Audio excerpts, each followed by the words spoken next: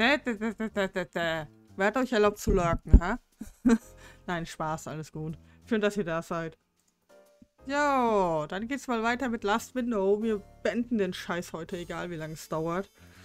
Ähm, und äh, dann machen wir äh, wir uns, was? äh, dann machen wir Magical, je nachdem wie lange das dauert, gucke ich mal, ob wir vielleicht Magical Stars sein noch anfangen. Ich kann aber für heute nichts versprechen. Und hi Kura. Hallo, hallo. Äh, jedenfalls, ich habe vor, heute Last Window durchzuspielen, damit wir dann mit Magical Star Sign anfangen können. Ich habe das Spiel ja schon hier liegen. Ich habe es auch noch mal gespielt, den Anfang, die ersten vier Stunden oder so. Einfach, um erstmal wieder reinzukommen ins Kampfsystem und so, weil ich habe mich nicht mal ans Kampfsystem erinnern können. Hello, Boys. Hallo, hallo, hallo, hallo. Schön, dass ihr alle da seid. Äh, das letzte Mal war es jetzt ziemlich spät. Aber das Pet-Update... Hey, Asbad. hey, Asbad zurück. Aber das Pet-Update von, von, von Corekeeper... Awesome. Einfach awesome. Okay, gut. Ähm, ich mag die Kühe und die Ziegen aktuell nicht. Die Scheißdinger sind verbuggt bis zum geht nicht mehr. Aber ansonsten... Die Pets sind cool. Die Pets sind richtig cool. Ähm... Und eine Hydrate. Mhm. Und ähm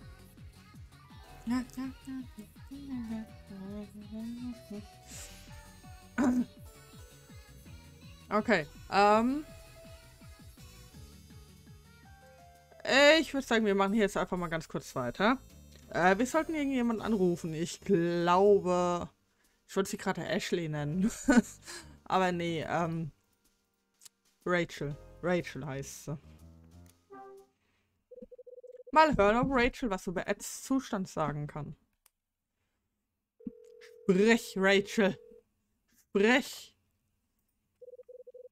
Guten Tag, Firma Red Crown.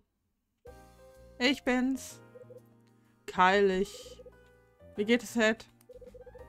Mila war also bei dir. Nee, sie hat nur so getan. Mila war bei uns. War Mila da? Ja, ja, ja, stimmt. Mila war da. Stimmt. Das freut mich. Was ist denn nun mit Ed? Es geht ihm schon wieder besser. Er selbst tönt rum, dass es ja doch nur das gleiche wie immer sei. Aber sein Arzt sagte, dass es dieses Mal ernst gewesen sei. Meinst du, ich sollte ihn besuchen? Lieber nicht, Kyle. Du weißt doch, wie er ist. So wie es ihm zurzeit geht, will er nicht, dass du ihn siehst.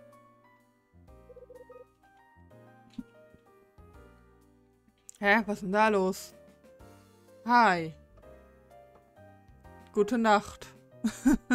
Hi. Gute Nacht. du hast recht, äh, recht, Rachel. Recht, Rachel. Okay. Mach dir keine Sorgen. Kümmere mich um ihn. Halte mich aber auf den Laufenden, ja? Sag mal, Kyle, ist noch etwas? Bedauerst du es nicht, dass wir uns heute Abend nicht treffen können? Ein wenig, ja. Frohe Weihnachten, Kyle. Frohe Weihnachten, Rachel. Yay, frohe Weihnachten. Äh, wir haben fast Hochsommer und die wünschen sich erstmal froh. Okay, okay, okay, okay. Gut, dann war es das gewesen. Wer ist da? warum? Wieso? warum klingeln Leute an meiner Tür? Ah, Moment. Ich glaube, ich mache euch den Ton ein bisschen lauter. Auch nur fast. Hyde? Nein. Da bin ich. Ich habe hier ein Päckchen für Sie. Was? Ich habe heute eigentlich genug von Paketen. Ach so, stimmt, ja. Und die Sache mit der Vermieterin. Und wer ist der Absender? Eine gewisse Genie Hyde. Mutter. Ich nehme das Päckchen in Empfang. Das muss das Päckchen sein, von dem meine Mutter sprach. Ich lege das Päckchen auf den Tisch ab. Ja, dann machst du auch auf, du Idiot. Muss ich dir alles sagen? Auf dem Tisch liegt das Päckchen, das meine Mutter mir geschickt hat. Ich öffne das Päckchen. Darin finde ich eine Karte von meiner Mutter. Folgendes steht drauf. Frohe Weihnachten. Ich schicke dir eine Erinnerung an das, was vor 25 Jahren passierte. In diesem Päckchen findest du das, was dein Vater damals in seinem Koffer trug. Damals war er so alt, wie du es jetzt bist. In Liebe, deine Mutter. Wow, geiles Weihnachtsgeschenk, ey. Also beste Mutter aller Zeiten. Mutter, Vaters Koffer, den er bei seiner Ermordung bei sich trug, ist heute meiner. Ich nutze ihn immer, wenn ich als Vertreter auf Achse bin. Was da wohl drin war? Äh, geil. Im Päckchen liegt ein alter Baseball. Den hat er bei sich gehabt. Diesen Ball habe ich als Kind oft in der Hand gehabt. Ich erinnere mich. Manchmal habe ich damit mit meinem Vater damals Catchball gespielt.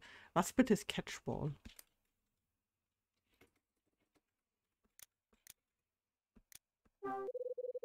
Im Päckchen liegt ein Autoschlüssel. Äh, was ist das denn? An diesen Autoschlüssel kann ich mich nicht erinnern. Wie ist der, äh, wie ist der denn in den Koffer meines Vaters gelangt? Die Hinterlassenschaft meines Vaters. äh, sei froh, dass ein Autoschlüssel und ein Ball ist. Nicht gerade ein fröhliches Weihnachtsgeschenk. Ja, deine Mutter ist cool. Na, wie geht's euch? Ähm, mir geht's ziemlich, mir geht's besser. Mir geht's wesentlich besser als gestern. Gestern war halt so ein Tag, wo ich nur aufs Klo gerannt bin. Das ist aber normal in meiner Situation. Also ich kenne es nicht anders. Ich meine, manchmal ist es schlimmer, manchmal ist es nicht so schlimm. Aber äh, gestern war es wieder schlimmer. Wer ist da? Warum klingelt ihr denn alle? Lasst mich doch in Ruhe. Lasst doch den alten Brumberg Heil endlich mal in Ruhe. Er möchte keine Freunde haben. Ach, da bist du ja. Verpiss dich, Toni. Toni! Ich wollte dich abholen halt. Schließlich wollen wir ja den Weihnachtsabend zusammen verbringen. Soweit gut, müde und am überlegen, ob ich nochmal einkaufen gehe.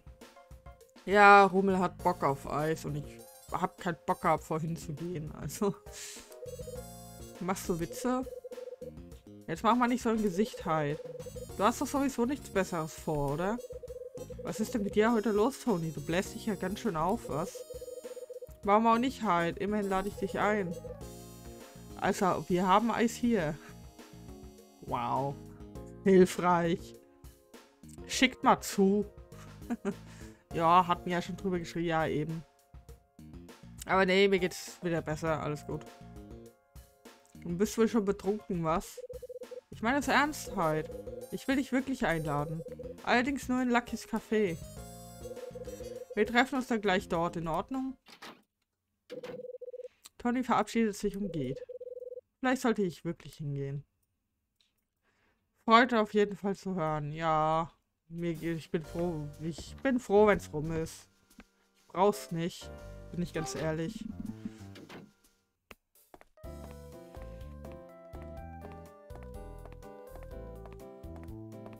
Na gut, dann mal ab zu Lucky.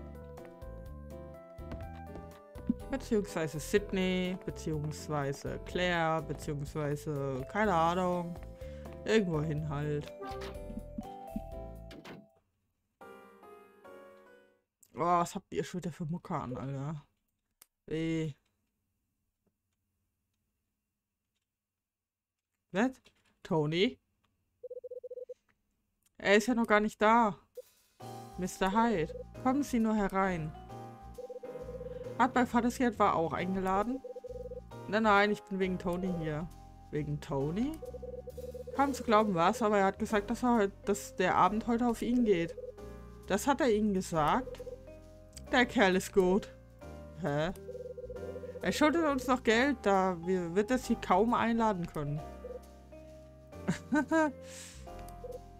Claire. Sydney? Tony Wolf ist ein guter Kunde.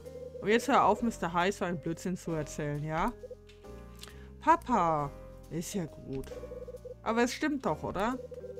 Du lässt doch sonst niemanden anschreiben, Papa. Warum gerade diesen Tony?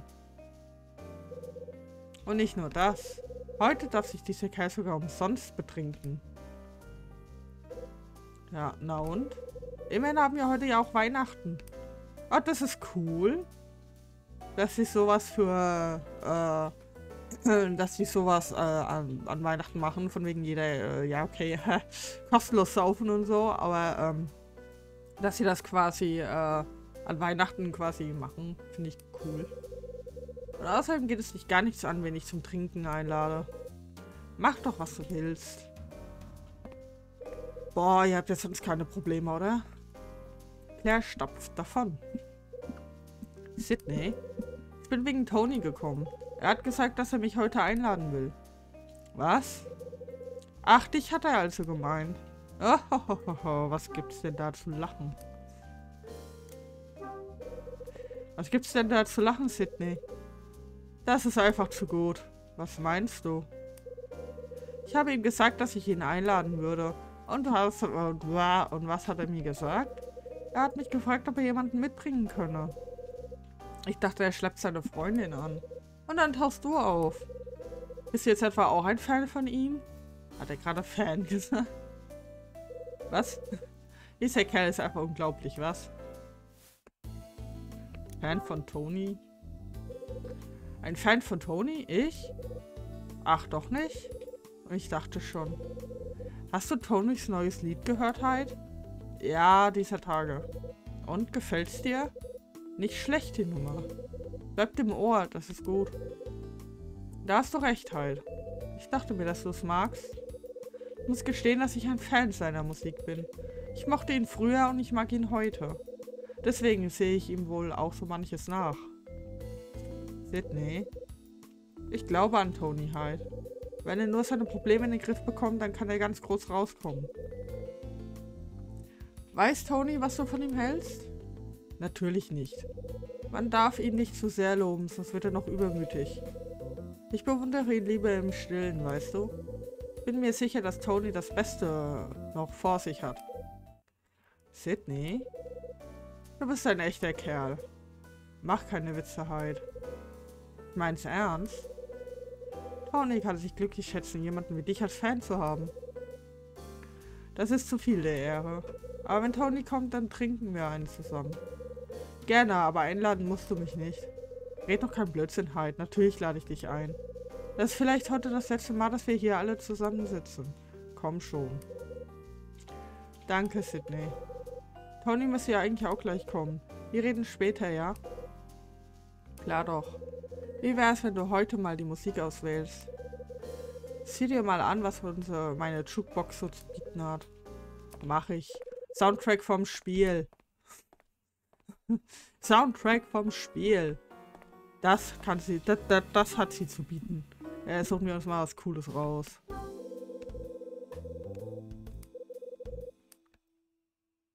So. Nein. Nein. Nein. Nein.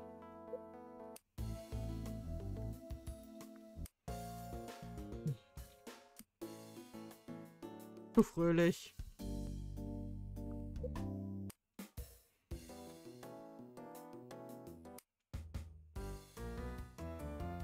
Nein.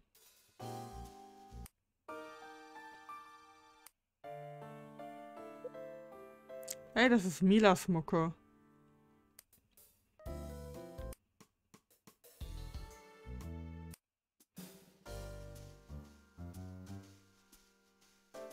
Also unter lodernde Flammen verstehe ich was anderes.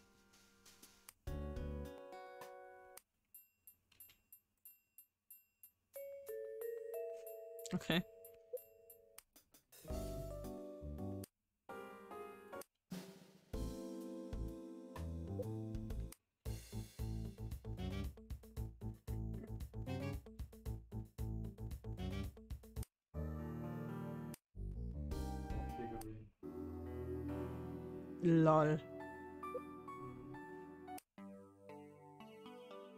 Na komm. Lass wir Belief laufen.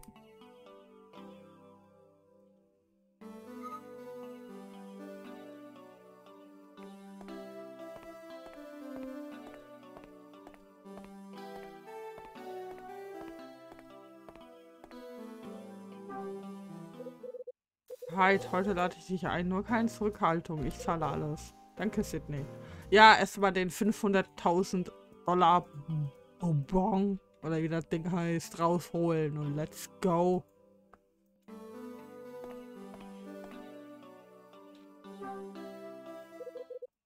Papst ist ziemlich gut gelaunt heute, was? Okay. Äh, was genau soll ich jetzt eigentlich tun? Spiel? Ich habe die Musik ausgewählt. Ah. Was? Halt! Tony!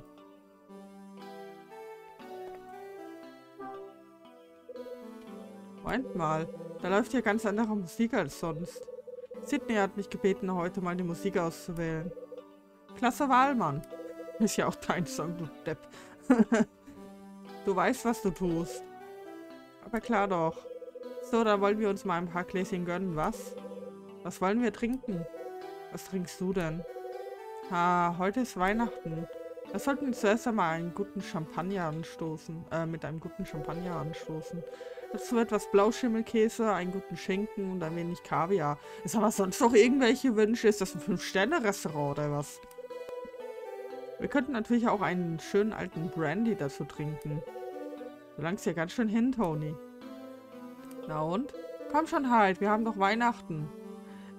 Ja, also ganz ehrlich, auch wenn... Ja, Tony, du bist ein Arschloch. Tony, reiß dich zusammen, immerhin lädt Sydney uns heute ein. Genau das meine ich.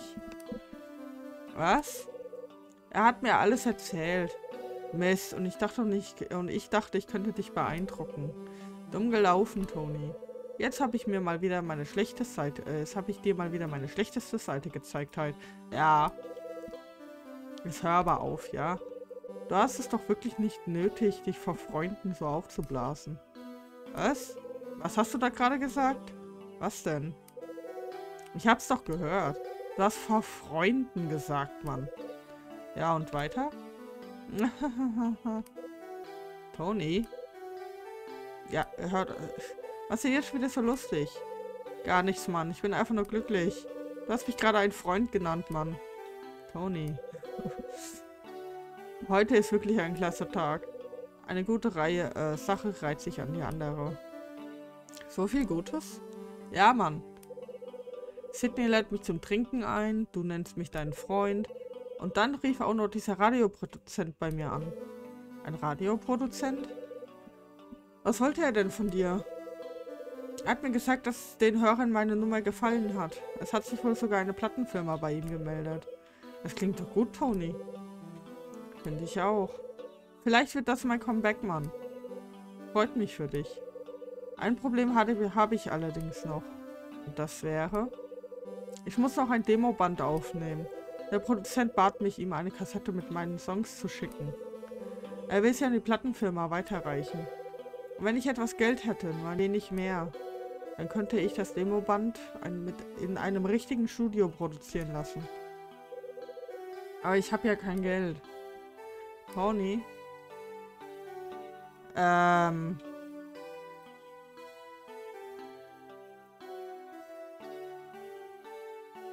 Die Frage ist, ob er es durchzieht. Ich meine, ich habe ich hab jetzt quasi die Wahl, ihm die, die 1000 Dollar, die ich, die ich gewonnen habe, zu geben, damit er das Demoband aufnehmen kann. Ich weiß nicht, ob er tatsächlich dran bleibt. Das wird nämlich tatsächlich am Ende nicht so wirklich geklärt. Aber ich gebe sie ihm.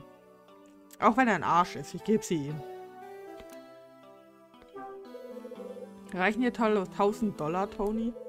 Hast du gerade 1000 Dollar gesagt? Das würde allerdings für ein ordentliches Studio ausreichen. Dann nimm sie einfach. Tschüss, 1000 Dollar. Hi, das ist ein Scheck über 1000 Dollar. Nimm ihn einfach, ja? Moment mal, Hyde. Ich kann das nicht annehmen. Und ob du das kannst, Tony, ich bestehe darauf. Verwende das Geld, um ein ordentliches Demoband zu produzieren, ja? Ja, aber... Kein Aber, Tony. Es ist deine Chance, du musst sie nutzen. Das geht doch nicht. Und wie das geht, Tony? Denk doch mal an deine Fans, die warten nur darauf, etwas Neues von dir zu hören. Ich habe den Check selbst gewonnen. Du kannst ihn also guten Gewissens an dich nehmen. Ist das auch wirklich okay? Klar doch. Und jetzt steck ihn ein, bevor ich es mir anders überlege. Danke, Hyde. Ich werde mit dem Geld ein tolles Demoband aufnehmen. Diese Chance lasse ich mir nicht entgehen. Da weißt du ja auch blöd, Tony. Heute geben wir es uns richtig halt. Äh, geh weg. Du machst mir Angst. Bin noch lange nicht fertig, Tony. Mich trinkst du nicht unter den Tisch, Mann. Zwei Männer besaufen sich gemeinsam am Weihnachtsabend. Übelstes Kino, oder? Allerdings, Mann. Okay. Tony, es scheint euch ja schon prächtig zu amüsieren und das ohne Alkohol. Man braucht auch keinen Alkohol dafür. Wir wollten gerade bestellen. Keine Sorge, ich koche euch auch etwas Gutes dazu. Ein wenig Geduld müsst ihr aber noch haben. Du willst uns warten lassen? Der Abend ist jung, Freunde. Wir müssen nichts überstürzen. Spiel doch ein wenig Billard mit Hyde, ja? Oh, Im Ernst, ich muss jetzt ohne. Sidney lässt uns alleine und geht davon. Wehe, ich muss das gewinnen. Und jetzt spielen wir eine Runde. Aber klar doch.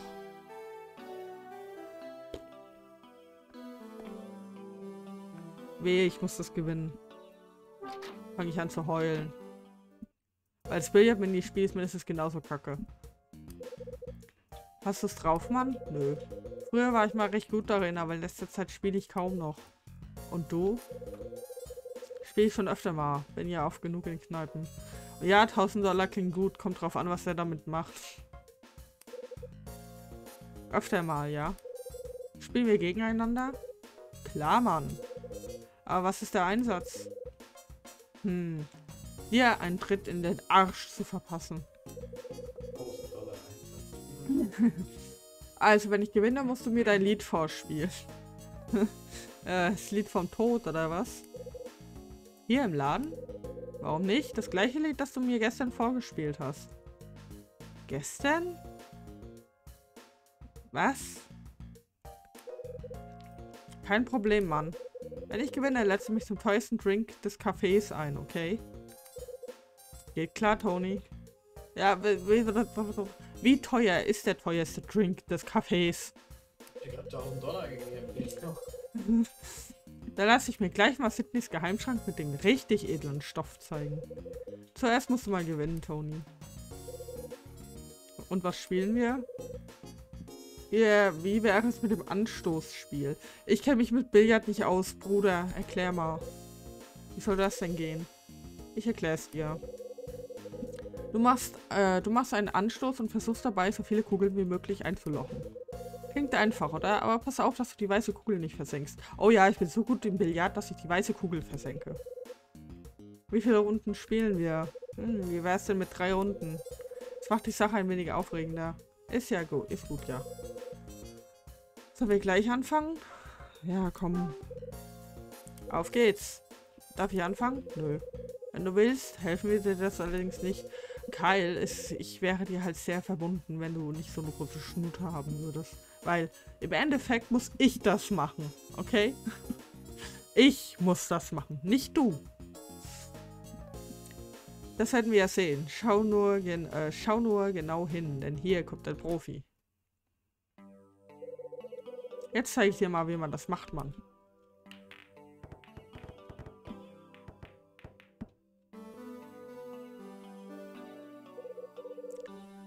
Bin wohl abgerutscht. Das ist deine Chance halt. Okay.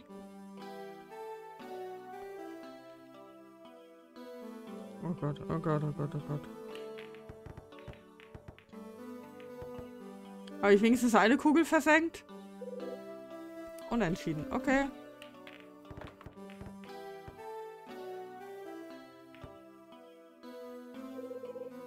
Geht noch besser. Aber das musst du erstmal schlagen. Also los halt.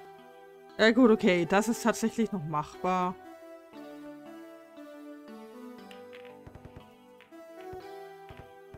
Ich bin so dumm für dieses Game, glaube ich. Halt dein Maul.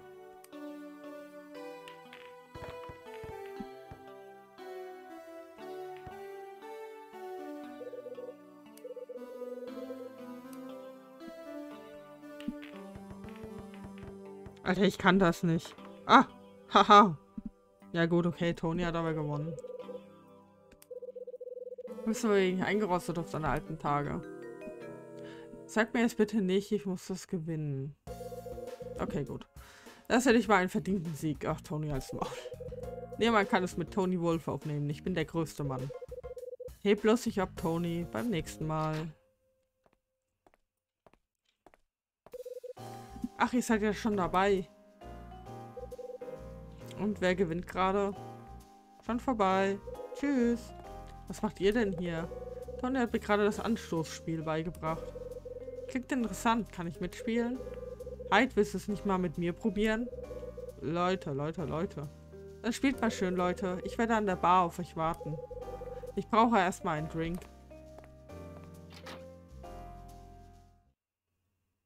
Was? Der haut jetzt einfach ab. Ich habe aber keine Lust mit euch zu spielen. Kann ich nicht einfach gehen?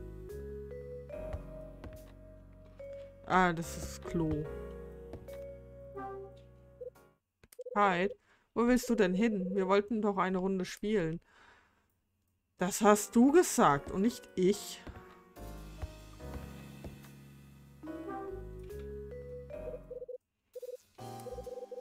Wenn du gewinnst, dann hole ich meinen erstklassigen Bourbon aus dem Schrank. Uh, was meinst du? Okay, let's go.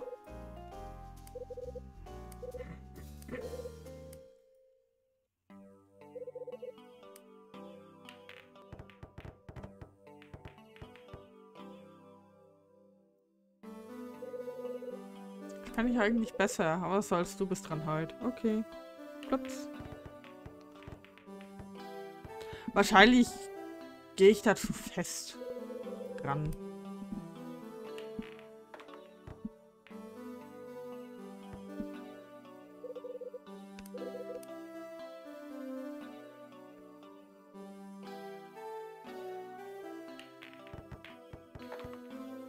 Hahaha.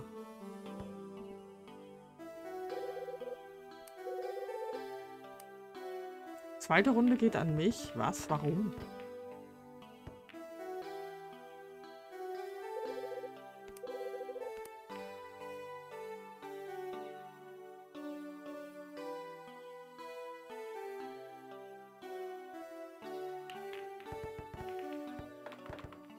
Okay, gut. Die geht definitiv an mich. Zwei Unentschieden und ein Sieger. Was? Okay, gut. Ich habe gegen Sydney gewonnen. Das heißt, ich krieg Bourbon. Versprochen, versprochen. Später mache ich einen guten Bourbon auf. Da ist mir das Wasser im Mund zusammen. Ich gehe dann schon mal vor. Bis dann halt. Okay.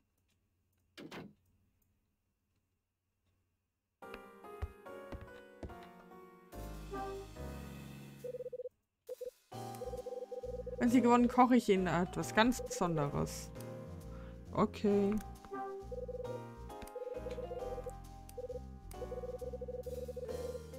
Okay, okay.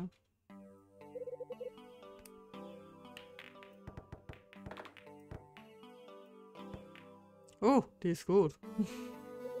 Schätze ich.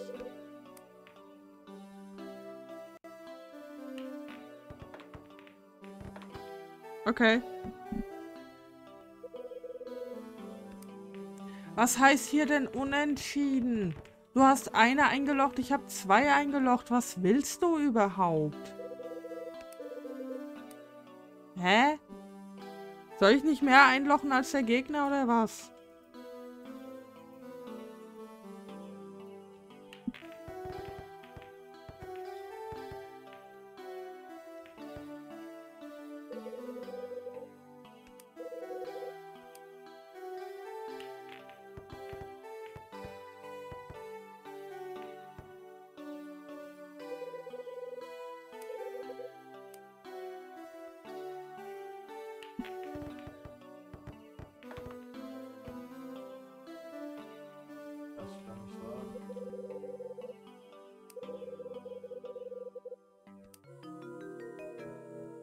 Ich habe verloren, weil es unentschieden war.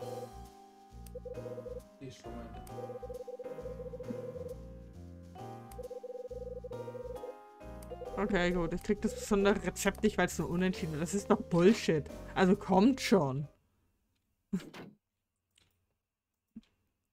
Macht das Spiel halt nicht so beschissen? Beziehungsweise klare Regeln und dann ist alles gut. Weil es macht keinen Sinn. Ha? Wie? Das ist doch Will White. Den sehe ich das erste Mal hier. Was? Schaut er mich etwa an? Wow. Will White steht am Tresen und schaut zu mir herüber. Er hebt sein Glas, leert es in einem Zug. Dann blickt er erneut in meine Richtung. Guten Abend, Mr. Hyde. Sind Sie alleine hier? Nein, ich bin in Begleitung. Das ist schade. Ich hätte mir nämlich bereits überlegt, auf einen Drink äh, einzuladen. Sie wollen mich einladen? Warum denn nicht? Ich hatte schon immer einmal Lust, bei einem Drink mit Ihnen zu plaudern. Sagen Sie, wollen Sie ein Gläschen mit mir trinken? Wieso wollen Sie denn gerade mit mir trinken? Ach, ich denke einfach, dass wir gut zusammenpassen. Äh, nein. Wie kommen Sie denn darauf? Dylan erzählte mir, dass Sie Vertreter sind und Junggeselle. Wir scheinen eine Menge Gemeinsamkeiten zu haben. Wow. Wow. Ja klar, wir sind automatisch Freunde, weil wir Junggesellen sind und als Vertreter arbeiten. Mhm, macht Sinn. Das heißt aber noch lange nicht, dass wir uns verstehen müssen, oder? Ja, danke, Kyle. Was gibt's denn da zu lachen? Sie sind genau, wie ich sie mir vorgestellt habe. Bin ich das? Aber ja doch. Sie sind gerade, störrisch, vertrauen niemandem außer sich selbst. Sie können sich in andere hineinversetzen, aber jede Diplomatie ist ihnen fremd. Und sie hassen es, sich von anderen Menschen etwas sagen zu lassen. In Wirklichkeit sind sie sensibel, aber sie tun alles, um vor der ganzen Welt, äh, um das vor der ganzen Welt zu verbergen. Sie sind nicht gerade ein einfacher Mensch, was? Und ich dachte schon, sie reden ewig so weiter. Hat ihnen der Alkohol denn die Zunge gelöst, Mr. White?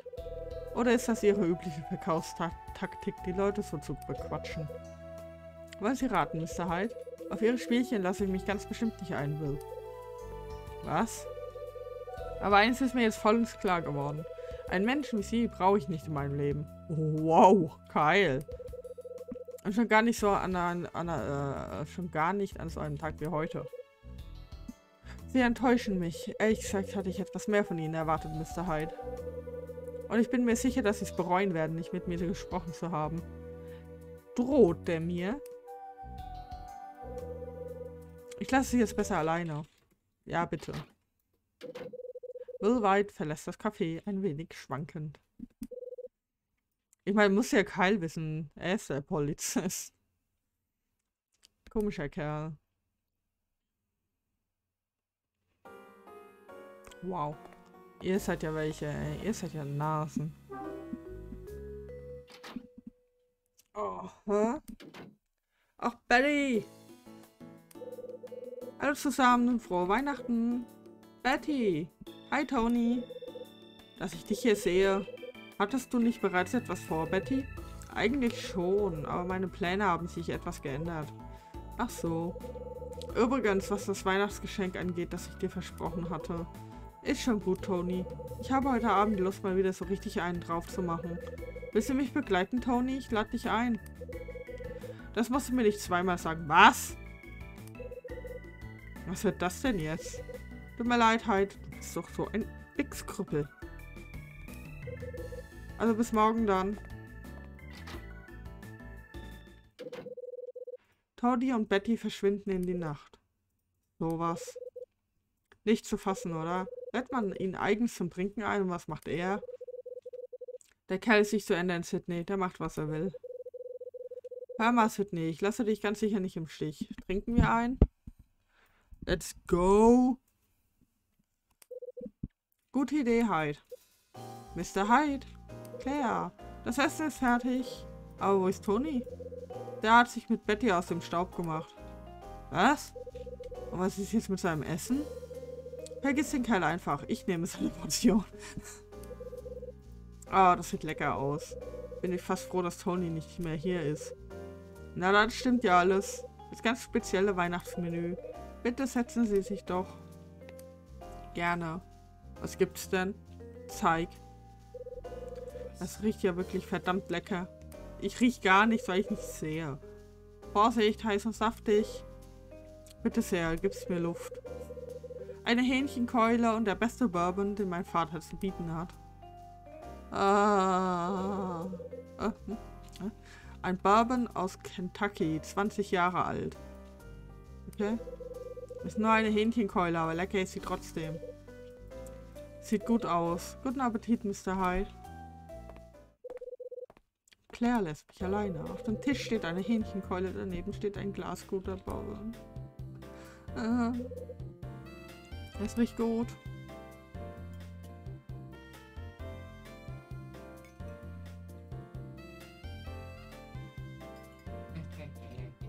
Okay, da hatte jemand definitiv Hunger. Yay! Gut gemacht, Rummel. Ja, ich hab schweren Stillstand gefahren. Schweren. Ja, Okay. Okay. Das, das glaube ich tatsächlich nicht mal. Aber Gorm war trotz, äh, Gorm war Two-Shot und, äh, äh, Gorm war trotzdem, äh, links, links, war trotzdem noch One-Shot. Okay. Ah, halt. Na, noch Lust auf ein Gläschen? Aber sicher doch. Wo steckt Claire denn? Gerade gegangen, sie ist noch verabredet, hat sie gesagt. Jetzt sind wir leider halt, oder sollten wir aus? Das schön. Hm.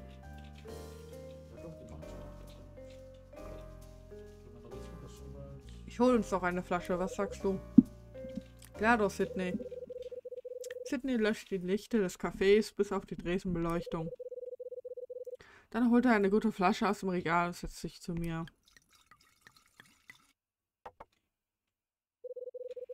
Flasche entpuppt sich als ein sehr alter Brandy, den ich noch nie getrunken habe. Ein fruchtig samtiger und doch zugleich kräftiger Geschmack streichelt den Gaumen. Ich merke sofort, wie mir warm wird, als sich der Alkohol in meinem Körper ausbreitet. Während ich mit Sydney rede und wir ein, G- ein Glas ums andere trinken, vergeht die Zeit. Ach, Sydney, dieser Brandy ist wirklich vorzüglich. Ich kann es nicht oft genug sagen. Du bist ein echter Kenner, Hyde. Naja, ich würde fast sagen Alkoholiker, aber ist jetzt weit hergeholt. Wie meine Ex. Was? Ach so. Damals, als wir noch zusammen waren, haben wir abends oft nach der Sperrstunde noch hier im Laden gesessen und gemeinsam einen getrunken. Die Alte hat was vertragen. Warum habt ihr euch denn eigentlich getrennt? Da bin ich ganz allein dran schuld halt. Das habe ich nun endlich begriffen. Und ich würde einiges darum geben, ihr das heute so sagen zu können, weißt du? Entschuldige Hyde, manchmal macht sich mich der Alkohol ein wenig schwermütig. Kennst du eigentlich die Nummer Promise? Nie gehört. Solltest du aber halt das richtige Lied, das richtige Lied für eine Nacht wie diese. Eine Nacht wie diese? Ja, das ist das richtige Lied für alle, die Weihnachten alleine verbringen müssen. Einmal zumindest sollte man es gehört haben. Sydney greift unter den Dresen und zieht eine Schallplatte hervor.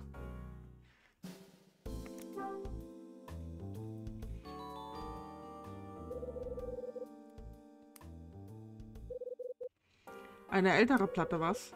Ein Erinnerungsstück. Als ich damals die Platte gekauft habe, war, ein, war da ein Mädchen im Laden, das die gleiche Platte kaufen wollte. Claires Mutter, meine Frau. So habt ihr euch kennengelernt? Verrückt, oder? Sie war bestimmt eine tolle Frau, Sydney. Eine klasse Frau, Hyde. Und das ist sie noch immer. Obwohl ihr euch getrennt habt? Aber klar doch. Jetzt ist aber genug, Hyde. Du hast recht. Willst du noch weiter trinken? Ah ja, Rummel, wenn du ein Spiel haben willst, wo man viel grinden muss. Warframe. Mehr grinden kannst du nur auf dem Skateplatz. Warframe hat er mal eine ganze Weile gespielt, glaube ich. Ich war zu der Zeit tatsächlich auf, auf, auf es gab nichts, gab nichts mehr, aber jetzt relativ wenig Lust wieder anzufangen. Es ist alles neu, es ist komplett. Nee. Ja, also er hat's mal gespielt, da gab's die Raids oder was das waren, gab's da noch. Nee, die kamen da erst, also die kam eine ganze, ganze Zeit lang später erst. Ja, aber sie waren da. Ja. Und dann haben sie sie wieder rausgenommen. Ja. Ja. Lass mal gut sein, ich bin schon gut bedient. Danke. Na dann wollen wir mal ins Bett gehen, was? Sydney, vielen Dank, das war ein klasse Abend. Das finde ich auch. Yay! Was mir Sydney da wohl für eine Platte gegeben hat?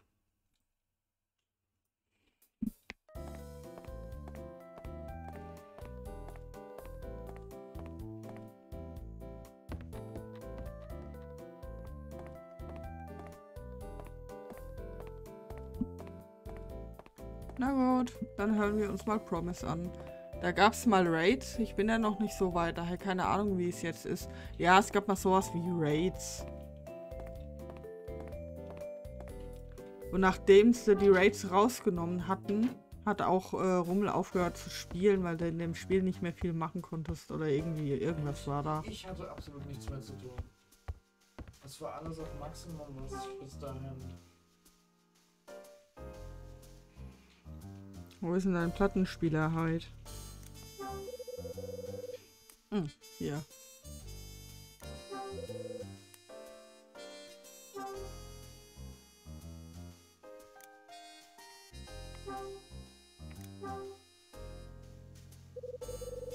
Jetzt könnt ihr mir... Ja, genau. Das ist ein Rätsel. Woher soll ich denn wissen, wie man Schallplattenspieler bedient? Hallo? Das ist echt ein Rätsel. Schwer. Mir helfen? So? Ja, okay, ich hab's anscheinend.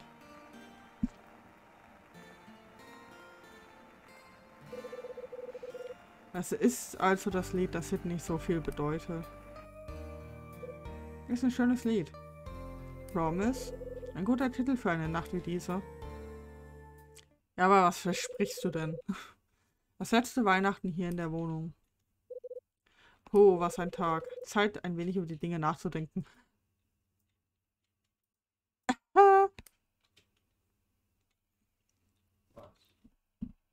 Kapitelende.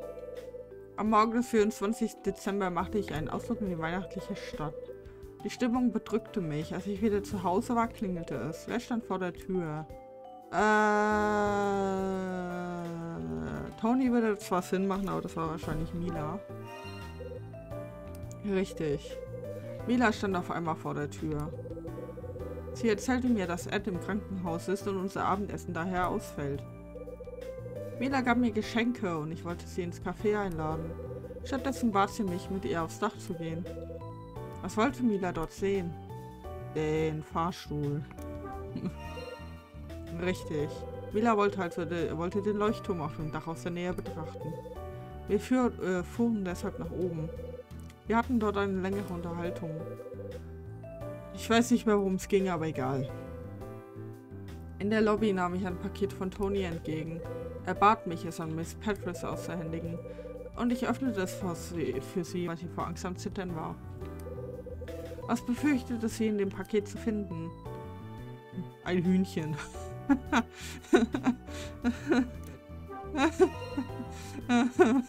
ah, Wenn es verwesen gerochen hätte, hätte ich es vielleicht... Genau. Miss Patrice hatte Angst, dass man ihr eine Bombe geschickt haben könnte. Sie hatte nämlich einen Brief erhalten, der ihr genau dies androhte. In dieser Situation erzählte sie mir von ihren Sorgen. Später telefonierte ich dann mit Rachel.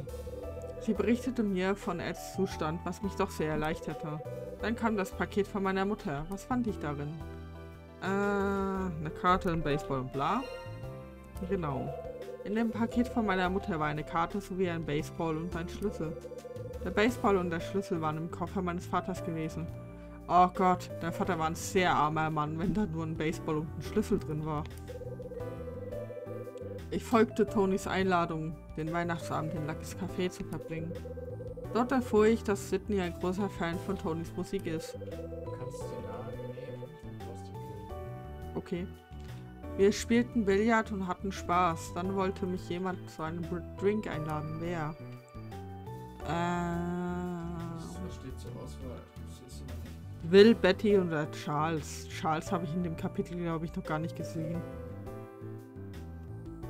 Ihr spieltet Billard, das ist die zweite war, ich, Betty, oder? Nee, nee, Will. Ja, da war es Will zuerst. Dann ja, Betty. Genau. Will White lud mich ein, mit ihm zu trinken. Allerdings schlug ich sein Angebot aus und verbrachte den Abend mit Sydney.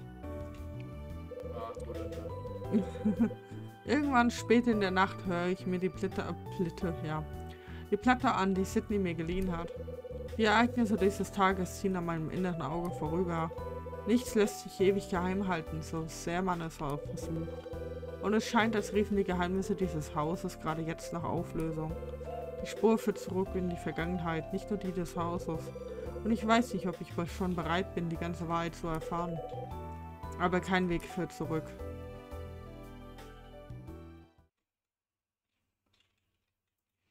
Okay, Kapitel im Roman hinzugefügt. Spiel speicheln? Ja, bitte. Dann Kapitel 8. Drei Wochen später. Gibt's von den Dingen auch von den Postlauten? Das weiß ich nicht. Also von diesen Raupen weiß ich jetzt nichts.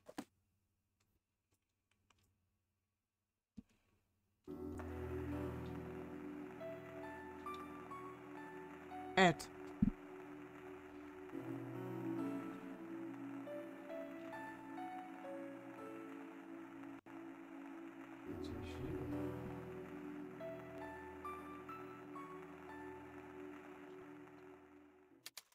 Okay.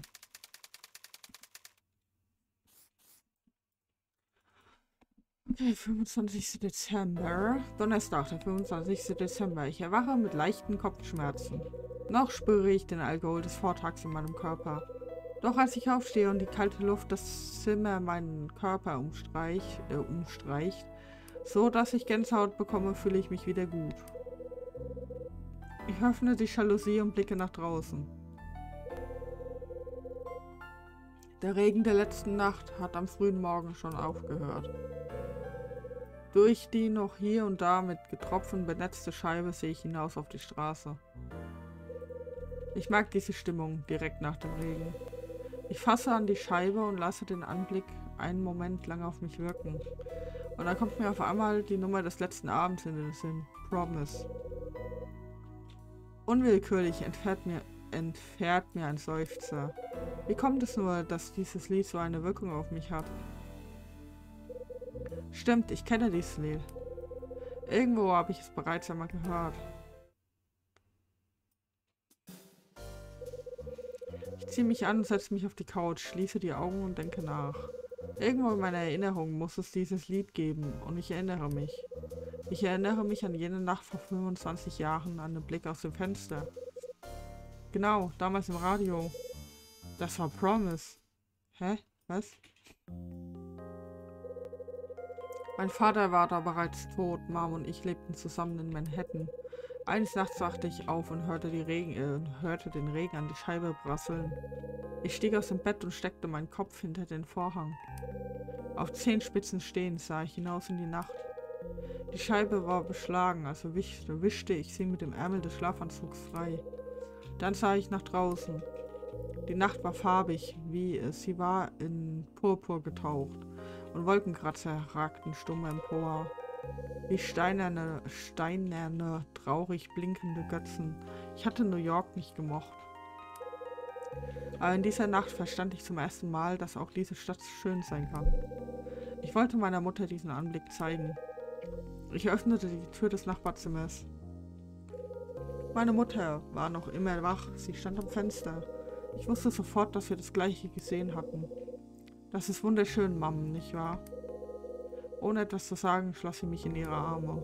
Und aus dem Radio klang leise ein Lied. Dein Vater mochte dieses Lied, flüsterte sie. Er mochte es so gerne. Ich sah hinauf zu meiner Mutter, sah ihr in die Augen. Sie waren ausdruckslos und voller Tränen. Und da standen wir, alleine, traurig und hilflos in der Nacht. Und das Lied, das leise aus dem Radio kam, ich bin mir sicher, es muss Promise gewesen sein.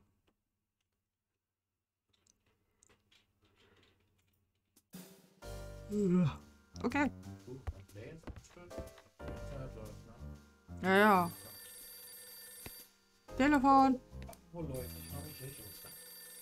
Telefon. Karl. Mutter. Da bist du ja. Da bin ich. Na und? Ist irgendwas? Ach, nichts Besonderes. Ich dachte nicht, dass ich dich erreiche. Was soll das? Bitte lach jetzt nicht, Kyle. Ich habe einfach mal versucht, bei dir anzurufen. Ich dachte, du bist sowieso nicht da. Das ist alles, Liebes. Wow. Die ist bestimmt allein. Ja, sie lebt auch alleine. Ja, Hat er jetzt schon ein paar Mal gesagt. Mutter, bitte. Wie traurig ist das denn, jemanden anzurufen, den man nicht äh, zu antworten erwartet? Das denke ich und sage doch was anderes. Ich habe gestern dein Päckchen erhalten, Mom. Sag mal, dieser Baseball, das ist doch der Ball, den mir Vater damals gekauft hat, oder? Du erinnerst dich also. Ja, sehr gut sogar. Wir haben damit oft zusammen Catchball gespielt. Dein Vater hat das so viel bedeutet. Er hat den Ball oft bei sich getragen. Du wolltest doch damals sogar Baseballprofi werden. Was ich nicht alles werden wollte, Mom. Dein Vater hat den Ball jedenfalls oft bei sich getragen. Er sagte, er würde ihn äh, an die Zeit mit dir erinnern. Hm. Aber sag mal, an den Autoschlüssel kann ich mich nicht erinnern. Gehört er zu Vaters Auto? Nein, ganz bestimmt nicht. Was? Autoschlüssel. Nee, ich weiß das sogar. Ja. Ja, nee. Ich habe ihn von der Polizei erhalten. Er war im Koffer deines Vaters zusammen mit dem Baseball. Ich weiß wirklich nicht, was es mit diesem Schlüssel auf sich hat. Aber ich wollte dir diese Dinge geben. Mom, eines wollte ich dich schon immer mal fragen. Meinst du, ich kann das jetzt tun? Was willst du denn wissen? Warum bist du eigentlich gerade mit jemandem wie meinem Vater zusammengekommen? Was meinst mit einem Mann, der so eine Laufbahn eingeschlagen hat. Warum hast du ihn geheiratet? Also ich, ich habe ihn geliebt. Ich habe ihn geliebt und darum habe ich ihn geheiratet. Wow. Wow. Das erste Mal habe ich ihn im Krankenhaus getroffen. Keine Ahnung, einfach so. Äh, ja, so ähnlich. Das erste Mal habe ich ihn im Krankenhaus getroffen. Ach stimmt, sie ist ja irgendwie Krankenschwester oder irgendwie sowas. Er hat sich dort wegen einer Verletzung behandeln lassen. Die Krankenschwester und Patientennummer also. Was ist daran so besonders? Sowas passiert ständig, hörst du? Ich hatte damals keine Ahnung, womit dein Vater sein Geld verdiente. Aber eins wusste ich sofort. Ich wusste, dass er etwas zu verbergen hat. Ich fürchtete, dass es vorbei wäre, wenn ich sein Geheimnis lüften würde. Also habe ich ihn nie danach gefragt. Ich wollte es nicht wissen. Das ist die Wahrheit. Und wann hast du es dann erfahren? Da warst du bereits zwei Jahre alt, Kyle. Er hat mir alles erzählt. Was? Dass er sein Geld als, dass er sein Geld als professioneller Safe-Knacker verdient? Ja, genau das. Und warum hast du ihn dann nicht aufgehalten? Kyle. Wenn du damals nur etwas getan hättest, dann hätten wir in den sieben Jahren, bis Vater starb, nicht von Liebesgeld leben müssen. Er war ein Krimineller und du hast es gewusst und nichts dagegen getan. Du verstehst das nicht, Kyle. Was verstehe ich nicht? Nachdem du geboren wurdest, wollte dein Vater aussteigen. Wirklich, das wollte er. Aber das war nicht so einfach, wie er gedacht hatte. Sein Part seine Partner wollten ihn behalten. Und deswegen... Deswegen hast du einfach weggesehen, was? Oh, Kyle, hör doch auf. Wie konntest du nur? Kyle. Mein Forscherton scheint meiner Mutter die Sprache verschlagen zu haben. Es ist das erste Mal, dass wir so über Vater geredet haben. Vielleicht hätte ich gar nicht erst fragen sollen. Wir sollten das Gespräch hier beenden, Kyle. Ja, ist wohl besser. Bin mir sicher, dass du es eines Tages verstehen wirst. Dem gehört gerade echt eine auf die Backe. Ja, schon ein bisschen. Weil was kann sie denn dafür? Und vielleicht kannst du uns dann verzeihen. Eines Tages werde ich dir den Rest der Geschichte erzählen. Mom ist Das lief nicht so gut. Das lief überhaupt nicht gut. Wer ist das schon wieder? Ja. Gute Frage.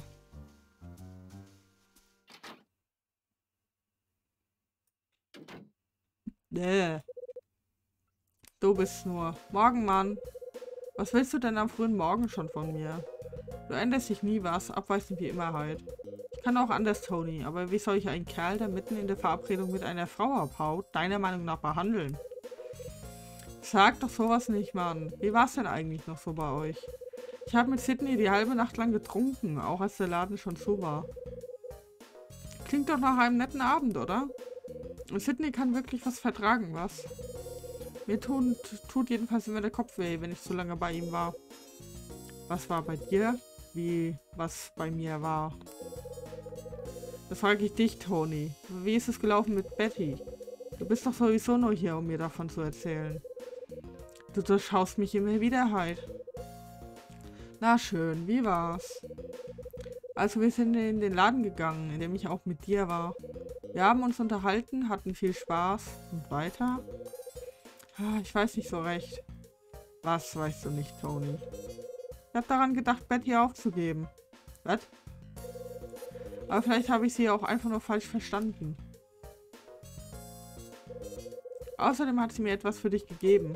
Etwas Merkwürdiges. Wait, what?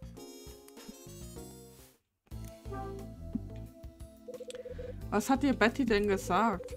Nun, sie war schon ein wenig betrunken, als sie das gesagt hat. Sie sagte, in ihrer Nähe gäbe es einen besonderen Menschen und einen, der ihr gefällt. Und dass sie den besonderen Menschen abgeschrieben habe. Hm. Ich habe sie gefragt, was denn der Unterschied zwischen den beiden sei. Und sie hat mir folgendes gesagt halt. Bei dem besonderen Kerl ist ihr ein Kribbeln durch den Körper gelaufen. Beim anderen hat sie das nicht gespürt. Und trotzdem denkt sie immer an ihn. Und irgendwie hat sie sich zeitweise für den Besonderen entschieden. Ja, und weiter? Sie hat mir gestanden, dass sie sich geirrt hat. Dass derjenige, der ihr kein Schauer im Rücken jagt, in Wirklichkeit wichtiger ist. Und wo ist jetzt das Missverständnis, Tony? Also ich dachte mir, Vielleicht hat sie mir mich damit gemeint, Mann. Ja, ich. Vielleicht ging es auch um Tony und Kyle. ich könnte mir gut vorstellen, dass es um Tony und Kyle ging.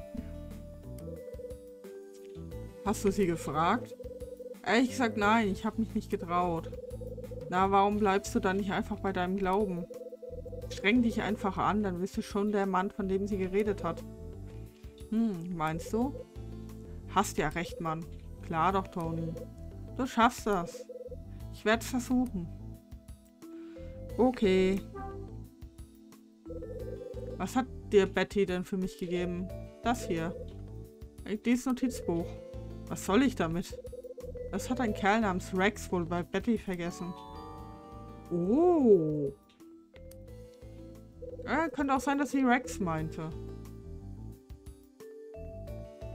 Vielleicht geht es auch um Rex und Kyle. Und Tony stand überhaupt nicht zur Debatte. Betty sagte mir, dass es dir vielleicht von Nutzen sein könnte. Ich weiß zwar nicht genau, was sie damit meint, aber... Ich gehe da mal wieder. Ja, bye bye. Tony verlässt mein Zimmer. Was wohl in dem Notizbuch steht, könnte interessant sein. Lesern! Lesern, Lesern, Lesern, Lesern, Lesern. Ansehen, ansehen.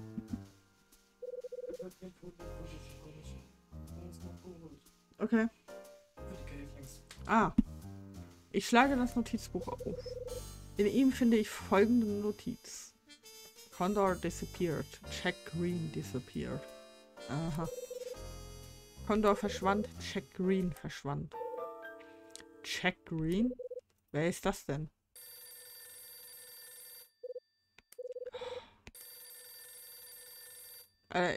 Ich hab's noch nicht geschafft, meine Wohnung in diesem Kapitel zu verlassen. Und das ist wahrscheinlich Ed. Kyle. Vom anderen Ende der Leitung erklingt eine vertraute Stimme. Rachel. Ach nee, Rachel. Okay. Gute Nachrichten halt. Ed geht es besser. Am Wochenende soll er entlassen werden. Das freut mich. Ja, ich bin auch erleichtert. Aber der Doktor sagte auch, dass er sich künftig schonen muss. Weiteren Stress hält Eds Herz nicht mehr aus. Er muss etwas kürzer treten. Also Kyle, mach deinen Job. Das heißt wohl, dass ich ihm keinen Ärger machen soll, was? Genau das, Kyle. Hat sich bei dir eigentlich etwas ergeben? Nichts wirklich Erwähnenswertes, aber ich habe einen neuen Auftrag für dich. Was soll ich denn tun? Es geht mal wieder um diesen Rex Foster. Er steht wohl in Beziehung zu einem gewissen Jack Green. Eventuell ist dieser Kerl 1967 von der Bildfläche verschwunden. Jack Green 1967. Hm. Hm. Alles klar, Karl, ich hatte mich mal umhören. Ich melde mich dann bei dir. Danke, Rachel. Yay! Was Jack Green angeht, werde ich wohl auf Rachels Anruf warten müssen. Ah, stimmt ja. Ich sollte Sydney seine Platte zurückgeben. Cool. Wie der durch die Wohnung trampelt. Die Leute unter ihm tun mir leid. Wobei über ihm müsste eigentlich nur... Äh, unter ihm müsste eigentlich die Vermieterin wohnen.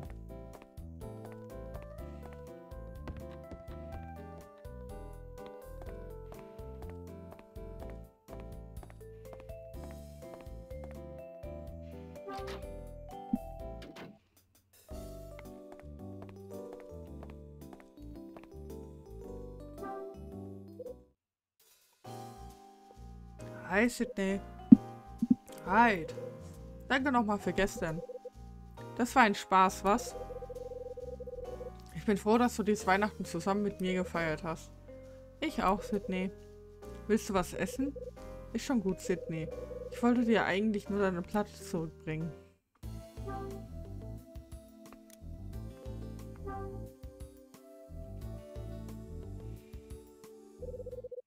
Ich gebe Sydney Schallplatte zurück. Danke, Sydney. Gibst ihm Luft. Hast du sie dir denn auch schon angehört? Klar doch, gestern Abend noch. Das freut mich.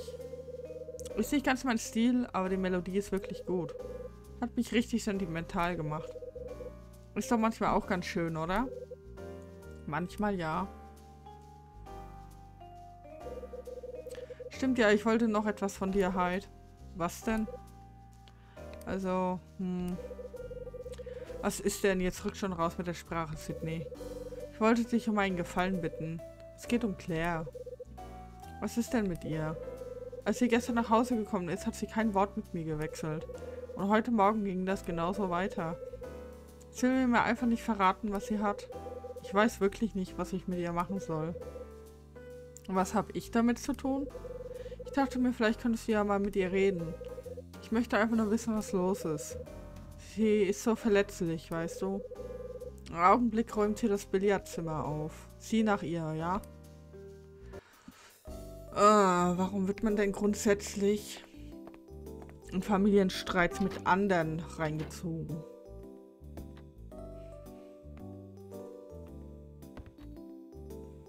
Alles klar. Claire. Tut mir leid, Mr. Hyde. Ich mach gerade sauber. Ah.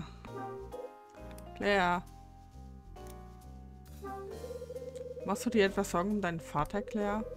Das kann man wohl sagen. Wir hatten doch bereits darüber gesprochen. Haben Sie meinen Vater schon gefragt, Mr. Hyde?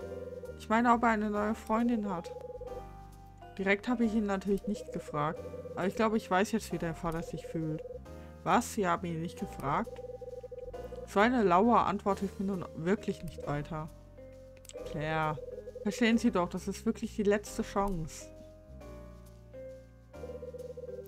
Es wird wohl wirklich nichts mehr. Papa vergisst sein Versprechen von damals.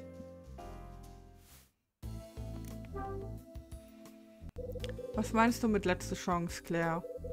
Die letzte Chance, dass meine Eltern noch einmal zusammenkommen, Mr. Hyde. Wenn mein Vater sie nicht zurückhält, äh, sie nicht zurückhält, dann dann geht Mama wirklich nächstes Jahr. Deswegen ist dieses Jahr die letzte Chance. Wünschst du dir etwa, dass deine Eltern es ein zweites Mal versuchen? Natürlich wünsche ich mir das. Ich will, dass sie sich wieder vertragen, so wie früher.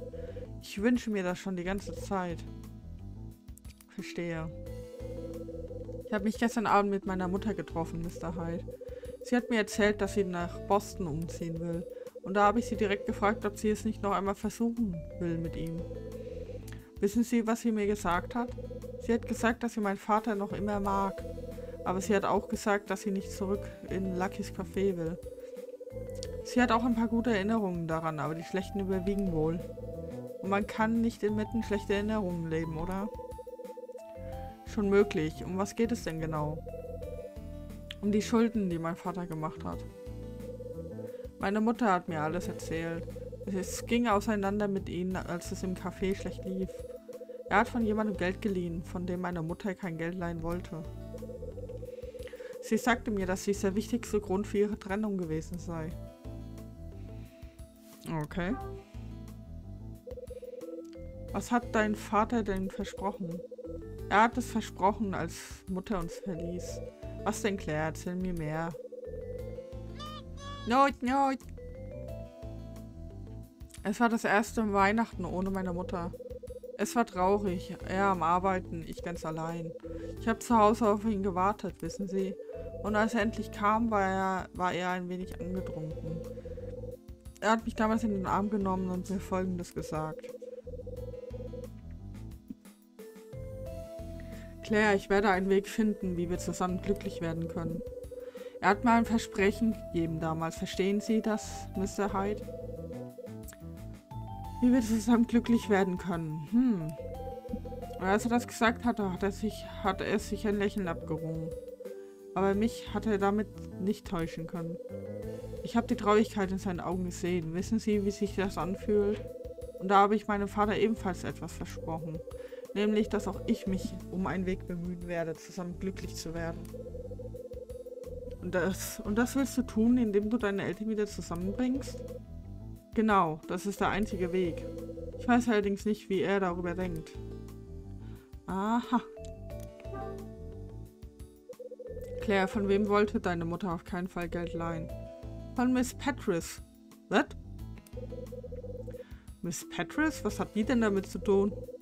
Mein Vater scheint sich eine gewisse Summe von Miss Petris geliehen zu haben.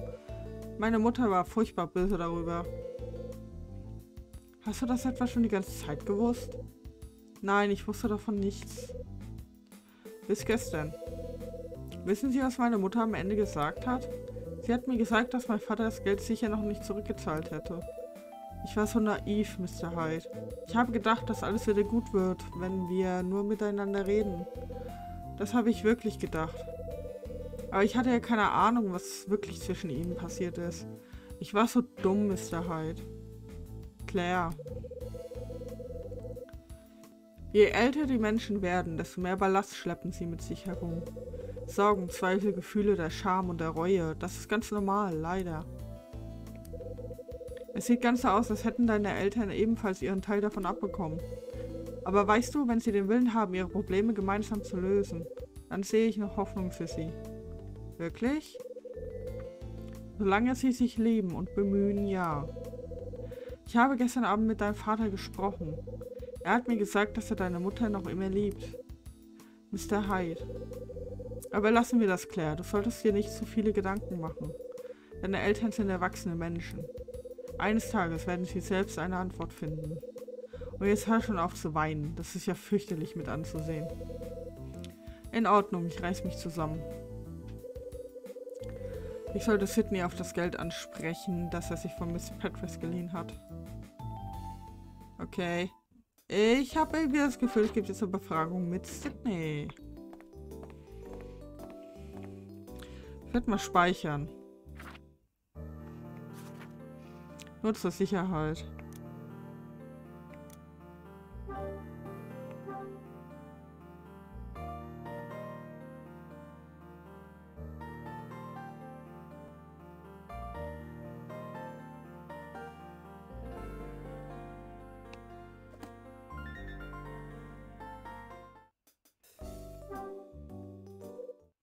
Hi Sydney.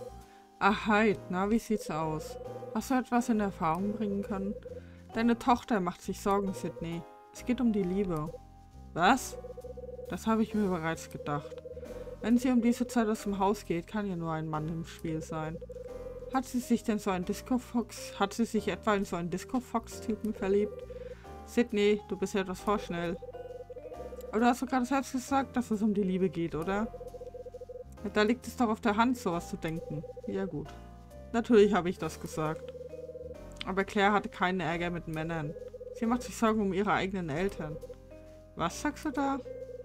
Sie hat sich gestern, gestern, Abend, äh, gestern Abend mit ihrer Mutter getroffen, Sydney, mit deiner Ex. Weißt du auch, warum sie das getan hat? Sie möchte, dass ihr beiden euch wieder vertragt. Das, das macht mich ja vollkommen sprachlos. Abgesehen davon hätte ich auch eine Frage an dich. Was willst du denn, Hyde? Was ist eigentlich mit dem Geld, das Miss Petris dir geliehen hat? Woher weißt du davon? Claire hat es mir erzählt. Sie weiß es von ihrer Mutter. Das hilft ja nichts. Als ich den Laden hier aufmachte, fehlte mir Kapital. Ich habe es mir von Miss Petris geborgt. Ich kannte ihren verstorbenen Gatten, weißt du. Und nun zahle ich das Geld in Monatsraten zurück. In einem halben Jahr bin ich fertig. Wenn man Claire glaubt, ist dieses Geld das größte Hindernis für eine Versöhnung zwischen euch. Ach, immer wieder... Was?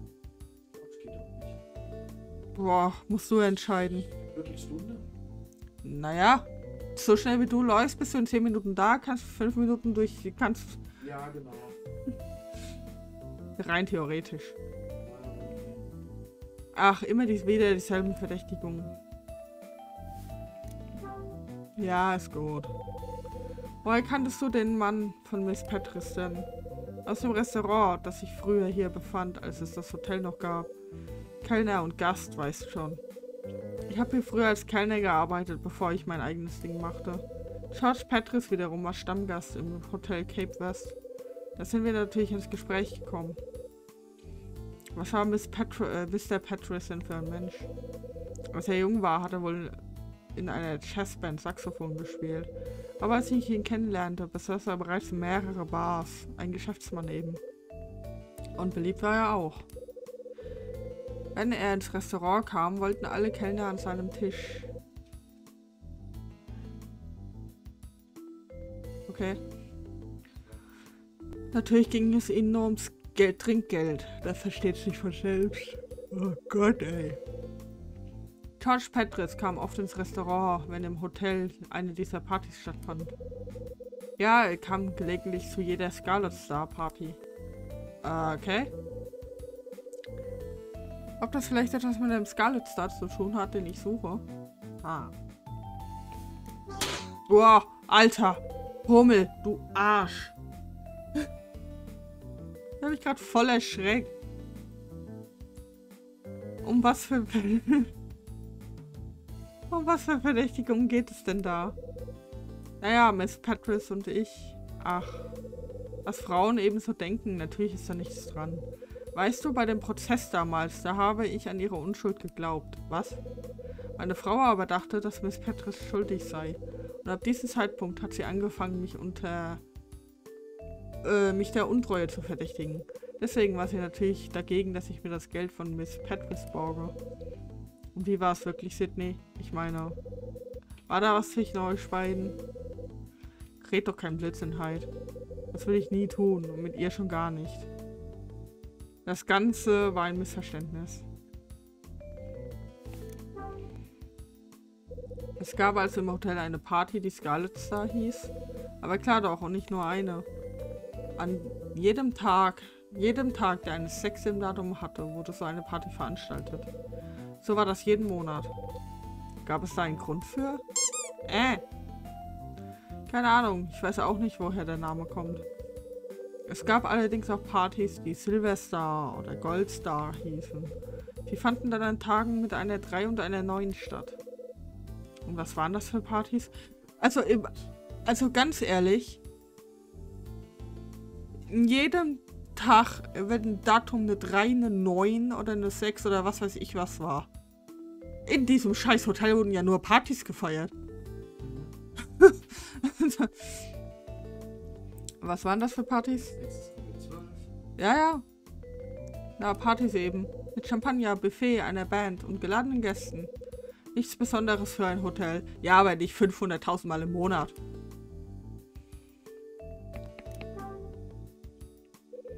Du hast ja irgendwas von einem Prozess gesagt. Ich. Nein, da was. Das war nichts. Vergiss es am besten. Sydney. Danke.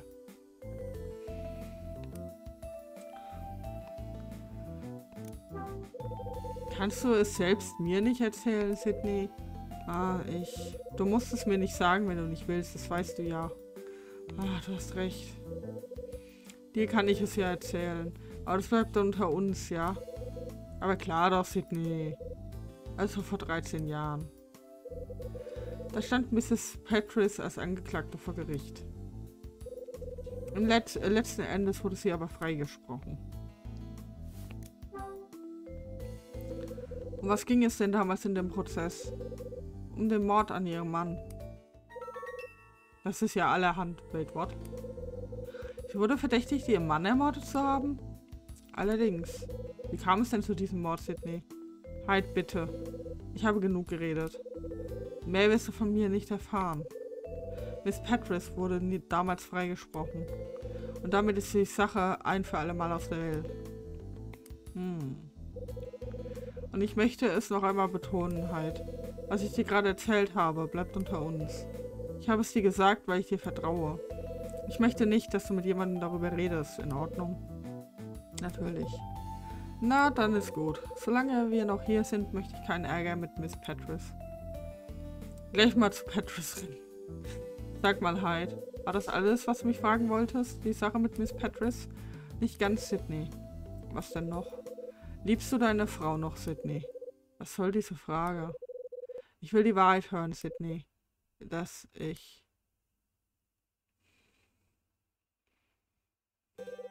Ja, ich mag sie noch immer. Wahrscheinlich liebe ich sie. Wahrscheinlich liebe ich sie sogar.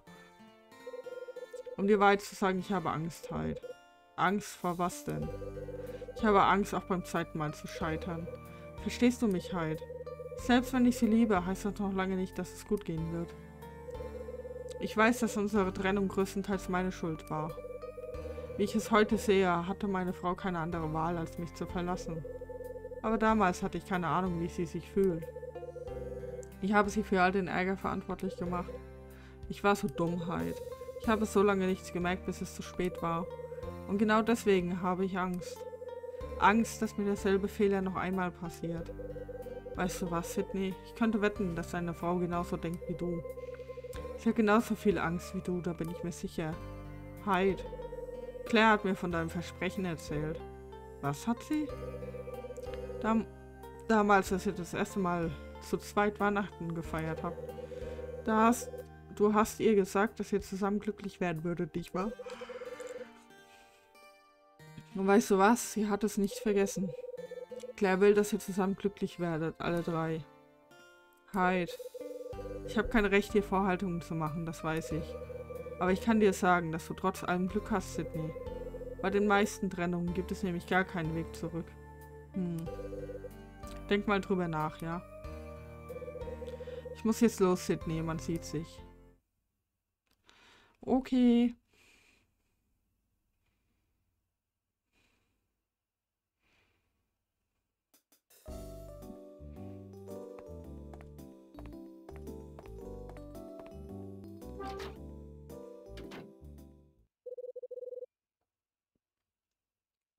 Was hat Sydney mir da vorhin erzählt? Die Person, die auf allen Scarlet Star Partys zu Gast war? Ich sollte mich etwas genauer erkundigen. Äh. Soll ich echt jetzt mit ihr quatschen?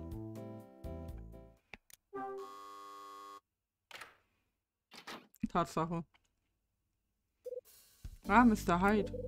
Miss Patris, hätten Sie vielleicht einen Moment für mich? Aber es ist selbstverständlich. Um was geht es denn? Ich wollte Sie etwas fragen. Und das wäre Mr. Hyde?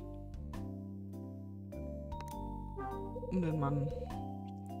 Es geht um Ihren verstorbenen Gatten. Was wollen Sie denn wissen? Sie hat mir doch vor kurzem von Ihrem Gatten erzählt. Sie sagt mir, dass er Saxophonist war. Das stimmt, aber Wussten Sie, dass ich ein begeisterter Jazzhörer bin? Und das Saxophon war schon immer mein Lieblingsinstrument. Was Sie nicht sagen.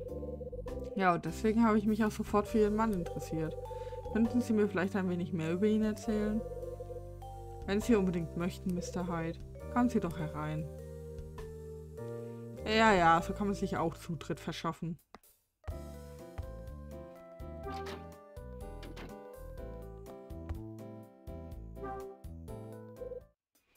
Miss Patris, Ihr Mann war Tenorsaxophonist, ist das richtig? Das stimmt, ja. Und ab welchem Alter hat, hat er das professionell betrieben? Er hatte mit 20 bereits seine eigene Band. Respekt, das ist durchaus eine Leistung. Wo hat er denn spielen gelernt? Er hat es sich was selbst beigebracht. Sie müssen wissen, mein Mann war ehrgeizig. Außerdem glaube ich, dass er Jazz im Blut hatte. Was war er denn für ein Mensch, ihr Mann? Er war männlich. Oh mein Gott, oh mein Gott, ihr Mann war männlich. Oh mein Gott, ich habe es gedacht, das wäre ein Küchenschrank gewesen oder sowas. Kurz strecken. Und großzügig, wie man es von einem echten Künstler erwartet. Die Frauen verehrten ihn. Aber er hat die Musik an den Nagel gehängt, oder? Woher ich habe gehört, dass er danach als Kneipenbesitzer Karriere gemacht hat. Außerdem scheint er in diesem Hotel hier Stammgast gewesen zu sein. Mr. Hyde, woher wissen Sie das? Ich habe da meine Quellen. In alten Zeitungen findet man eine Menge Artikel über ihren Mann. Und ganz nebenbei gesagt, auch über ihren Prozess, Miss Patris. Das haben Sie alles herausgefunden? Sieht ganz so aus, oder? Hören Sie, Mr. Hyde. Wieso schnüffeln Sie in meiner Vergangenheit herum? Das sagte ich doch bereits. Es ist einfach interessant. Ich meine, ein verstorbener Gatte, der einmal Jazzmusiker war. Und Sie als Witwe, ganz genau wie meine Mutter. Ach so. Sie wissen also alles, ja?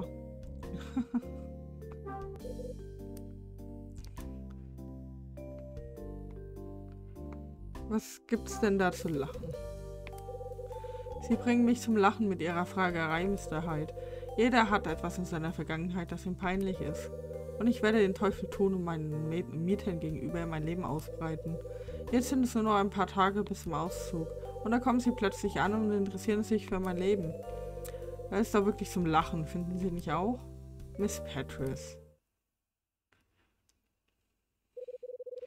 Also gut, lassen Sie mich erzählen. Ich wurde angeklagt, meinen Mann ermordet zu haben. Vor 13 Jahren war das. Damals wurden wir in unserem Haus von einem Einbrecher überrascht. Er schlug mich nieder, ich verlor das Bewusstsein. Als ich wieder erwachte, lag mein Mann neben mir. Er war tot. Und in meiner Hand hielt ich die Pistole, mit der er, mit der er erschossen worden war. Jemand wollte mir die Sache in die Schuhe schieben und beinahe wäre es ihm gelungen. Ich wurde angeklagt und vor Gericht gestellt. Aber Gott sei Dank erkannte das Gericht meine Unschuld.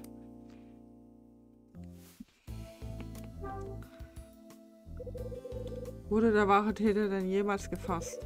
Nein, das wurde er nicht. Und deswegen ist mein Ruf bis heute nicht wieder ganz hergestellt. Es ist so, wie Sie sagen, Mr. Hyde. Mein Mann war Stammgast in diesem Hotel. Als sie freigesprochen wurde, trat ich sein Erbe an.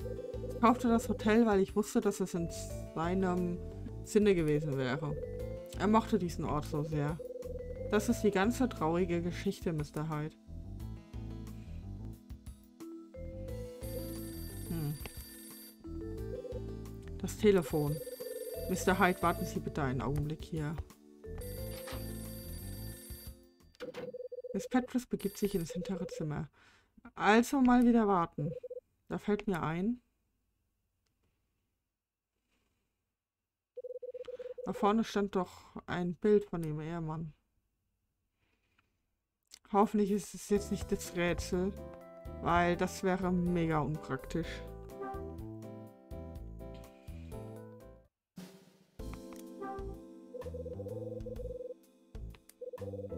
Das ist also George Petrus.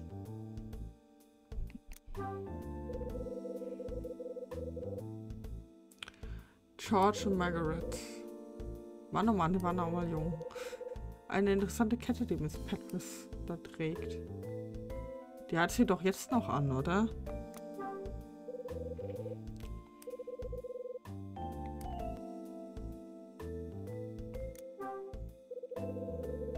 Auf dem Bild sind zwei junge Frauen in Tänzerinnenkostümen. Ganz schön altes Foto, aber die beiden Frauen sind recht ähnlich. Oh. Ah. Doch nicht. Okay, gut. Es gibt später ein Rätsel mit einer Spieluhr. Das ist ein bisschen scheiße. Entschuldigen Sie, Mr. Hyde. Kein Problem. Ich habe mir an der Zeit die Bilder hier angesehen. Ach, die Fotos da, natürlich. Das Bild mit Ihnen und Ihrem Mann, von wann stammt das ungefähr? Ach, das muss direkt nach unserer Hochzeit gewesen sein. Diese Halskette trage ich heute noch. Das war das schönste Geschenk, das mir mein Mann je gemacht hat. Sie ist wirklich schön. Von all unseren gemeinsamen Bildern mag ich dieses hier am liebsten. Bin mir sicher, dass auch ihre Mutter, äh, dass auch ihre Mutter erst so ein Bild hat. Die Worte von Miss Patris stimmen mich nachdenklich und traurig. Meine Mutter hat kein einziges gemeinsames Bild mit meinem Vater. Oh.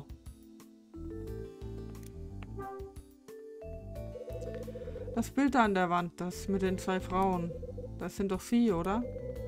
Ja, das bin ich. Damals war ich noch jung und schön. Finden Sie nicht auch? Sagen Sie, Mr. Hyde, wissen Sie, welche der beiden Frauen ich bin? Äh, ich habe nicht die leiseste Ahnung. Die auf der rechten Seite, oder? Gut erkannt, das bin ich. Wer ist denn die andere Frau auf dem Bild? Eine Freundin. Aus meiner Zeit als Tänzerin. Sie haben einmal als Tänzerin gearbeitet? Ja, auch sowas habe ich einmal gemacht. Ach. Äh. Was ist denn los? Mein Kopf. Alles in Ordnung mit Ihnen? Es geht schon wieder. Ich habe es so etwas manchmal. Seit der Geschichte von vor 13 Jahren, wissen Sie. Einfach spontan Migräneanfälle. Sie sollten sich ausruhen. Ich lasse Sie jetzt in Frieden.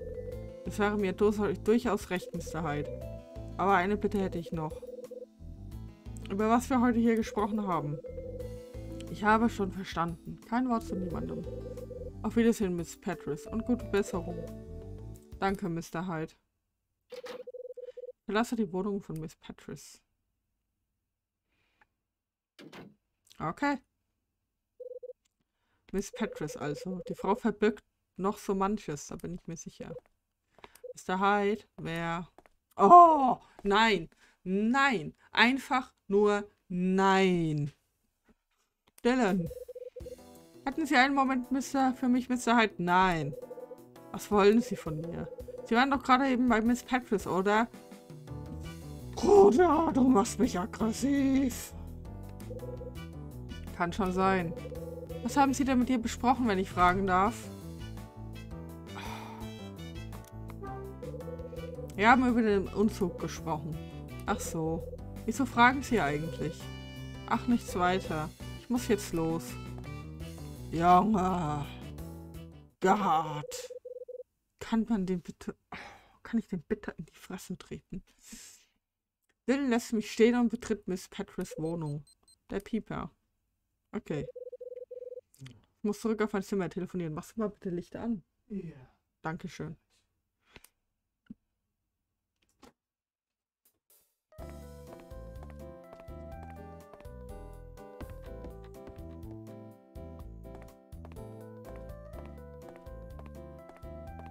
Bitte stört mich jetzt nicht, tot tot.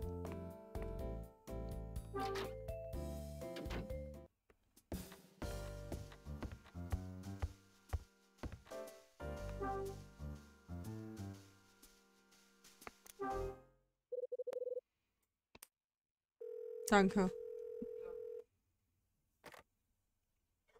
Rachel. Ich bin's. Kai, ich habe Neuigkeiten bezüglich Jack Green. Schieß los, Süße.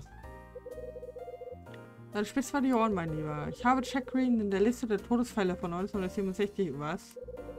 Jack Green, 30 Jahre, Berufsjournalist. Todesursache war Ruhe von Organ- und Blutverlust als Folge eines Verkehrsunfalls. Ein Verkehrsunfall also. So was höre ich öfter in letzter Zeit. Für was für Blätter hat dieser Jack Green denn geschrieben? Das Blatt hieß Los, Los Angeles Speed, die Zeitschrift, bei der auch Rex Foster war. Die beiden kannten sich? Sieht ganz so aus. Sie haben immerhin drei Jahre in der gleichen Redaktion gearbeitet. Weißt du, wann Rex Foster dort aufgehört hat? Genau drei Wochen nach dem Tod seines Kollegen. Aber das ist noch nicht alles. Ach ja. Der letzte Artikel, den Green verfasst hat. Es ging darin um eine Serie von Juwelendiebstählen. Der Titel lautete Die Wahrheit über Condor. Eigentlich sollte er als Serie erscheinen, aber nach Greens Tod war Schluss damit. Was ein Zufall. Diesen Artikel muss ich mir einmal ansehen. In Ordnung, Kyle. Ich werde ihn mir besorgen. Danke, Rachel. Eine Sache ist mir allerdings noch aufgefallen. Es geht um den Ort, an dem Jack Green verunglückt ist. Der Unfall ereignete sich auf der Route 971. Ich habe mir das einmal auf der Karte angesehen, weißt du was? Diese Straße verbindet das Redaktionsgebäude und das Haus, in, in, in dem du wohnst. Wait, what? Und dieses Haus war ja früher das Hotel. Das klingt nicht gerade nach einem Zufall, was? Außerdem habe ich noch eine Nachricht von Ed. Bewegt dein Arsch. Von Ed, was denn? Zwischen den Teilnehmern an den Partys im Hotel Cape West sollte sich ein Anhaltspunkt finden lassen, der zum Scarlet Star führt. Das ist alles, was ich habe. Nicht gerade viel. Ich melde mich später wieder. Was? Verstehe ich nicht. Jack Green ist vor 13 Jahren gestorben. Just in dem Augenblick, Alter. Just in dem Augenblick, als er sich ein Kondor dran gehängt hatte. Und dann war da noch die Nachricht von Ed. Der Skull Star steht also in irgendeiner Verbindung zu den Hotel Partys im Hotel damals. Da fällt mir ein, Sydney hat doch so etwas gesagt. Judge Patrice kam oft ins bla bla bla, kennen wir. Die Teilnehmer an dieser Scarlet, äh, Teilnehmer an diesen Scarlet Star Partys also. Stimmt ja. Ich habe doch dieses Album im vierten Stock gefunden. Ah ja, so gucken wir jetzt mal. Altes Fotoalbum.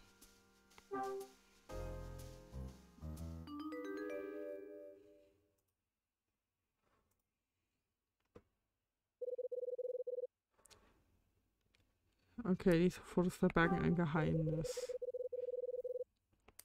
Okay, jetzt halt eine Party. Hier ist nichts Auffälliges. Ist das Will White? äh...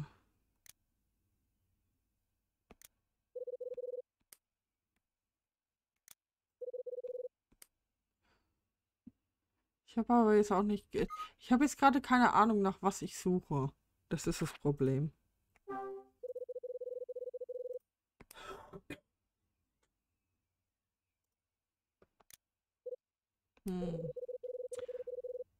Ich erinnere mich daran, diese Kette schon mal gesehen zu haben. Welche Kette? Das ist Miss Petrus. Frau, also ist die Frau auf diesem Foto. Das ist Miss Peppers. Ja. Die hinter dem Hammer. Oder der Hand oder was das ist. Jetzt weiß ich mehr. Das ist Miss Petrus auf dem Foto. Vielleicht sollte sie, ich sie noch einmal nach dem Scarlet Star befragen. Am Ende ist Miss Petrus der Auftraggeber.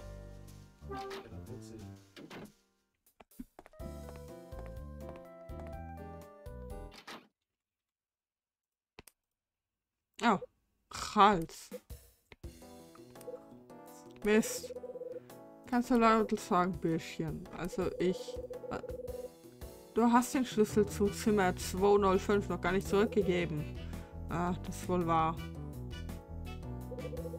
Was hast du da getrieben, Rals? Nichts, das heißt ich. Was druckst du hier so rum wie ein Grundschüler? Hast du was zu verbergen, wie? Na los jetzt. Gehen wir zurück in das Zimmer. Den Rest reden wir drin.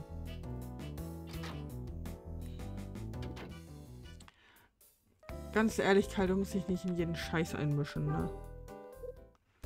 Charles, oh. Raus jetzt mit der Sprache, Freundchen. Was gibt es da zu zögern? Also, ich kann es Ihnen nicht sagen. Verdammt, Junge. Was ist los? Warum duzen Sie mich denn eigentlich, Mr. Hyde? Außerdem geht sie das gar nichts an, was ich hier so mache. Rals, ich duze dich, wann ich will. Aber du bist doch sonst nicht so. Sag schon, was ist los? Raus jetzt mit der Sprache, Freundchen. Was gibt es da zu zögern? Also, ich kann es Ihnen nicht sagen. Verdammt, Junge. Wie kommen Sie denn darauf? Sie duzen mich auf einmal und dann verdächtigen Sie mich ohne jeden Anhaltspunkt? Hä?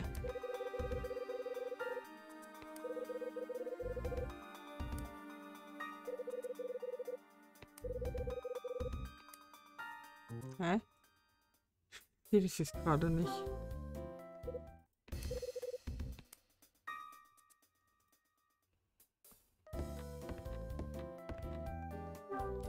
Ich verstehe gerade gar nichts. Mr. Hyde, was machen Sie da? Hä, ich kann gar nichts tun? Habe ich es jetzt verkackt oder was? Moment mal. Ich muss herausfinden, was mit Charles los ist. Verbirgt der Kerl? Hä? Verdammt, jetzt hör mich schon zu, Junge. Was? Tut mir leid, dass ich dich gleich verdächtigt habe. Ist schon gut. Ich hätte ja auch gleich so nicht, ich hätte ja auch nicht gleich so aufbrausen müssen. Ist es so schlimm, dass du es nicht erzählen kannst? Nein, das nicht. Ach, es bringt ja nichts. Ich wollte nicht, dass jemand davon erfährt, fährt, deswegen bin ich hier unten. Was? Und ausgerechnet Sie haben mich jetzt entdeckt. Was? Was, was sollte niemand erfahren? dass ich hier unten in einem Manuskript schreibe. Was für ein Manuskript denn? Das Drehbuch für einen Film, einen echten Spielfilm. Ich möchte an einem Wettbewerb teilnehmen. Ein Drehbuch, sagst du? Und dafür brauchst du ein eigenes Zimmer, wie? Schreib das Ding gefälligst in deiner Wohnung. Sie verstehen das nicht, Mr. Hyde. Es ist ein Beweis meiner Ernsthaftigkeit, dass ich auf dieser Maschine schreibe. Ich habe nur noch zwei Tage bis zur Abgabe. Interessant. Ja, voll. Ich bitte Sie, Mr. Hyde, lassen Sie mich diese zwei Tage noch hier arbeiten, ja? Und sagen Sie Miss Patras nichts. Moment, ich muss mal eben kurz los. Ich muss mal kurz telefonieren. Meine erste und zugleich letzte Chance.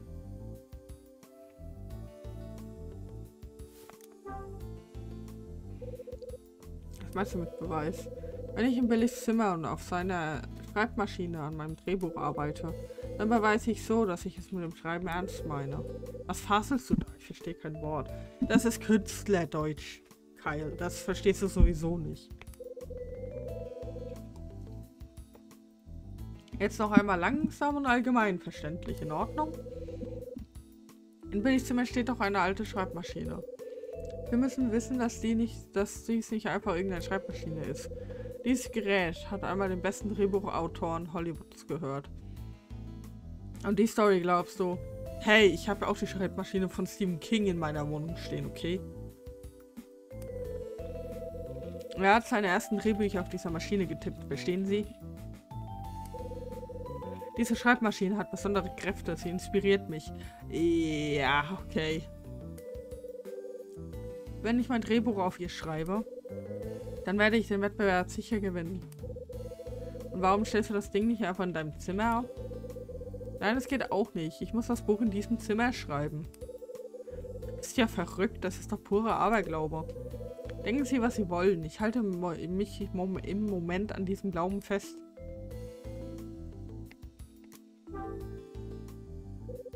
Was meinst du mit letzter Chance? Ich muss mit diesem Drehbuch erfolgreich sein, koste es was wolle. Ansonsten muss ich das Studium beenden und nach Frankreich zurückkehren. Wieso das denn? Ich habe es meinem Großvater versprochen. Ein Jahr im Ausland hat er mir zugestanden. Und wenn ich hier bis, wenn ich bis dahin keinen Erfolg habe, dann muss ich zurückkehren und seine Firma übernehmen. Opas Firma, was? Was ist denn da so komisch, Mr. Hyde? Ach nichts, ich bewundere mich nur, dass du dir gerade dieses Haus ausgesucht hast. So ein verzogener Bengel aus reichem Hause wie du. Sag mal, warum wohnst du hier? Willst du sehen, wie sich das echte Leben so anfühlt? Oder bist du am Ende einfach nur neugierig? Machen Sie sich nicht lustig über mich, Mr. Hyde. Ich habe mir dieses Haus ganz bewusst ausgesucht. Was? Wollte das Geheimnis dieses Gebäude als dieses Gebäudes als Vorlage für mein Drehbuch verwenden. Warum schreibt denn jeder eine Story über dieses beschissene Haus? Was ist denn deiner Meinung nach das Geheimnis dieses Hauses, Charles?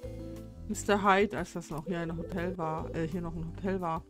Wussten Sie, dass es da einen Vorfall gab? Es gab insgesamt gefühlte 30, okay? Woher weiß der das? Was gab es denn für einen Vorfall? Ein Mord, Mr. Hyde. Vor 13 Jahren starb hier in diesem Haus ein Mensch. Er wurde ermordet. Er weiß vom Mord an Katie McCrust? Und woher weißt du das? Mein Großvater hat es mir erzählt, bevor ich hierher gekommen bin. Er war geschäftlich häufig in Los Angeles. Und er scheint oft im Hotel Cape West übernachtet zu haben. Daher wusste er, dass am Tag vor der Schließung hier ein Mensch ermordet wurde. Mich hat diese Geschichte fasziniert.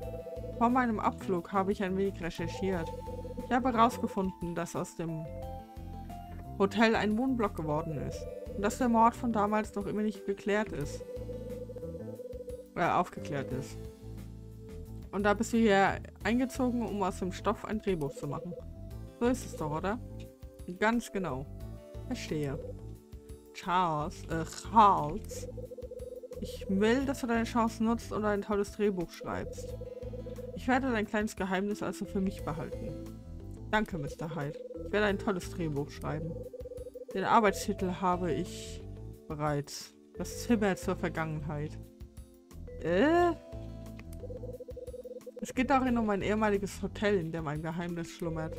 Der Täter ist der ehemalige Rezeptionist des Hotels. Spoiler halt den ganzen Film, du Arschloch. Und der Beweis für seine Tat verbirgt sich im vierten Stock. Klasse Idee, finden Sie nicht? Spoiler! Ich habe den Täter nach dem Vorbild von Mr. White aus Apartment 306 gestaltet. Alles klar. Mr. White macht sich gut als Übeltäter. Der wirkt doch schon so verdächtig. Macht ja wohl Spaß, was? Ich dachte, das würde Sie interessieren. Aber ich konnte sie ja auch einbauen, Mr. Hyde. Ein, ein zweiter Bösewicht hätte der Geschichte sicherlich gut. Nein. Eher brummelige Ex-Cop. Erst die Scherze, Junge. Ach, kommen Sie. Weiß doch Bescheid. Was weißt du? Ich weiß, dass Sie sich ab und zu im vierten Stock herumtreiben. Sie benehmen sich fast wie der Täter in meiner Geschichte. Was? Muss Ihnen nicht gleich peinlich sein, Mr. Hyde. Sie sind schließlich nicht der Einzige, der da oben herumschleicht. Ich selbst war auch schon mehrere Male da oben. Was hast du da gesucht? Ich habe Material für mein Drehbuch gesammelt. Nachts bin ich hochgeschlichen und habe mit der 8mm Kamera Aufnahmen gemacht. Dabei ist mir etwas sehr Interessantes vor die Linse gekommen. Und was war das? Das interessiert Sie, was? Wenn Sie mir sagen, was Sie da oben suchen, Mr. Hyde, dann zeige ich Ihnen gerne, was ich gefunden habe. In Ordnung, Charles. Dann zeigen Sie mir mal den Film.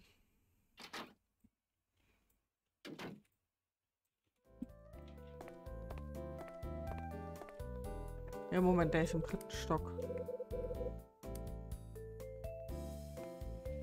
Hallo, ich wollte doch gerade zurück. Du Arschloch. Danke. Hallo? Er, wenn Kyle in Begleitung ist, ist er ein bisschen breiter.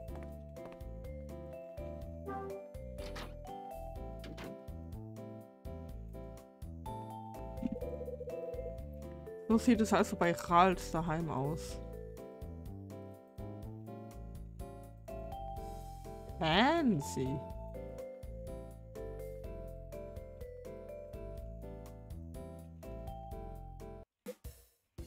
Charles. Zeigst du mir den Film, den du oben im vierten Stock gemacht hast? In Ordnung, Mr. Hyde, aber Sie haben mir etwas versprochen. Sagen Sie mir, was Sie im vierten Stock gesucht haben, dann zeige ich Ihnen den Film. Ich suche nichts anderes als du, Charles. Was? Ich interessiere mich ebenfalls für den Mord, der damals in dem Hotel begangen wurde. Im vierten Stock sieht es noch so aus wie damals. Das hat mich eben interessiert. Mr. Hyde, seit wann wissen Sie von dem Vorfall? Ich habe erst kürzlich davon erfahren. Es kam ganz unerwartet, so kurz vor dem Auszug. Und es hat sich wirklich zufällig ergeben. Naja, und da wir schon bald ausziehen werden, bleibt nicht gerade viel Zeit. Da ist mein Interesse ganz von allein erwacht. Aus diesem Grund habe ich mir auch den vierten Stock einmal angesehen. Ha, das klingt logisch. Ja. Charles. In Ordnung, Mr. Hyde. Eine Frage hätte ich aber noch an Sie. Was denn? Wie kommt es, dass Sie sich für diesen einen Vorfall interessieren, der so lange zurückliegt? Meine Motivation liegt auf der Hand. Er bietet Stoff für eine gute Geschichte. Was aber ist Ihre Motivation? Das müssen Sie mir erklären, Mr. Hyde. Äh, Arbeit. Solche Fälle haben mich schon immer interessiert. Außerdem war ich mal bei den Cops, weißt du? Was? Sie waren mal ein Cop? Jetzt bin ich halt selber doch hier mal auf die Nase, du Arsch. Das war vier Jahren, ja. Und die Jagdinstinkte verlassen einen nicht so ohne weiteres, das kannst du mir glauben. Ein Vertreter, der mal bei der Polizei war. Wusste nicht, dass sie so eine Vergangenheit haben. Das ist ja interessant. Vielleicht können Sie mir bei Gelegenheit mehr erzählen, Mr. Hyde. Mit kein Blödsinn, Charles. Da gibt es nichts Interessantes zu erzählen. Kümmern wir uns lieber um den Vorfall in diesem Haus. Der ist um einiges spannender. Also zeig mir den 8mm Film, den du oben im vierten Stock gedreht hast. Ein Moment. Hier müsste er doch sein. Wusste ich's doch. Ja, das ist der Film.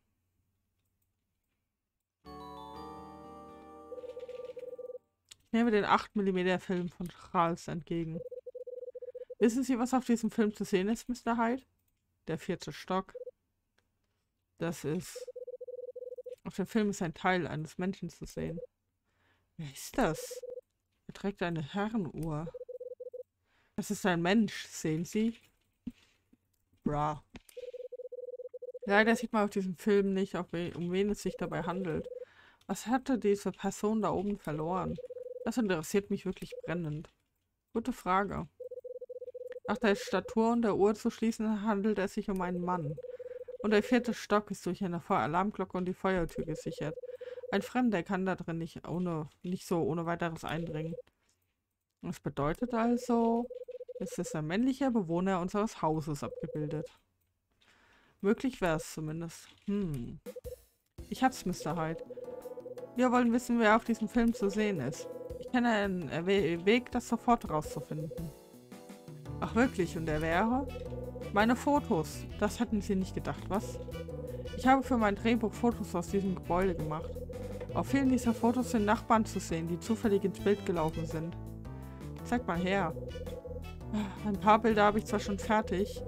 Einen Film habe ich allerdings noch nicht entwickelt. Der ist noch in der Kamera. Das heißt, wir können ihn nicht überprüfen, oder? Doch, wenn wir ihn entwickeln äh, entwickeln, können wir ihn uns gleich ansehen. Kannst du sowas? Aber sicher doch. Ich habe den Entwickler und die nötigen Utensilien im Badezimmer. Nur die rote Glühbirne für das Rotlicht fehlt mir im Augenblick. Wenn sie irgendwas Rotes hätten, könnten wir vielleicht improvisieren. Was Rotes, ja? Moment mal, ich werde was auftreiben. Gut.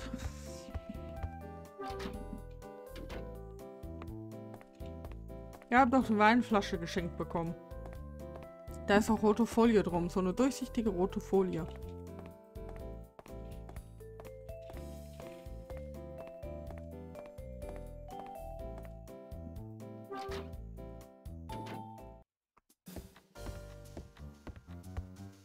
Wo hat er den denn abgestellt? Da.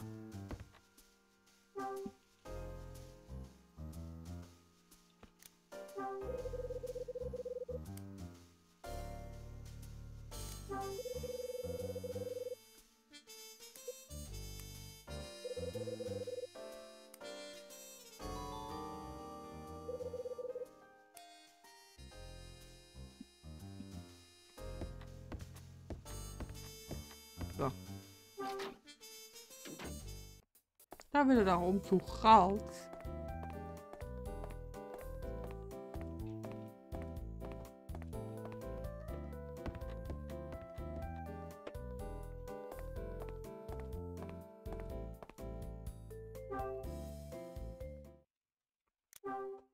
Hier einfach mal rein, ne? Ja, okay. Einfach mal einbrechen.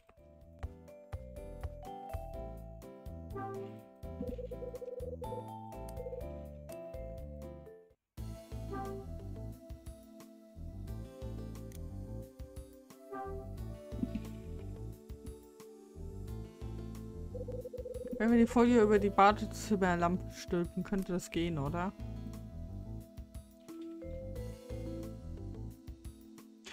Ich finde diese Animation so geil.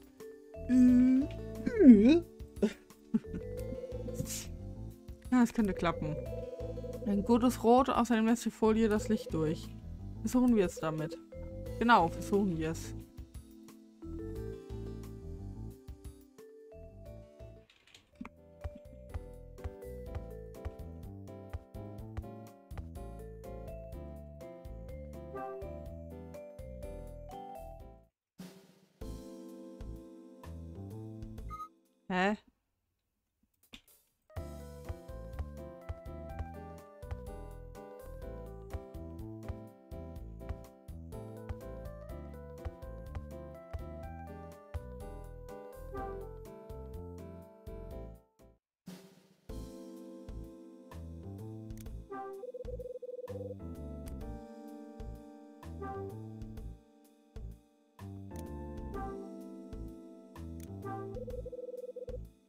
Ach so.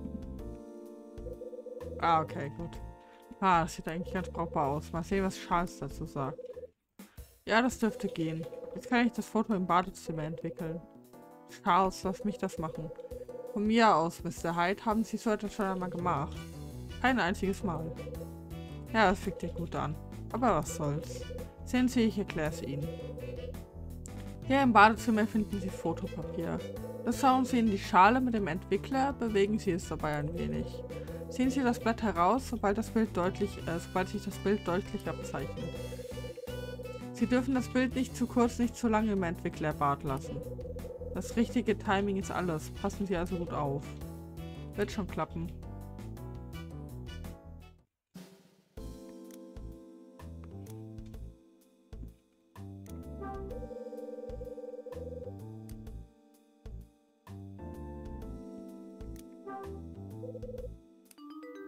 Okay.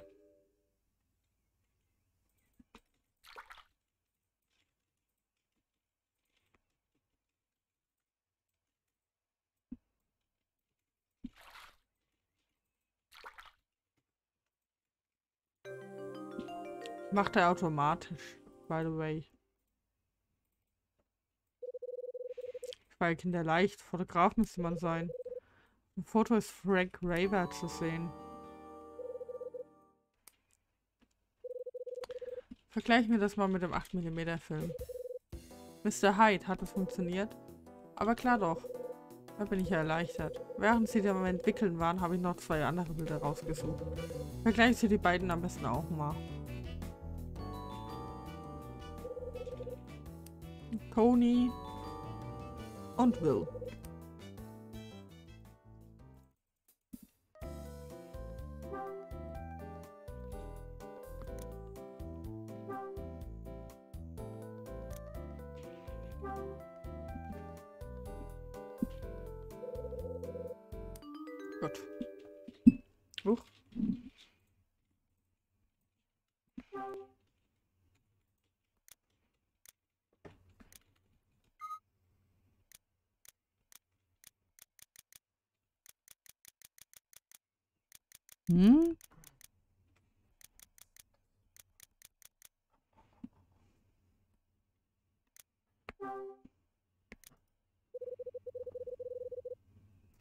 Okay, es ist Will. Eines ist allerdings seltsam. Auf dem Foto schleppt er eine Kamera mit sich herum. Der Kerl wirkt mir nicht, als stünde er auf Fotografie. Da ist irgendwas faul. Okay.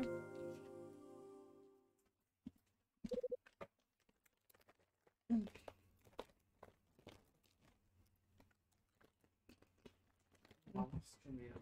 Mhm. Du musst auch was zu machen.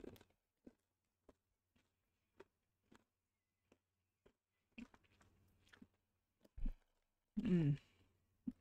Ah, das ist es. Die Person auf dem 8mm Film ist Will White, kein Zweifel. Aber das hat der Kerl im vierten Stock verloren. Mr. Hyde. Haben Sie etwas herausfinden können? Ja, allerdings, und es passt zu deiner kleinen Bösewicht-Theorie. Die Person auf dem 8mm Film ist Will White. Ja, das ist ja interessant. Mr. Hyde, was glauben Sie, wieso Mr. White, äh, White dort oben war? Gute Frage. Soll ich ihn fragen? Lass den Unsinn, er will dir sowieso nicht antworten. Ich werde das übernehmen. In Ordnung. Hier hast du deinen Film wieder.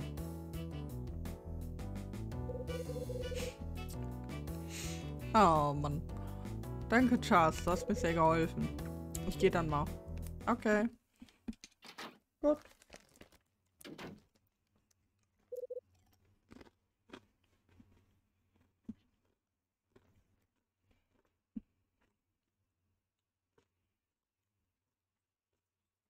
Worldwide also. Mit dem sollte ich mal ein Wörtchen reden. Hast du dir jetzt auch welche geholt? Ja. Gib mir meinen Avatar wieder. Nein. Gib mir meinen Avatar wieder. Danke.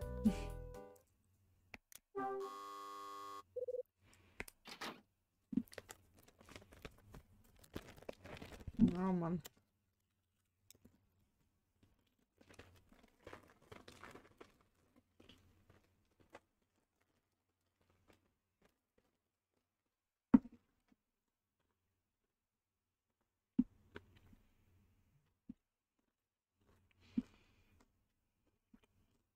Hm.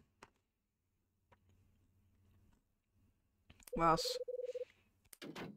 Ach, wow. Mr. White ist gestern Abend nicht nach Hause gekommen. Charles. Mr. Hals ist dann einfach so weich. Was willst du mir damit sagen? Sie haben mir doch gesagt, dass Sie etwas herausfinden wollen. Und klopfen Sie jetzt so ganz höflich einfach an die Tür und warten? Von einem Ex-Cop wie Ihnen hätte ich wirklich ein wenig mehr erwartet, Mr. Hyde. Es nennt sich Einbruch, du Vollidiot. Ehrlich, sie enttäuschen mich.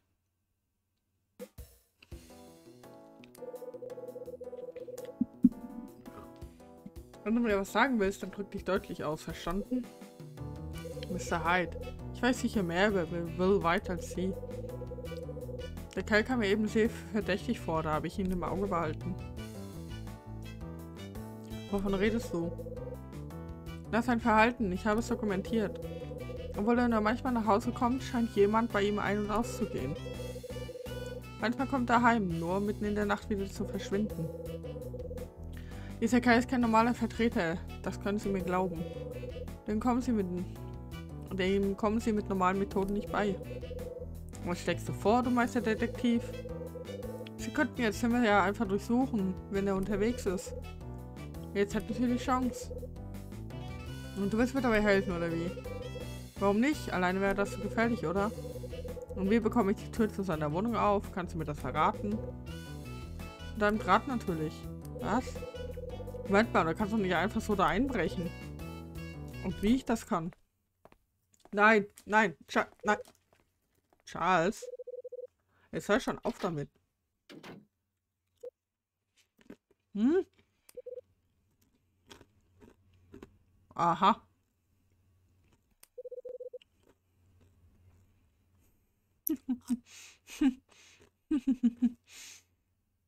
was macht Dylan denn da?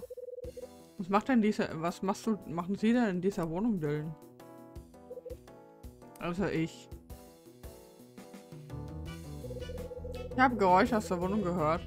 Aber Mr. White ist ja gar nicht zu Hause. Ich habe mir Sorgen gemacht und durch das Schlüsselloch geschaut. So war es doch, Mr. Hyde.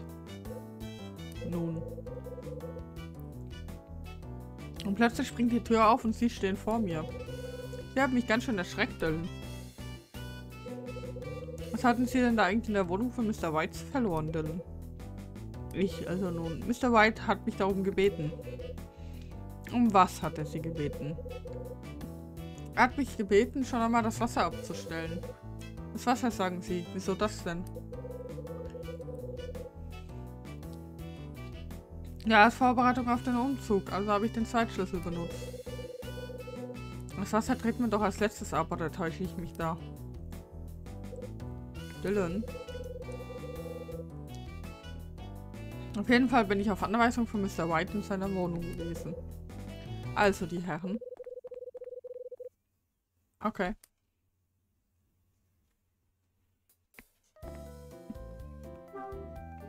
Als ob Habe ich mich erschreckt eben. Eine Ausrede hat er dir ab, abgenommen. Nicht schlecht. Nein, das war nichts. Mir ist ja das Herz in die Hose gerutscht, als ich ihn angelogen habe. Er lügt doch selber.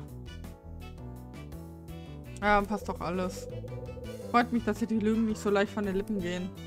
Ja. Aber Dylan hat sich wirklich verdächtig verhalten, finden Sie nicht auch?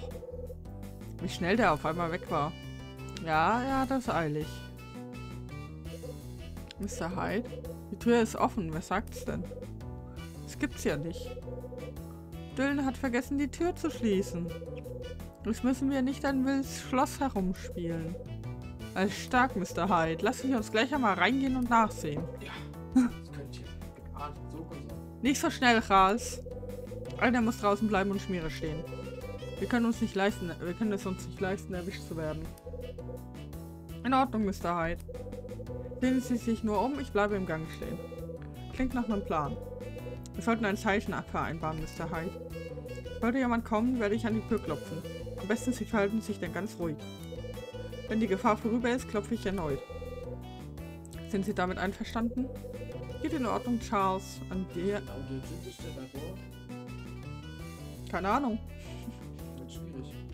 Geht in Ordnung. Geht in Ordnung, Charles. An dir ist dein Kopf verloren gegangen. Okay.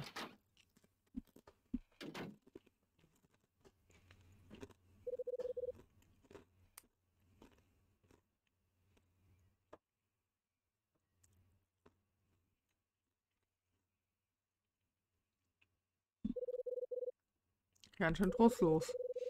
Sieht nicht so aus, als würde hier jemand leben. Sieht eher aus, als würde es jemand als Unterschlupf benutzen.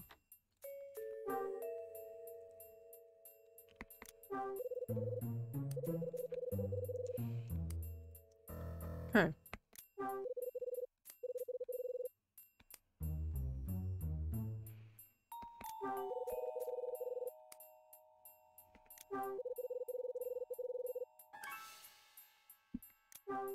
Lese jetzt nicht den ganzen Scheiß vor.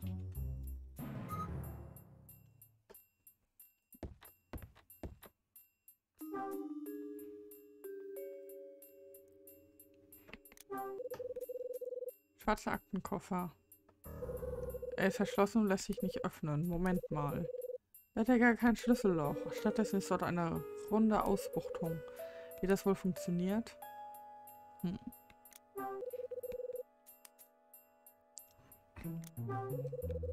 Alte Zeitung, was ist das? Aus der Zeitung wurde ein Artikel herausgetrennt. Von wann der wohl ist? Dezember 55 steht da. Moment mal. Könnte es sein, dass... Was? Will White hat das gemacht? Diese Schnittkante. Sie passt genau zu dem Artikel zum Mord an meinem Vater, den, der im Auftragsbrief steckte. Als ob... Als ob der was damit zu tun hat.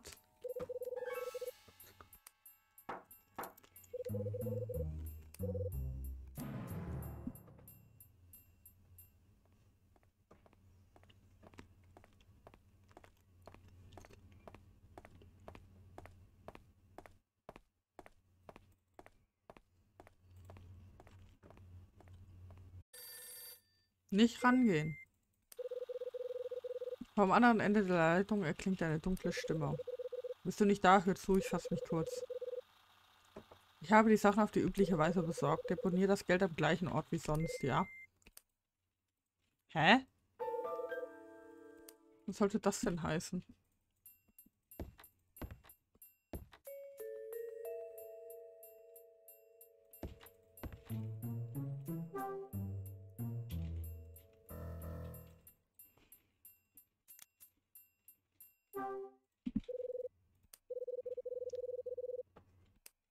Okay, gut.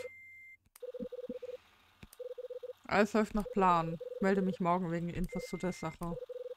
Alles vorbereitet. Die Übergabe erfolgt auf dem üblichen Weg.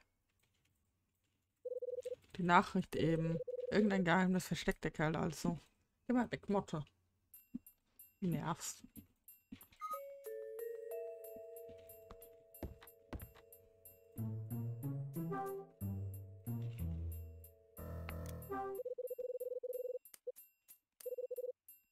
der Kleiderschrank ist offen.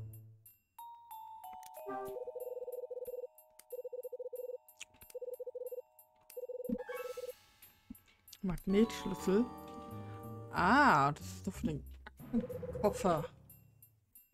Bestimmt.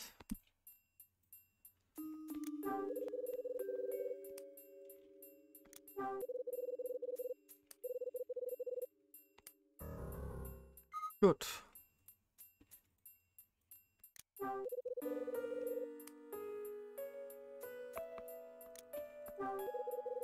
Ecke des Schranks steht ein Zimmer-Safe. Sieh an, was da wohl drin ist.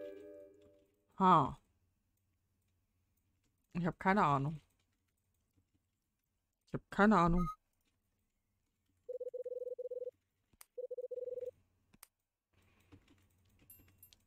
Ich meine mich aber zu erinnern, da war was. Wartet mal.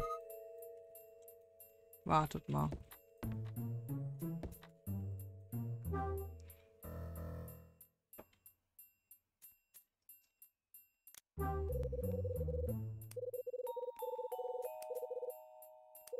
Das denn? Das Waschbecken ist sauber, so wie alles hier. Warum ist denn ausgerechnet Spiegel schmutzig?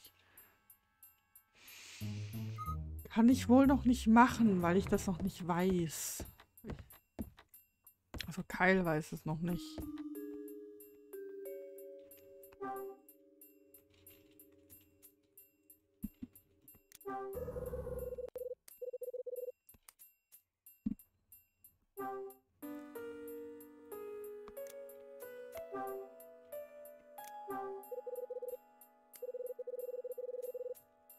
Okay. Okay. Offen. Sehr gut.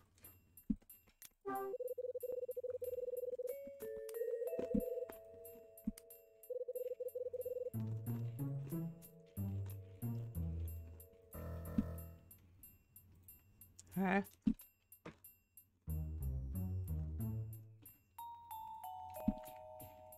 Dritter Stock, Info, äh, rechts von der Vitrine. Wachablösung 10 Uhr, Alarmsystem alter Bauart. Was soll das denn bedeuten? Kontaktaufnahme wie immer, Spiegel überprüfen. Spiegel? Um was zum Henker geht es da? Oder? Hier, Spiegel.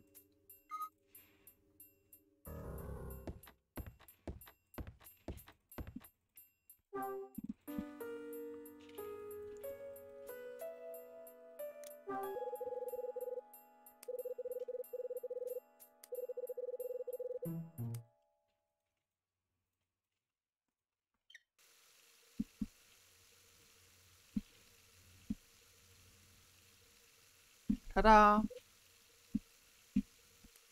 Hm. Zwei, eins, drei, sechs, null, null. Zwei, eins, drei, sechs, null, null. Zwei, eins, drei, sechs, null, null.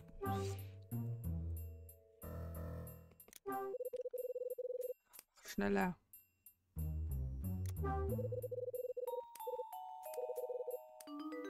Zwei, eins, drei, sechs, null, null. Zwei, eins, drei, sechs, null, null.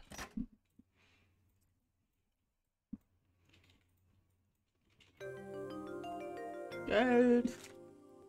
Geld.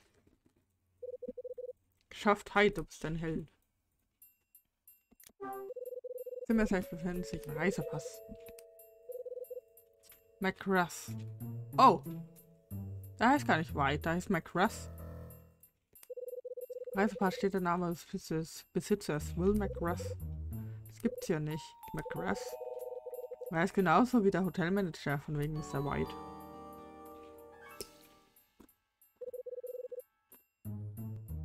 Ich nehme wohl das Reisepass an mich.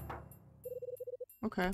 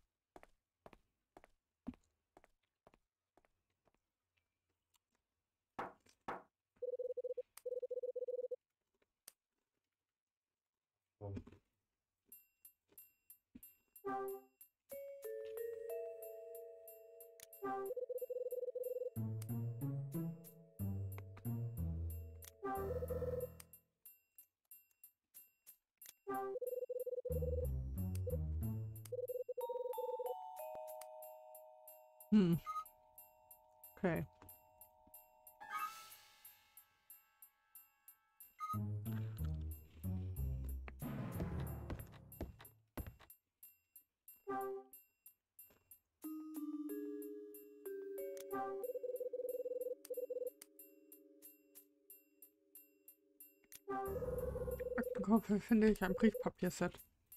Sieh mal einer an. Auf so einem Papier wurde Auftragsbrief auch verpasst.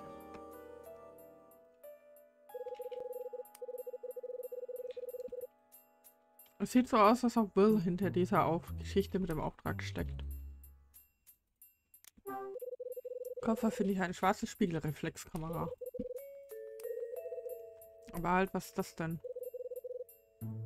Sind diese Dinge immer so leicht? Ist ja ein Spielzeug. Da scheint was drin zu sein. Es raschelt, wenn ich das Gehäuse schüttle. Oh Gott. Äh.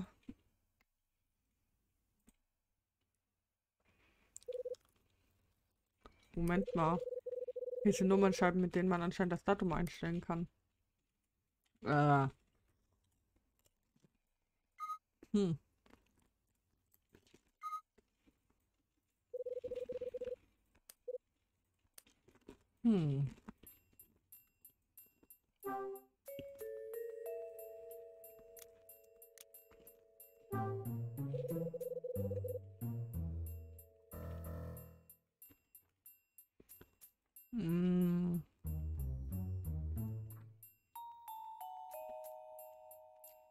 28.11.42.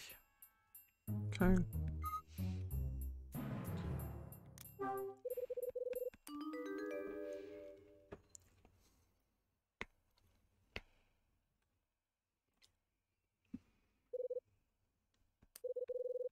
Ja, Keil, halt die Schnute.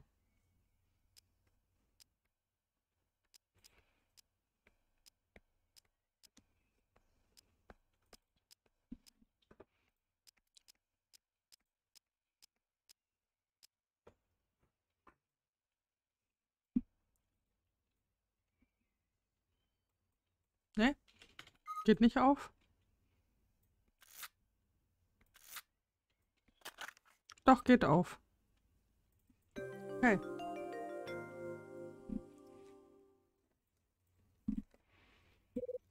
Hab ich dich. Was ist das denn? Ein Kartonfetzen. Scheint eine Postkarte zu sein. Es steht eine Unterschrift am Rand. Michael McGrath. Den Namen kenne ich doch.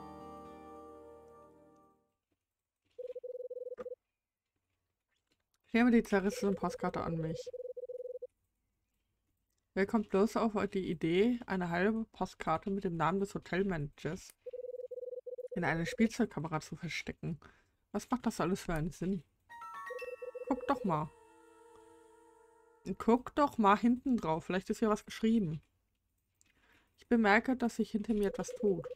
Aber es ist bereits zu spät. Ich fühle den Druck eines Pistolenlaufs in meinem Rücken. Mir bleibt nichts anderes übrig, als starr in meiner Position zu verharren. Was machen wir da? Was machen Sie da? fragt eine kalte Stimme hinter mir. Ich habe mich nur ein wenig umgesehen. Wollte wissen, was Sie für einer sind. Nach was suchen Sie? Raus mit der Sprache, na los. Ist ja gut, aber nehmen Sie verdammt nochmal die Knarre da weg. Ich bin unbewaffnet. In Ordnung. Naja. Will lässt seine Waffe sinken. Endlich. Wie sind Sie hier überhaupt reingekommen? Die Tür war offen. Sparen Sie sich Ihre Witze, sonst knall ich Sie ab, ist das klar. War's doch. Das ist die Wahrheit. Dylan kam aus der Wohnung und vergaß die Tür hinter sich zu schließen. Was? Dylan war auch hier? Er sagte, sie hätten ihn beauftragt, Vorbereitungen für den Auszug zu treffen. Er ist mit dem Zeitschlüssel in ihre Wohnung gekommen. Aber als er wieder ging, hat der Trottel vergessen, hinter sich zuzumachen. Ich kann mich nicht erinnern, ihn darum gebeten zu haben. Aber das hat er gesagt. Gehen Sie doch und fragen Sie den Franzosen, wenn Sie mir nicht glauben. Dem hat er nämlich das gleiche erzählt. Hm, merkwürdig. Am Ende ist der Kerl Was ist er? Um Dylan kümmere ich mich später. Ja, bitte erschieße ihn. Zuerst einmal sind sie in der Reihe.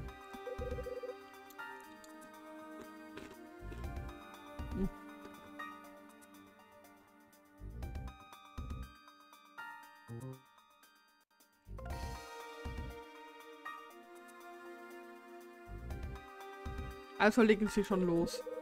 Warum zum Henker sind sie in mein Zimmer eingedrungen? Na gut, ich erzähle es ihnen ja. Ich frage mich allerdings, ob sie das wirklich wollen. Soll ich ihnen wirklich erzählen, welche ihre Geheimnisse ich enthüllt habe? Soll ich das? sie sind lustig, Mr. Hyde. Mein Geheimnis enthüllen sie nie im Leben. Ach, wirklich? Werden wir es sehen. Fangen Sie ruhig an, Sie Meisterschnüffler. Ich weiß, was für einen Job Sie wirklich haben. Sie machen eine ganze Menge Kohle, oder? Sie glauben also zu wissen, wie ich mein Geld verdiene. Ich weiß noch mehr über Sie. Sie haben uns alle getäuscht, oder? Was soll das heißen? Über was soll ich Sie denn getäuscht haben? Ihre Identität. Was fällt Ihnen? Weiß Bescheid über Sie, Freundchen. Sie wissen gar nichts, Sie Armleuchter. Sie haben keine Ahnung, wer ich wirklich bin.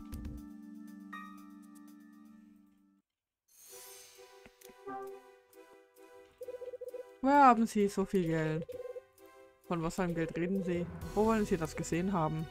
Nun, sind wir safe. Sie haben einfach meinen Safe geöffnet. War ja nicht gerade schwer. Was fällt Ihnen ein, den einfach so aufzumachen? Soll mein Geschäftspartner auf diesen Tresor öffnen? Tja. Ihr richtiger Name lautet Will McGrath. Was soll das? Ich heiße Will White. Nein, Sie heißen Will McGrath. Was auch immer Sie auch sagen. Was soll diese Anschuldigung? Haben Sie dafür denn auch irgendwelche Beweise?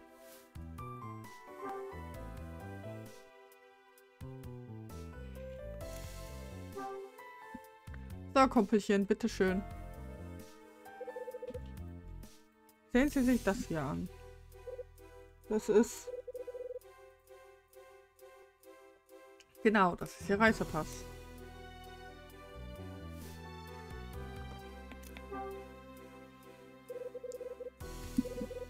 Sie haben recht. Ich bin Will McCruss.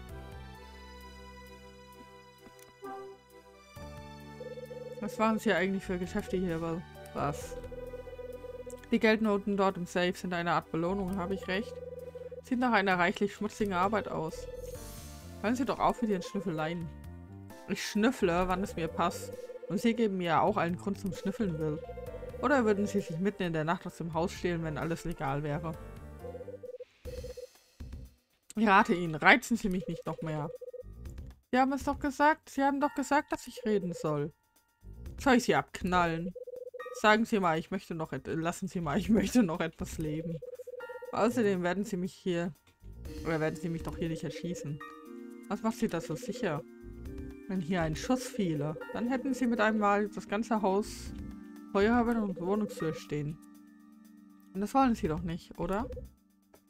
Was zum... Will, Ihr Geheimnis bedeutet mir nicht so viel. Ich habe keineswegs vor, es ihr an die Kopf zu verpfeifen.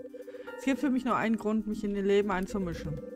Ich suche nach Informationen, die mich näher de äh, die mich dem näher bringen, was ich wissen will. Das ist alles. In Ordnung halt. Also sagen Sie mir folgendes. Was wollen Sie denn wissen? Nach was suchen Sie? Ich suche nur eine Sache. Die Wahrheit über das, was vor 25 Jahren passiert ist. Kennen Sie diesen Satz?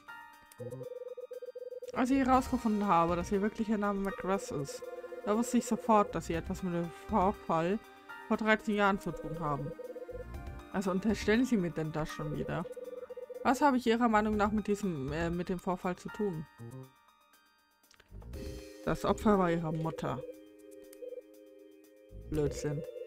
Der Name des Opfers war Katie McCross. Sie war die Frau des damaligen Hotelmanagers. Dass diese Frau den gleichen Namen trägt wie ich, beweist noch gar nichts. Sie neigen zu vorliegen Schlüssen, mein Freund. Will, machen Sie sich doch nicht lächerlich. Ich habe Beweise. Ach, wirklich? Lassen Sie mal sehen, Sie Spaßvogel. Dann hätte ich hier jetzt nur noch die zerrissene Postkarte. Sehen Sie sich das mal an. Das ist... Ich habe die Spielzeugkamera an Ihrem Aktenkoffer geöffnet. Auf dieser Postkarte steht der Name Michael McGrath. Michael McGrath war der Mann von Katie McGrath, die hier im Haus ermordet wurde. Er war außerdem der Manager dieses Hotels. Woher haben Sie die Postkarte und warum müssen Sie sie verstecken? Jetzt hilft alles nichts mehr. Sie lagen absolut richtig mit Ihrer Vermutung. Ich bin der Sohn von Michael und Katie McGrath. Vor 13 Jahren wurde meine Mutter hier in diesem Haus ermordet. Sie sind also der Sohn der Ermordeten. Ehrlich gesagt hat mich die Erkenntnis überrascht. Jetzt sagen Sie doch etwas. Was soll ich denn sagen? Verraten Sie mir an, was Sie gerade denken. Sagen Sie mir, was Ihnen auf der Seele brennt will. Ich weiß nicht, was Sie von mir hören wollen, halt. Ich bin unter falschen Namen in diese Wohnung gezogen. Ich gehe einer Arbeit nach, über die niemand Bescheid wissen darf. Außerdem wurde meine Mutter vor 13 Jahren Opfer eines Mordanschlags. Aber das ist auch schon alles und sie scheinen ja... Und das scheinen sie ja gewusst zu haben. Wie, das soll alles sein? Sehe ich etwa aus wie ein verdammter Volltrottel? Ich... Sparen Sie sich die Ausflüchte raus mit der Sprache. Warum sind Sie in dieses Apartment gezogen? Warum haben Sie versucht, mich für Ihre Zwecke zu benutzen? Los jetzt, reden Sie. Wieso sind Sie ausgerechnet in diese Wohnung gezogen? Was haben Sie hier vor? Gar nichts habe ich vor. Ich wohne nur zufällig hier. Das soll ich dir glauben.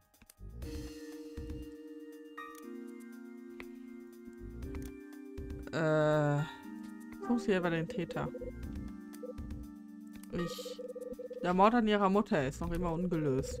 Würde mich überhaupt nicht wundern, wenn sie auf eigene Faust nach ihm suchen würden. Verstehe, worauf sie hinaus wollen. Aber so klar sie sind, so ganz richtig liegen sie damit nicht. Was soll das heißen? Ich bin nicht mehr auf der Suche nach dem Mörder meiner Mutter. Ich wohne hier, weil ich ihn gefunden habe. Was? Wissen Sie was, Mr. Hyde? Wir beide sind uns ähnlicher, als Sie vielleicht denken. Mit dir Schmieraffen habe ich nichts gemeinsam. Den Mörder oder seine Mutter? Den Mörder seiner Mutter. Wir beide haben einen Elternteil durch einen Mord verloren. Ihr Vater wurde vor 25 Jahren ermordet, meine Mutter vor 13 Jahren. RIP. Naja, fast RIP. Beide Fälle sind bis heute nicht aufgeklärt worden. Und weiter? Aber obwohl wir uns so ähnlich sind, denken wir verschieden über die Vergangenheit. Obwohl sie ein Bulle sind, hat sie der Mord an ihrem Vater nie interessiert. Ja, sie wohnen durch Zufall in einem Haus, das ihnen mehr als mehr als einen Anhaltspunkt über das Schicksal ihres Vaters geben könnte. Und sie merken es nicht einmal. Sie sind Unglaublichkeit. Und deshalb habe ich es mir erlaubt, sie auf diese Tatsache aufmerksam zu machen. Abgesehen davon, dass sich das ein Scheißdreck angeht. Aber wirklich einen Scheißdreck. Halt mal. Dann kam der Brief also von Ihnen. Möglich. Jetzt lassen Sie sich nicht alle Fäden einzeln aus der Nase ziehen. Sie wollten mich also auf etwas hinweisen, richtig? Ha. Das haben Sie doch gerade selbst gesagt. Sie sagten eben, dass unsere Haltungen zur Vergangenheit grundverschieden sind. Was genau meinen Sie damit? Ich habe etwas, das Ihnen vollkommen... Ich habe etwas, das Ihnen vollkommen abgeht, Mr. Hyde. Hä? Was ist das für ein Satz? Ich will Gerechtigkeit. Ich will Rache. Ich werde die Person, die am Tod meiner Mutter schuldig ist, nicht davon kommen lassen. Wenn das Gesetz sie schon nicht bestraft, dann werde ich selbst Rache üben.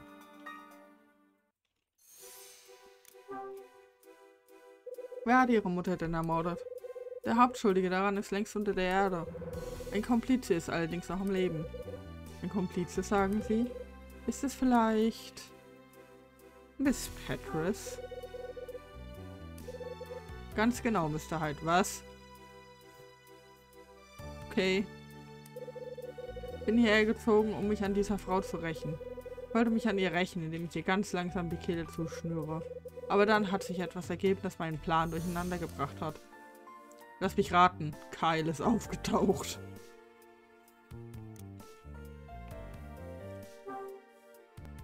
Oh, ich war kurz vom Chat weg. Wie soll ihre Rache denn aussehen will? Ja, das wüssten sie gerne. Sie sind ein Drecksack. Danke.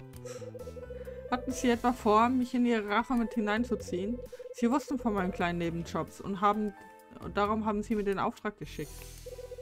Ich habe ihrer, in ihrer Wohnung einen Beweis dafür gefunden, dass der Brief von ihnen kommt. Ach ja? Warum muss ich denn jedes Mal...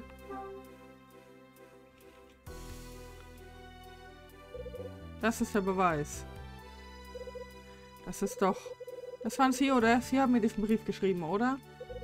Ja, das habe ich. Dankeschön. Wie soll ihr Rat denn aussehen will? Ich will sie bloßstellen, ihr wahres Gesicht enthüllen. Sie soll bereuen. Lassen Sie mich da raus, das kann sie alleine tun. Wir verstehen wirklich gar nichts halt. Es ist viel interessanter, wenn das ein anderer tut. Was soll das heißen, verdammt nochmal? Sie werden meinen Auftrag enthalten, erhalten und annehmen. Es würde ihnen Spaß machen, ein wenig herumzuschnüffeln. Und dann würden sie der Sache endlich auf die Spur kommen. Wenn sie den Scarlet Star dann endlich finden, werden sie alles begreifen. Sie werden wissen, warum ihr Vater damals sterben musste. Woher wissen sie das alles? Woher wissen sie, dass mein Vater ermordet wurde? Ich habe es erzählt bekommen, Mr. Hyde. Von einer Person, die vor fünf, äh, von einer Person, die vor, oh, Alter, von einer Person, die vor 25 Jahren, als der Scarlet Star verschwand, hier im Hotel war. Mit wem haben Sie geredet? Meinen Sie etwa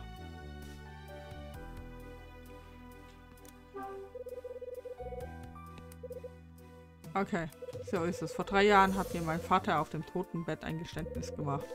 Alles begann an jedem Tag vor 25 Jahren. Okay. Was hat Ihren Plan denn durcheinander gebracht? Ich habe erfahren, dass der Mord an meiner Mutter mit dem vor 25 Jahren zusammenhängt. Und ich habe erfahren, dass diese Organisation hinter, ähm, hinter dem ersten Vorfall steckt. Was für eine Organisation? Da fragen sie noch, dabei müssen sie die, diese Bande doch eigentlich noch besser kennen. Ich rede von Nile. Was? Es geht hier um Nile? Sie haben sich nicht verhört, Mr. Hyde. Was genau hatte Nile damit zu tun? Ich weiß nicht genau, welche Rolle sie spielten. Ich weiß aber, dass sie in diese unangenehme Geschichte verwickelt waren. Uh, was genau ist vor 25 Jahren passiert? Ein Safe-Knacker brach ins Hotel Cape West ein. Er stellte den Scarlet Star aus dem Hotel-Safe. Dieser Einbrecher, Mr. Hyde, war ihr Vater. Das ist unmöglich. Okay. Das ist die Wahrheit. Vor drei Jahren vertraute mir mein Vater auf dem Totenbett einiges an. Es war das erste Mal, dass ich über, äh, dass ich ähm, über seine Vergangenheit erfuhr. Das ist komisch. Davor wussten sie nichts. Bin bei meinen Eltern nie richtig klargekommen. Bin früher ausgezogen, wissen sie. Selbst bei der Beerdigung meiner Mutter habe ich meinen Vater nur kurz gesehen. Aber vor drei Jahren brach mein Vater zusammen und kam ins Krankenhaus. Ich sah ihn das erste Mal seit zehn Jahren. Er war nur noch ein Schatten seiner selbst. Und als er da lag und mit dem Tod kämpfte, sagte er plötzlich zu mir, Will, sagte er, ich will dir etwas sagen, nur dir. Der Mörder deiner Mutter heißt Josh Patris. Ich habe keinen Beweis, doch ich bin mir ganz sicher. Der Mann von Miss Patris soll Katie McGrath ermordet haben. Dann gab er mir die Postkarte und sagte folgendes. Alles begann damit, dass der Scarlet Star vor 25 Jahren verschwand. Eine Sache hat er mir noch sagen können. Vor 25 Jahren brach ein Dieb ins Hotel ein, um den Scarlet Star zu stehlen. Dieser Mann war ein bekannter Safe-Knacker, ein Profi. Wenn, wenn er nur... Mehr hat mein Vater nicht mehr sagen können. Kurz darauf starb er. Und was war dann? Als mein Vater gestorben war, fühlte ich etwas, das ich zuvor noch nie gefühlt hatte. Zum ersten Mal im Leben fühlte ich mich meinen Eltern innerlich verbunden.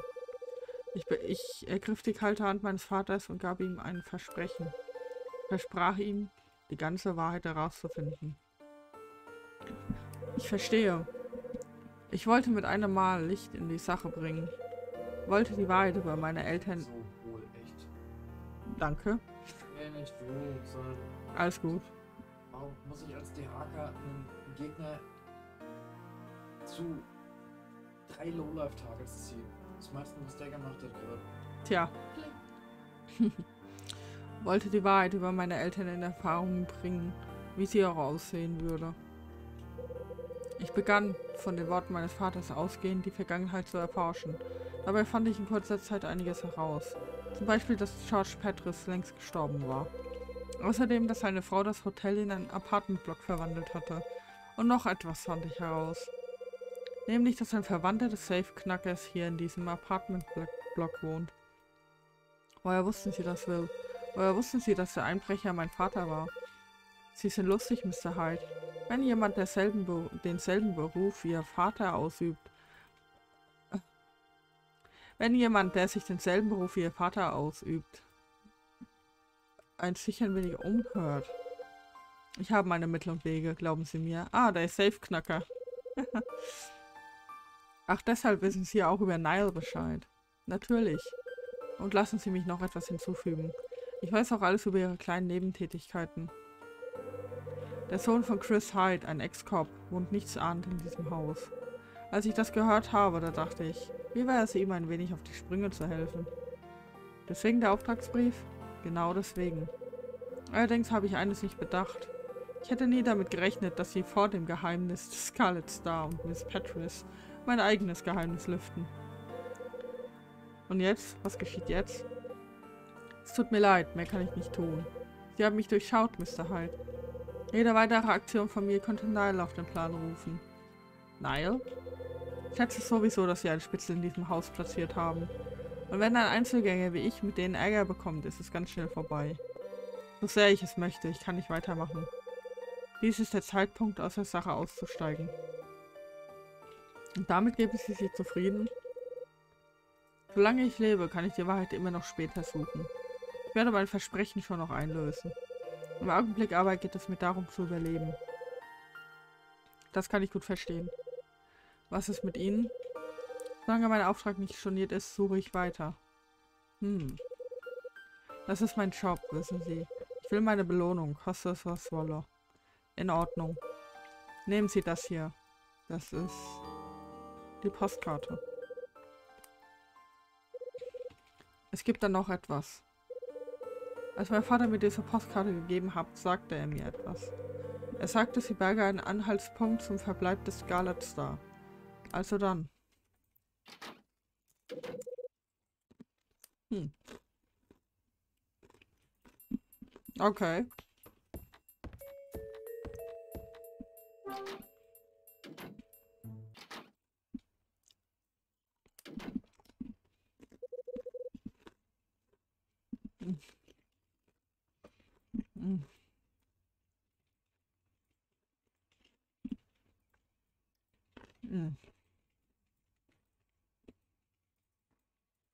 Well ist an sich nicht böse.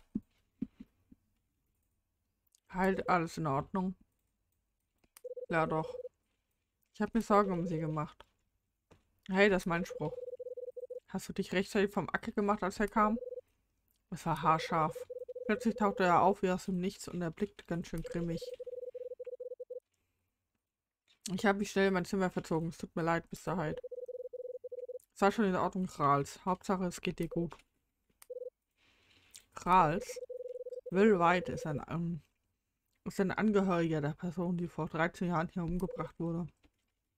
Ehrlich? Er wird nicht zurückkehren. Am besten du vergisst die ganze Geschichte, hörst du? So einem Menschen kommt man besser nicht zu nahe. Ich verstehe, glaube ich. Alter, was ist mit meinen Augen los?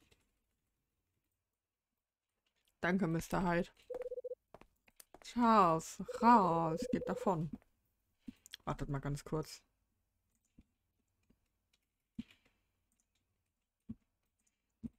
So. Will McRuss war also der mysteriöse Auftraggeber. Er war es auch, der die Briefe an mich geschrieben hat. Ich will nun endlich wissen, was genau damals passierte. Vor 25 Jahren.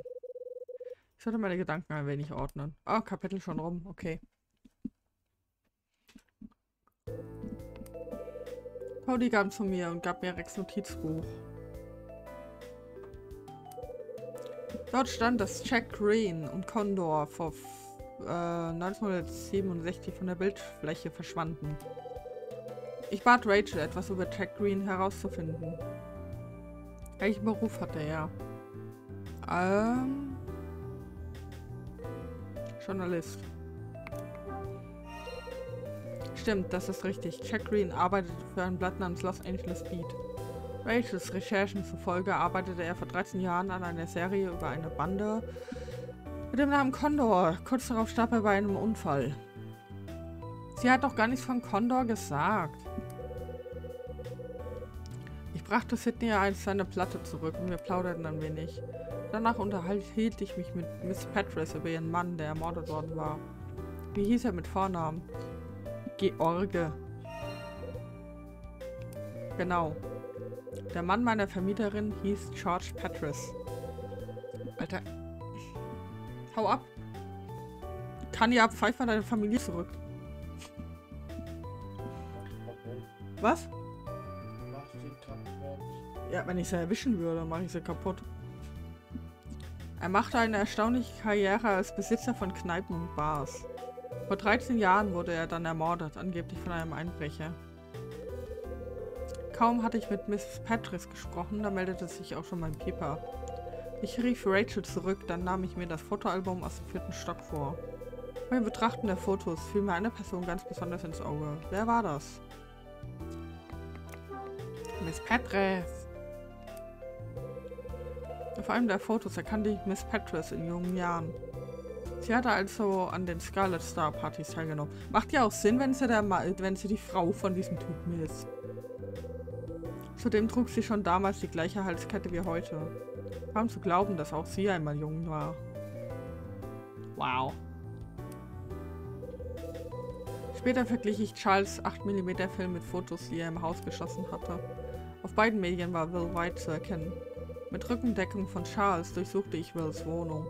Mit Hilfe von Indizien, die ich im Zimmer Safe und in der Spielzeugkamera fand, die in einem Aktenkoffer war, kam ich hinter Wills Geheimnis, das er die ganze Zeit äh, zu verbergen gewusst hatte. Worin bestand sein Geheimnis? Will ist verheiratet. Wills richtiger Name lautet Will McGrath. Sein Vater war Michael McGrath, der Manager des Hotel Cape West. Sein Reisepass und eine alte Postkarte brachten die Wahrheit ans Licht. Will überraschte mich in der Wohnung und, stell und ich stellte ihn sogleich zur Rede. Er gestand, der Absender des Auftragsbriefs an mich zu sein. Warum hat er mir diesen Brief geschrieben? Äh, um den Mörder seiner Mutter zu finden? Will hat mir diesen Brief geschrieben, weil er damit einen Prozess auslösen wollte. Der Mörder seiner Mutter sollte bloßgestellt und zur Reue gezwungen werden. Außerdem erzählte Will mir folgendes. Vor 25 Jahren brach ein Dieb ins Hotel Cape West ein, um den Scarlet Star zu stehlen. Das heißt also, der Scarlet Star ist ein Ding. Okay.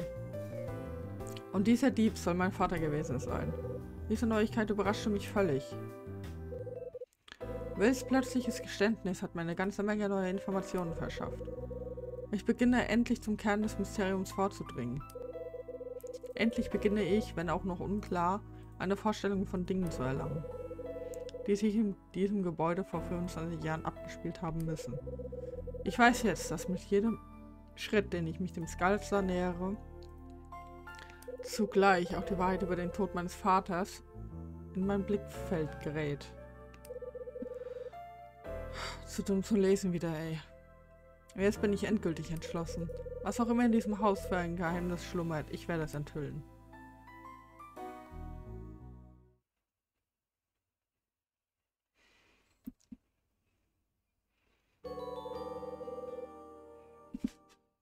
Nein. Kapitelroman hinzugefügt. Speichern, ja.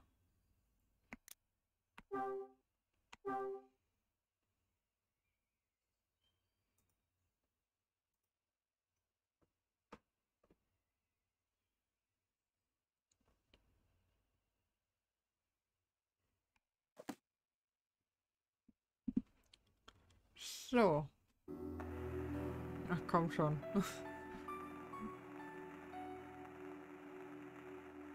Chris Hyde. Die Vergangenheit. Hey, das reimt sich. Was geschah vor 25 Jahren? Dein Vater ist erschossen worden. Punkt.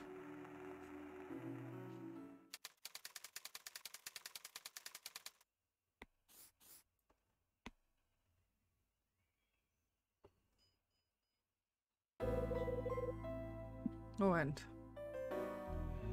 Oh, mal kurz was gucken. Oh. Oh. Ah. Ah.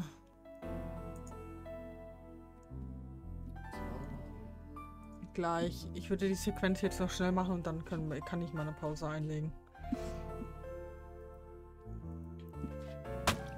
So, ey, ey, ey, ey, ey, ey, ey. Der letzte Freitag des Jahres. Ich erwache aus einem leichten Schlaf und quäle mich aus dem warmen Bett. Benommen stolpere ich direkt ins Badezimmer. Eine kalte Dusche und ich bin hellwach. Ich denke an Will, den ich gestern von seinem hohen Ross heruntergeholt habe. Während ich das Badezimmer verlasse, greife ich nach einem Handtuch. Lässig setze ich mich vor dem Lautsprecher und ziehe aus dem Regal eine alte Platte. Ich lege sie langsam auf den Plattenteller, platziere die Nadel vorsichtig in der ersten Rille und sehe zu, wie sie sich gleichmäßig dreht. Der wehmütige Klang eines Saxophons zerreißt die Stille in meinem kleinen Zimmer. Ich setze mich kurz aufs Bett und lausche der Musik, beinahe andächtig. Was für eine Geschichte will mir die traurige Melodie des Saxophons heute erzählen? Die Worte Wills vom letzten Abend hallen in meine Ohren nach. Ich will endlich wissen, was in dieser Nacht vor 25 Jahren geschehen ist. Und eine Sache ist mir seit gestern klar. Ich bin der Einzige, der Licht in dieses Dunkel bringen kann. Als ich wieder aufblicke, steht die Platte bereits still. Während ich tief in Gedanken versunken war, hat das Lied geendet. Schließlich schlüpfe ich meine Klamotten, hilft ja alles nichts. Ich lasse mich auf meine Couch sinken und trinke zwei Tassen Kaffee hintereinander. Wow. Ra. Das ist aber eine ganze Menge. Es ist vergleichbar mit fünf, fünf Dosen Energy, ey. Na, das will ich jetzt auch nicht sagen. Ich wollte Rachel wohl erzählen, was mir gestern Abend widerfahren ist. Mit diesem Ziel vor Augen stehe ich schließlich auf. Gut. Dann würde ich sagen, mache ich eine Pause. Rachel können wir immer noch anrufen.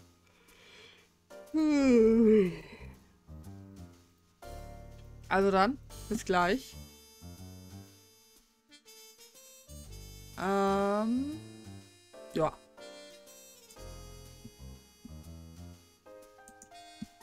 Mhm. Achso, das ist der Grabstein. Okay. Äh, ja. Genau. Dann bis gleich. Ich mache eine Pause. Und dann beenden wir das. Und dann beenden wir das hier. Äh, sind noch, also Kapitel 9 und Kapitel 10 sind noch zwei Kapitel. Also, bis gleich.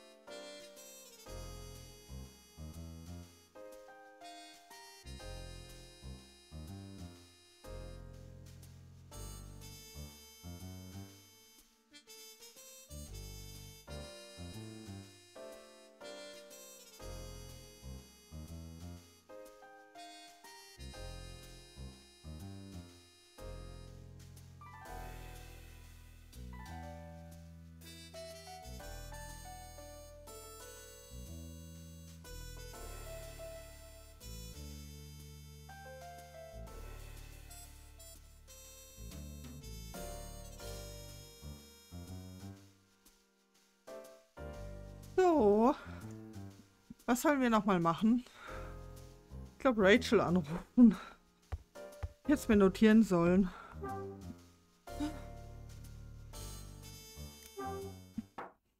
Ach, kommt schon. Mr. Hyde, hätten Sie einen Augenblick? Wer ist da? Klingt nach Dylan.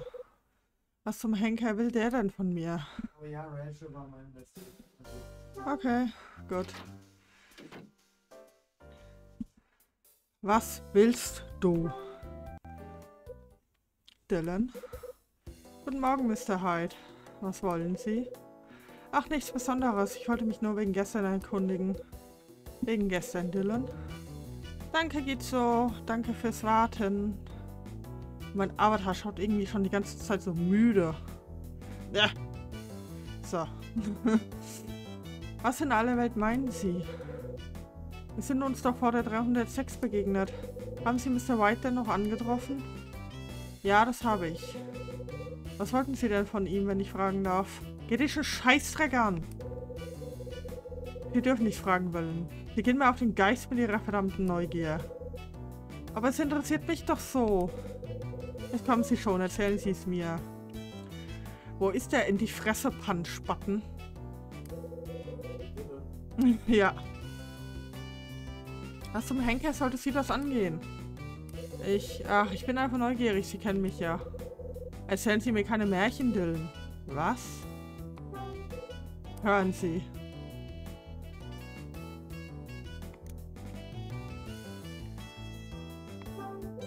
Hatten Sie vielleicht Angst, dass mir Will etwas über Sie erzählt? Etwas, das Sie in Schwierigkeiten bringen könnte? Ganz bestimmt nicht, Mr. Hyde. Ich habe nichts zu verbergen. Wie ich schon sagte, ich bin einfach unheimlich neugierig. Und das ist alles? Aber ja doch, Mr. Hyde. Glaube ich dir nicht. Ja. Ah, Miss Petris. Hier stecken Sie also, Dylan. Ich habe Sie überall gesucht. Miss Petris, wie kann ich Ihnen helfen? Es geht um Mr. White. Ich wollte Sie... Was? Au, au, au, au, au. Arsch. Weiter. Ach so. ich wollte Sie um einen Gefallen bitten. Miss Petris. Mr. Hyde, Sie sind ja auch da. Nein? Nein, nein. Nein, nein, ich bin nicht da. Ich tue nur so. Was ist denn mit Mr. White? Er hat mich gerade angerufen. Ach, er sagte, dass er wohl nicht mehr zurückkommen wird.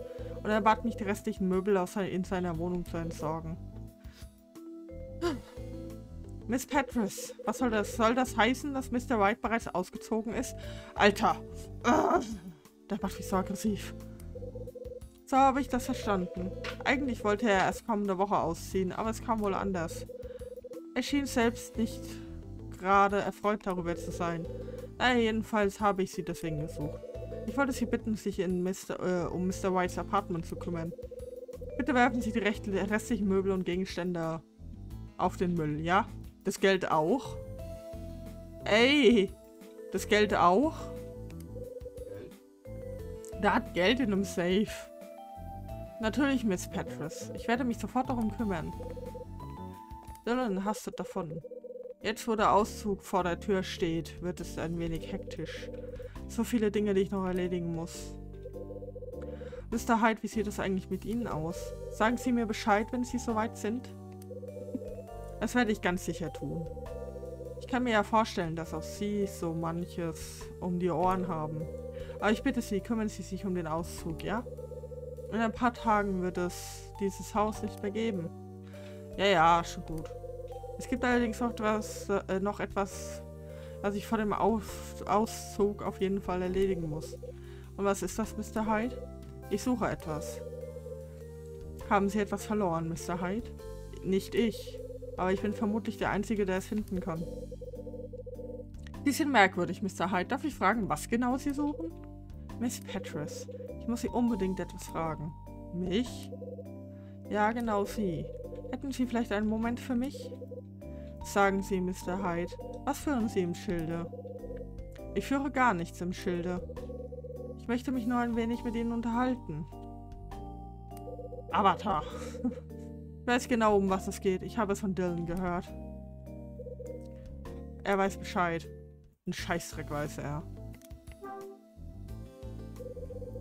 Was genau haben Sie denn von Dylan gehört?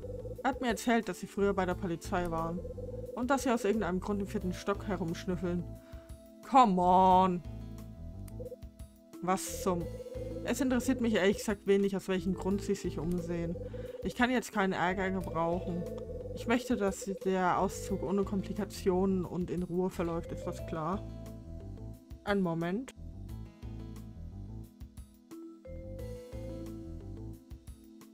So, bisschen näher an den Tisch. Vielleicht funktioniert mein Avatar jetzt richtig. Hallo? Gut. Ich bitte Sie, Mr. Hyde. Wir haben uns doch schon ausgiebig unterhalten. Waren Sie endlich auf, ja? Ich habe Ihnen wirklich nichts mehr zu sagen. Wer es glaubt, wird selig. Ah. Moment. Es geht mir auf den Sack hier.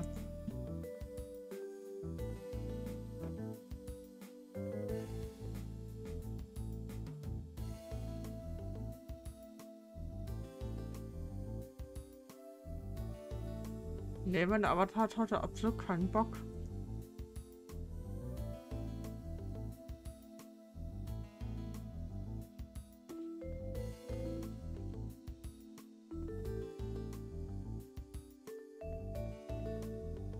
Nee, mein Avatar hat keinen Bock zu funktionieren. Okay, dann eben nicht. Weil die Augen andauernd automatisch zugehen. Das nervt mich ein bisschen. Ja. Ich denke nicht, dass wir schon fertig sind, Miss Petrus. Was soll? Auch wenn Sie nichts zu sagen haben, ich habe sehr wohl noch etwas zu sagen. Ich will Sie etwas fragen und Ihnen etwas ausrichten, Miss Petrus. Sie wollen mir etwas ausrichten? Oh ja, und zwar von der Familie Kitty McGrath. Was? Wollen Sie sich vielleicht jetzt mit mir unterhalten? Ähm... In Ordnung, Mr. Hyde. Lassen Sie uns reden. Dann ist es, wann ist es Ihnen denn recht? Ich bin da ganz flexibel. Gut, dann kommen Sie heute Nachmittag um vier zu meiner Wohnung, ja? Ich kann es kaum erwarten. Muss jetzt los. Okay. Miss Petrus dreht sich um und geht einigen Schrittes davon. Viel bei Miss Petrus. Vielleicht schreibe ich mir das besser auf. Alter. Ah, ein Telefon. Kommt das aus meinem Zimmer?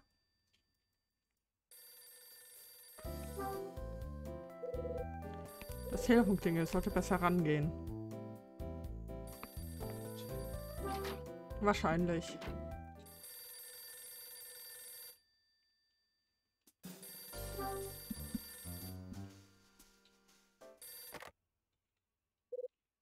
Hallo? Rachel, ich bin's. Guten Morgen, mein Großer. Gute Nachrichten. Was gibt's denn? Das wirst du gleich hören, Kyle. Einen Moment. Ah ja. Ed is back.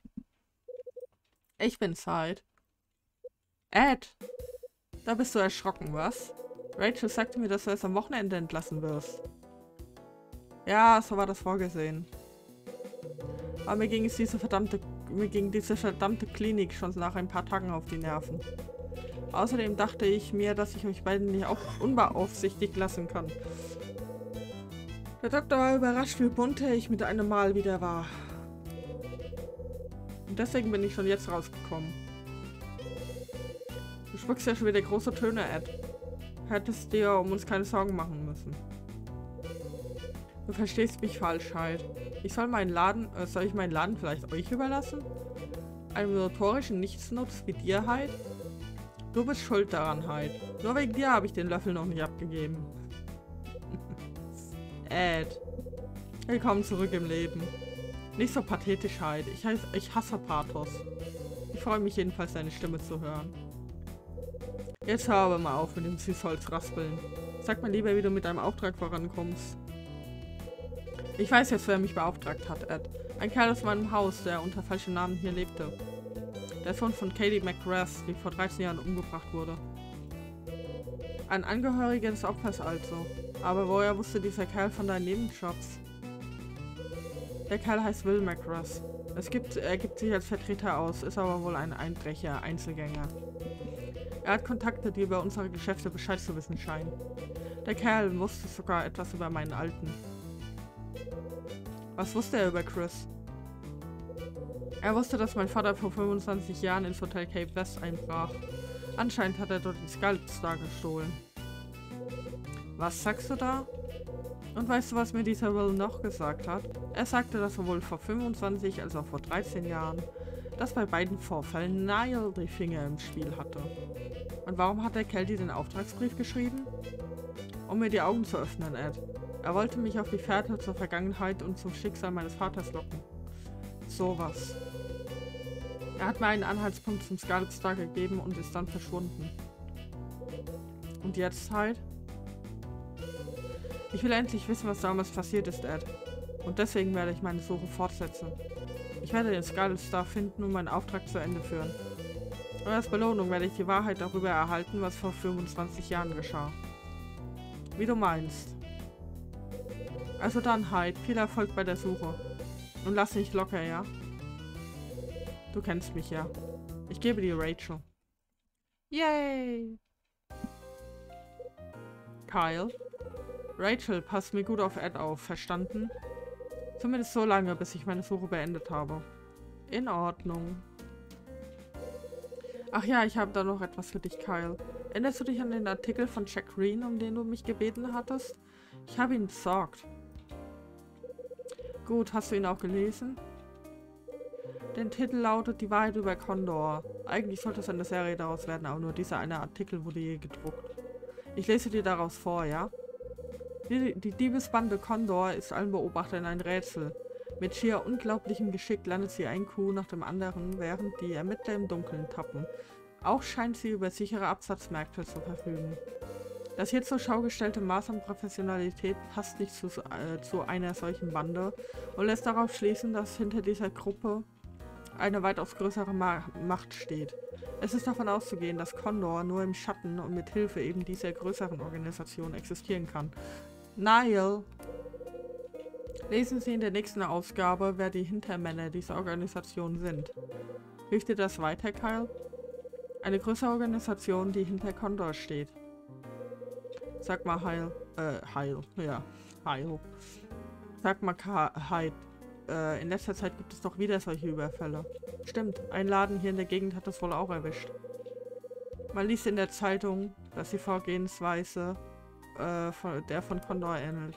Kann sein. Heute um 11 Uhr wollen sie im Fernsehen einen Bericht darüber bringen. Gut zu wissen. Mach's gut, Kyle.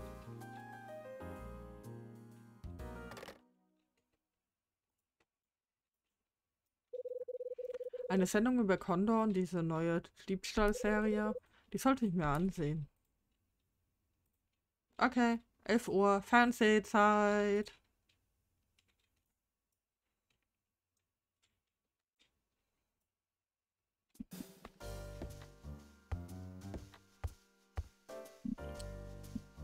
Mann, ich bin hellwach. Hör auf damit.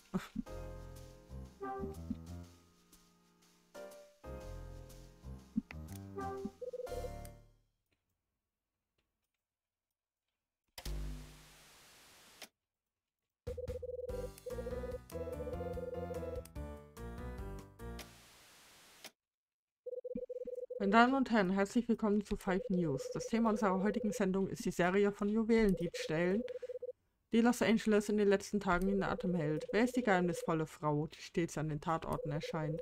Sehen Sie nun ein Interview mit einem Augenzeugen. Die Frau kam in meinen Laden einen Tag vor dem Überfall. Hat, ich hatte sie zuvor noch nie gesehen.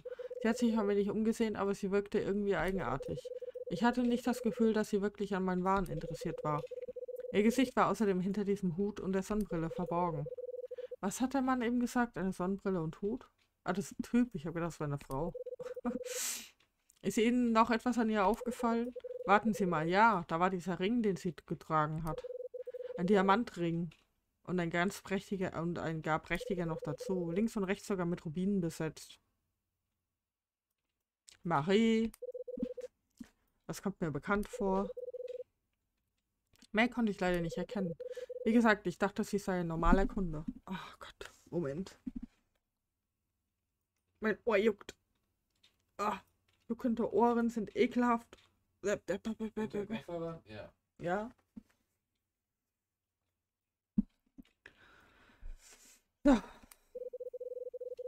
Sehen Sie nun ein Phantombild, das anhand der Zeugenaussage An- anhand der Zeugenaussage erstellt wurde. Ja, wahrscheinlich. Auffällig ist der große Hut und die dunkle Sonnenbrille.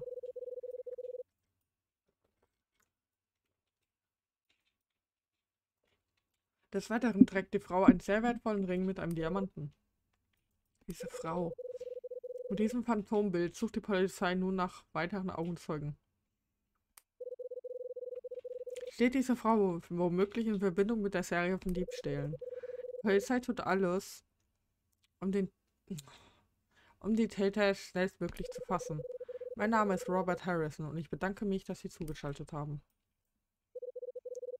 Frau mit dem Hut, die von äh, vor jedem Raub auftaucht. Ich bin mir sicher, dass es dieselbe Frau ist, die ich hier im Haus gesehen habe. Und dann der Diamantring. Ist es möglich, dass... Okay. Marie! Wir müssen talken. Irgendwo fällt eine Tür ins Schloss. Wer war das? Ist doch scheißegal, wer das war. Das. Ich höre Schritte. Jemand bewegt sich in meine Richtung. Tony? Halt, Mann, du kommst mir gerade recht. Was willst du, Tony? Sag mal, ist da nicht gerade jemand hochgekommen? Nicht, dass ich wüsste. Im Ernst, Mann? Das ist aber komisch. Was meinst du? Wieso fragst du? Weil ich hier gerade eben noch jemanden gesehen habe. Und zwar diese Frau.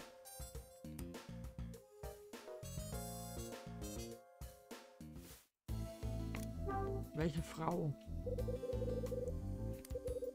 Na, diese eben. Die Frau mit dem Hut, die du letzte Woche am Eingang des Hauses getroffen hast. Was?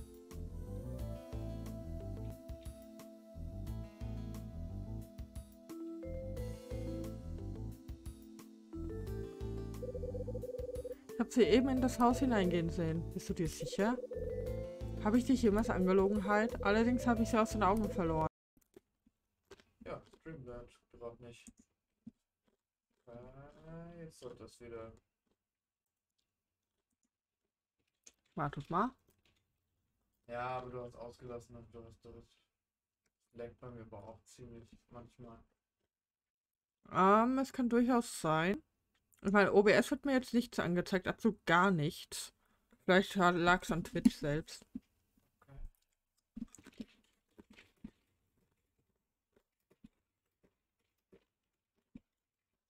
Das wird, wohl, das wird wohl dieselbe gewesen sein. Aber was macht die hier im Haus? Sollte wieder gehen, sonst mal refreshen geht so. Ja, vielleicht lag es an Twitch.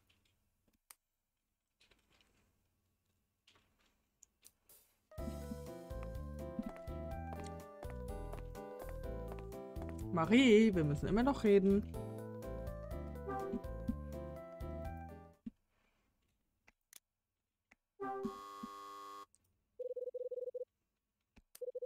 Wer ist da?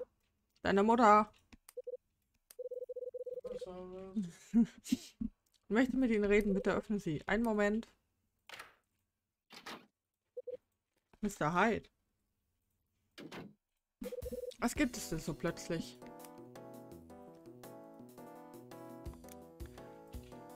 Ja, geht wieder. Alles klar, sehr schön.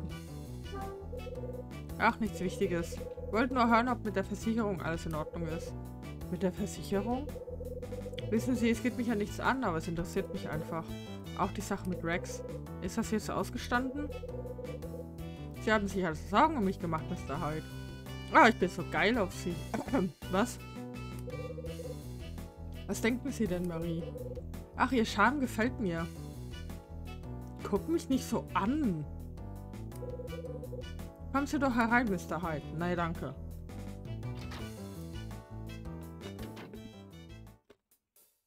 Ich bin jetzt scharf auf dich. Geh. Ich danke Ihnen, Mr. Hyde. Es ist gut zu wissen, dass man nicht alleine ist. Wissen Sie, Marie? Irgendwie lassen Sie mich nicht los. Und Karl, jetzt erzähl dir doch nicht so einen Scheiß, ey. Die überfällt dich ja gleich. Mr. Hyde. Läuft alles glatt mit der Umzugsplanung? Ja, alles bestens. Ich werde den meisten Krempel hier einfach wegwerfen. Habe ich mir gedacht. Hm.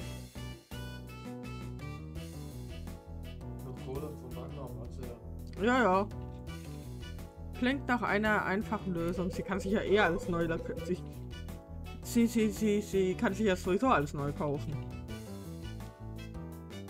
Apropos Lösung, hat sich mit der, ihrer Versicherung eigentlich, eigentlich etwas ergeben? Das hast du dir doch gerade eben erzählt, du Vollidiot. Ja, das ist geklärt. Die Versicherung hat mich vorhin angerufen und gesagt, dass sie bezahlen wird.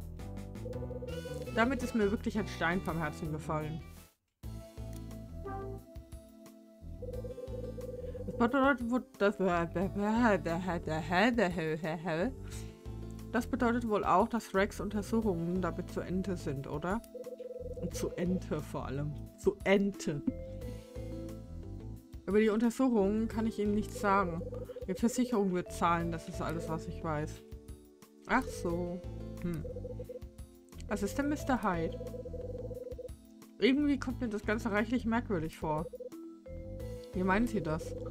Wenn die Versicherung bereit ist, Ihnen die Versicherungssumme auszubezahlen, da heißt das wohl, dass Rex ihr signalisiert hat, dass sie sauber sind. Und das finden Sie merkwürdig? Ja. Allerdings, Marie. Sehen Sie, Rex arbeitet auf Provisionsbasis. Er hat kein Interesse daran, dass Sie ihr Geld bekommen. Ach, wirklich? Marie, könnte es sein, dass Sie mir etwas verheimlichen? Sie hat, den Flach Sie hat sich von dem Flach legen lassen und dann ist alles geklärt gewesen. Ganz einfach. Was wollen Sie damit sagen? Ich schmeiß dich doch an alles ran. Guckt ihr euch an. Ich habe Ihnen doch bereits alles erzählt. Da wäre ich mir nicht so sicher, Marie. Was ist denn zum Beispiel mit dieser Frau mit dem Hut? Was? Ah ja. Das ist die Reaktion, die er gewollt hat.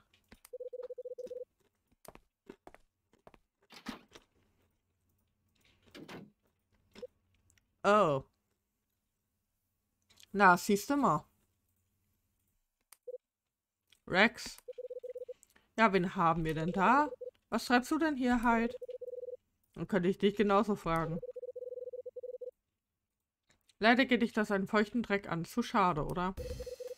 Ich bin hier, um mich mit Miss Rivers, äh, Rivers zu unterhalten. Was wollen Sie von mir? Miss Rivers, wie zum Henker haben Sie das denn schon wieder hinbekommen? Die Versicherung rief heute Morgen an und sagte mir, dass, dass die und dass die Sache eingestellt wird. Wie? Was haben Sie denn gesagt? Wieso werden alle mit Ermittlungen... Äh, wieso werden die Ermittlungen plötzlich abgebrochen? Antworten Sie gefälligst. Ich, ich habe keine Ahnung. Sie wollen also gar nichts getan haben, hä? Das können... Das können Sie mir nicht erzählen, die falsche Schlange. Ich... Soll ich Ihnen sagen, was ich denke, Marie? Sie haben sich ein weiteres Mal die Versicherungssumme ergaunert. Soll ich Mr. Hyde erzählen, was? Nein! Marie? Mr. Hyde, ich... Hey, hier geblieben. Gut gemacht, Rex. Marie stützt wie von Sinnen aus der Wohnung. Marie! Hör zu, Hyde. Ich weiß ja nicht, in welcher Beziehung du zu Marie stehst. Ich rate dir, dich nicht mit ihr einzulassen, bis du die Wahrheit über sie kennst. Dann erzähl mir doch mal die Wahrheit, du Arsch.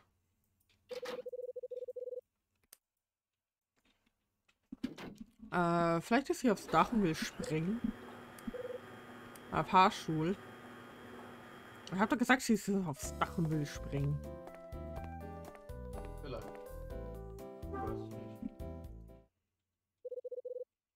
Er hat auf dem Dach gehalten, habe ich doch gesagt.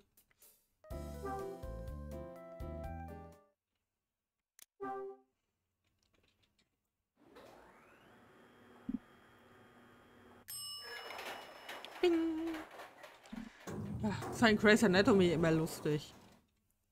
Immer vollkommen random, wenn irgendjemand irgendwas Dummes gesagt hat, dieser Aufzugssound. Bing!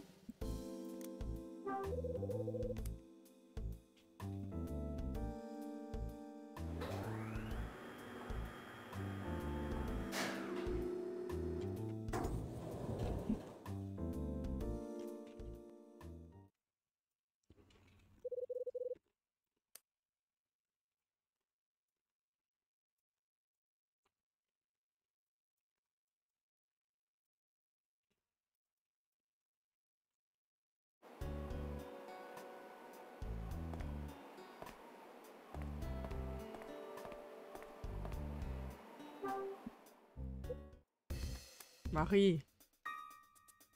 Make a backflip, make a... Ähm. Warum sind sie eben davon gelaufen, Marie? Ich hatte Angst vor diesem Typen. Wieso das denn? Ich, das ist... Was weiß dieser Kerl über sie, Marie?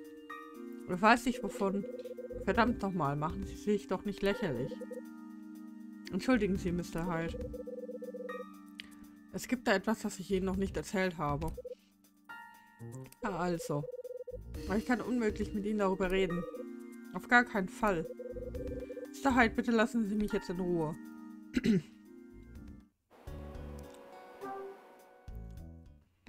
Marie, es tut mir leid, Mr. Hyde, lassen Sie mich bitte in Ruhe. Marie. Wie bekomme ich sie nur zum Reden?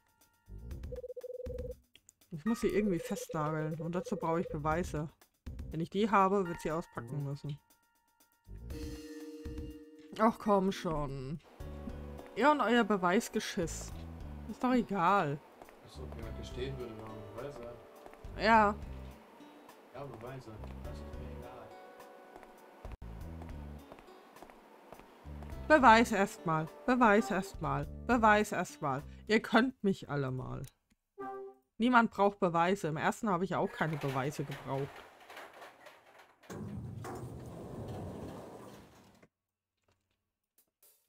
Diese Beweissache fühlt sich auch so ein kleines bisschen an wie Spielstrecken.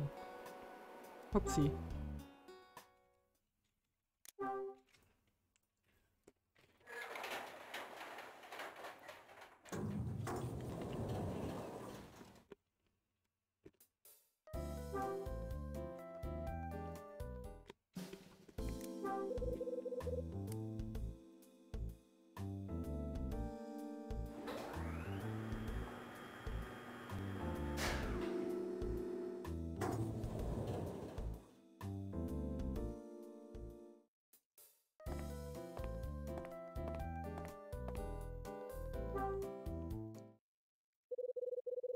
Gerade freundlich hier einfach so reinzuspazieren. Aber ich brauche etwas, um Marie festzunageln.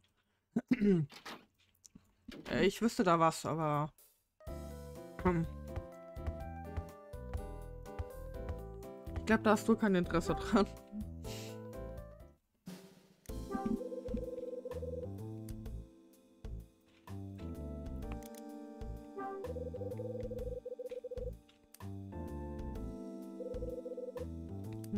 Da ist noch was.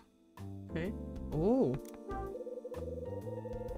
Dunkelgraues Jackett, achtlos zusammengeknüllt. Es ist doch das Jackett, das die Frau mit dem Hut getragen hat. Vielleicht finde ich noch mehr hier. Hm.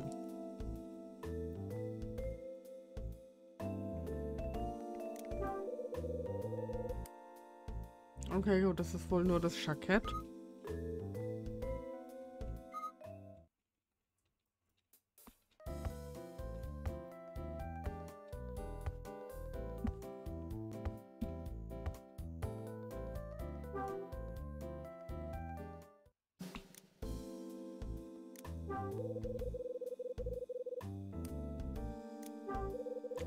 Lesen müsst, als ob du lesen würdest, Kyle. Ich bezweifle, dass du überhaupt weißt, was ein Buch ist.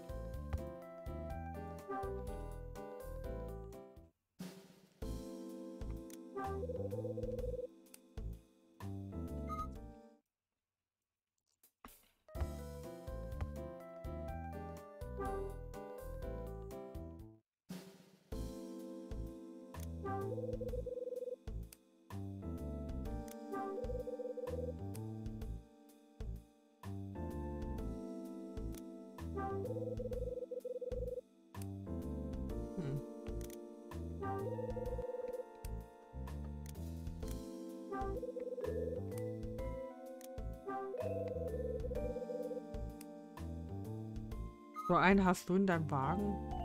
Achso, ja, stimmt. Kyle hat ja ein Auto.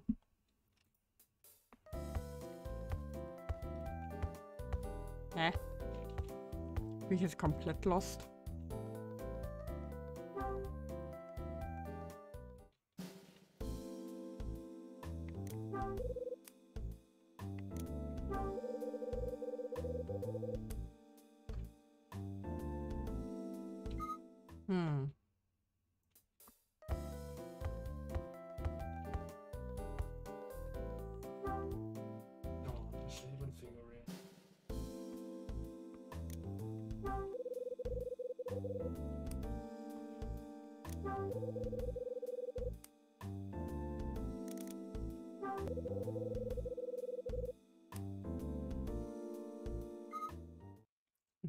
Ist wohl auch nichts.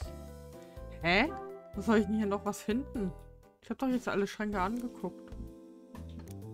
Ja, du darfst noch nicht raus. Nee. Dann muss noch was sein.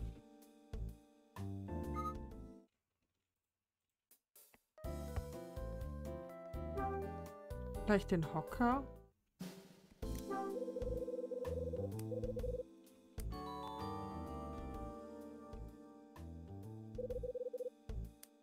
Hast ja jetzt echt einen Hocker in die Jackentasche gesteckt. Hat er nicht. Hat er doch. Okay. Mach ich auch gemacht. Doch, hier. Ich habe in meinem Inventar einen beschissenen Hocker.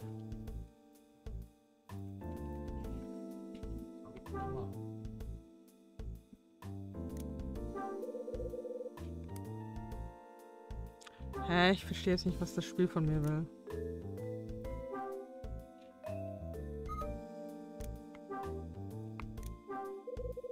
Ah, hier, okay. Ich muss den mit Schrank benutzen, nicht mit dem... Come on. Hm.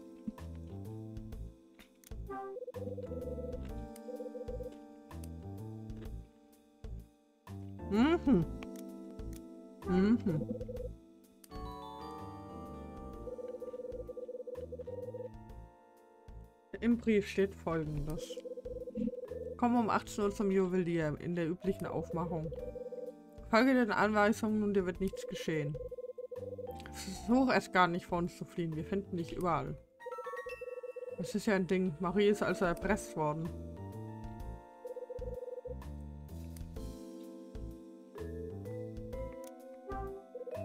Das ist doch... Hut und die Sonnenbrille dieser mysteriösen Frau.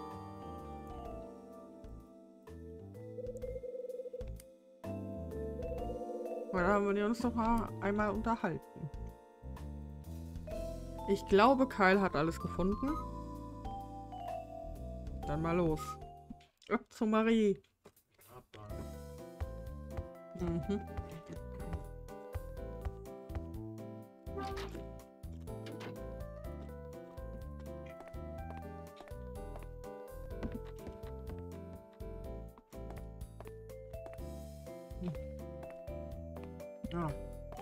Vielleicht sollte ich auch den Fahrstuhl benutzen. Weil anders komme ich nicht aufs Dach. Weil Dylan seinen Scheiß vor der Tür geparkt hat.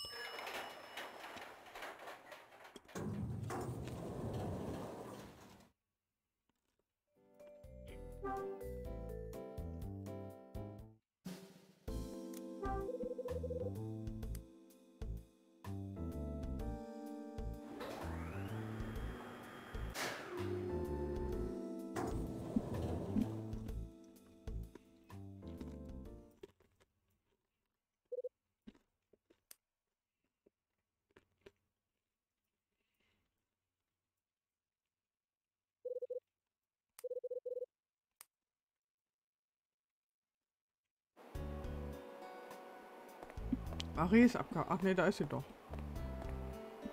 In der Ecke. Ähm, ich wollte eigentlich mit Marie reden und nicht den Leuchtturm begutachten.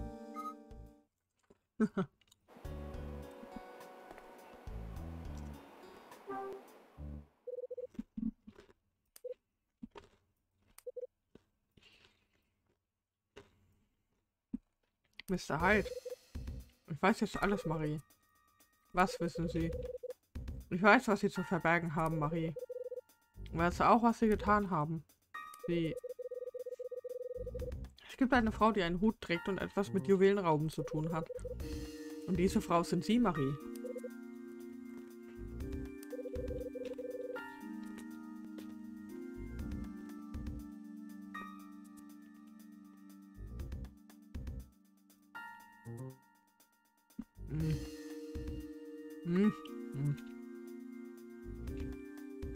Ihnen befohlen, die Läden auszukundschaften? Wer ist es, der Sie erpresst, Marie? Mr. Hyde, was soll denn das jetzt auf einmal? Ich habe wirklich nicht den Funken einer Ahnung was. Schluss jetzt, Marie. Ich weiß Bescheid. Mr. Hyde.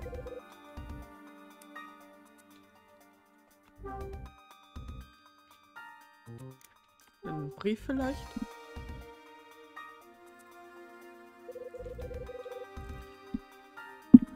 Diesen Brief hier habe ich in ihrem Zimmer gefunden.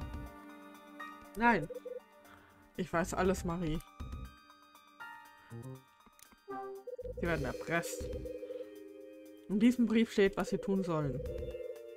Wie sind sie nur in diese unglückliche Lage geraten? Ich.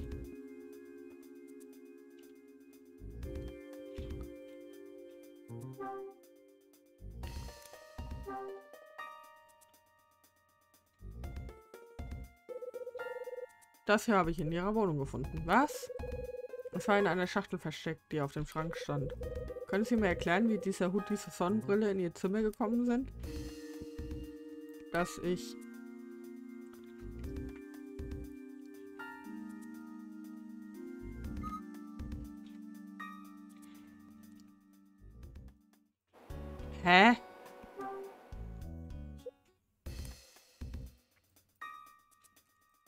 ich dir denn noch zeigen?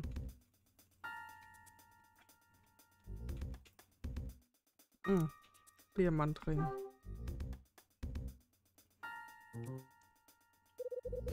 Das ist doch Ehring, oder? Was soll das, Mr. Hyde? Betty hat mich gebeten, Ihnen den Ring zurückzugeben. Und jetzt will ich eine Erklärung von Ihnen, Marie. Warum haben Sie den verkauft? Der war Ihnen doch wichtig, oder nicht? Ich frage mich wirklich, warum diese Frau mit dem Hut, die vor jedem Juwelenraub auftaucht, den gleichen Ring trägt wie sie, Marie, äh, Ring trägt. Was ist? Wissen Sie, was das Kondorzeichen in der Fassung Ihres Rings bedeutet? Ich also... Würdest du jetzt bitte mal reden? Sie kommen da nicht mehr raus, Marie. Erzählen Sie mir die ganze Wahrheit. Mr. Hyde, ich kann Ihnen das nicht erzählen, doch kannst du. Und warum nicht? Für mich gibt es kein Zurück mehr. Und deshalb... Nein, es geht wirklich nicht. Sie soll nicht wissen, was ich für eine, was für eine Frau ich bin. Oh Gott, da will ich eh nicht flachlegen, also erzähl schon. Marie, erinnern Sie sich an das, was Sie mir gesagt haben? Ich... Ich wiederhole es gerne für Sie. Sie erzählten mir, wie hart es für Sie war, die ganze Zeit verdächtig zu werden. Und Sie sagten, dass Sie mir vertrauen könnten, Marie. Und erinnern Sie sich auch, was ich Ihnen daraufhin geantwortet habe? Ich sagte Ihnen, dass Sie jederzeit zu mir kommen könnten. Sicher erinnere ich mich daran. Aber das gilt nur für den Fall, dass ich auch mit Ihnen reden will. ja, klar.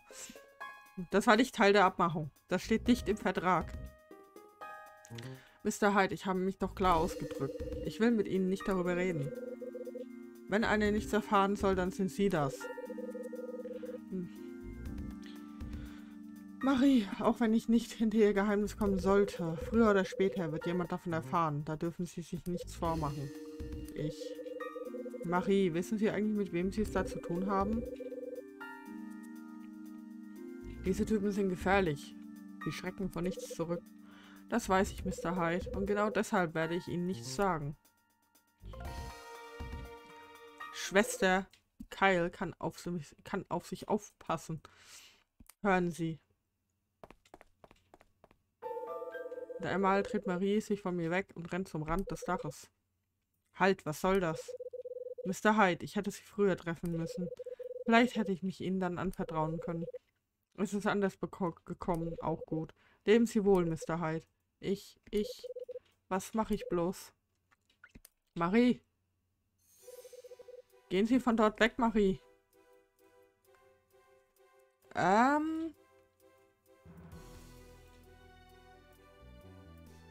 Ah, Moment.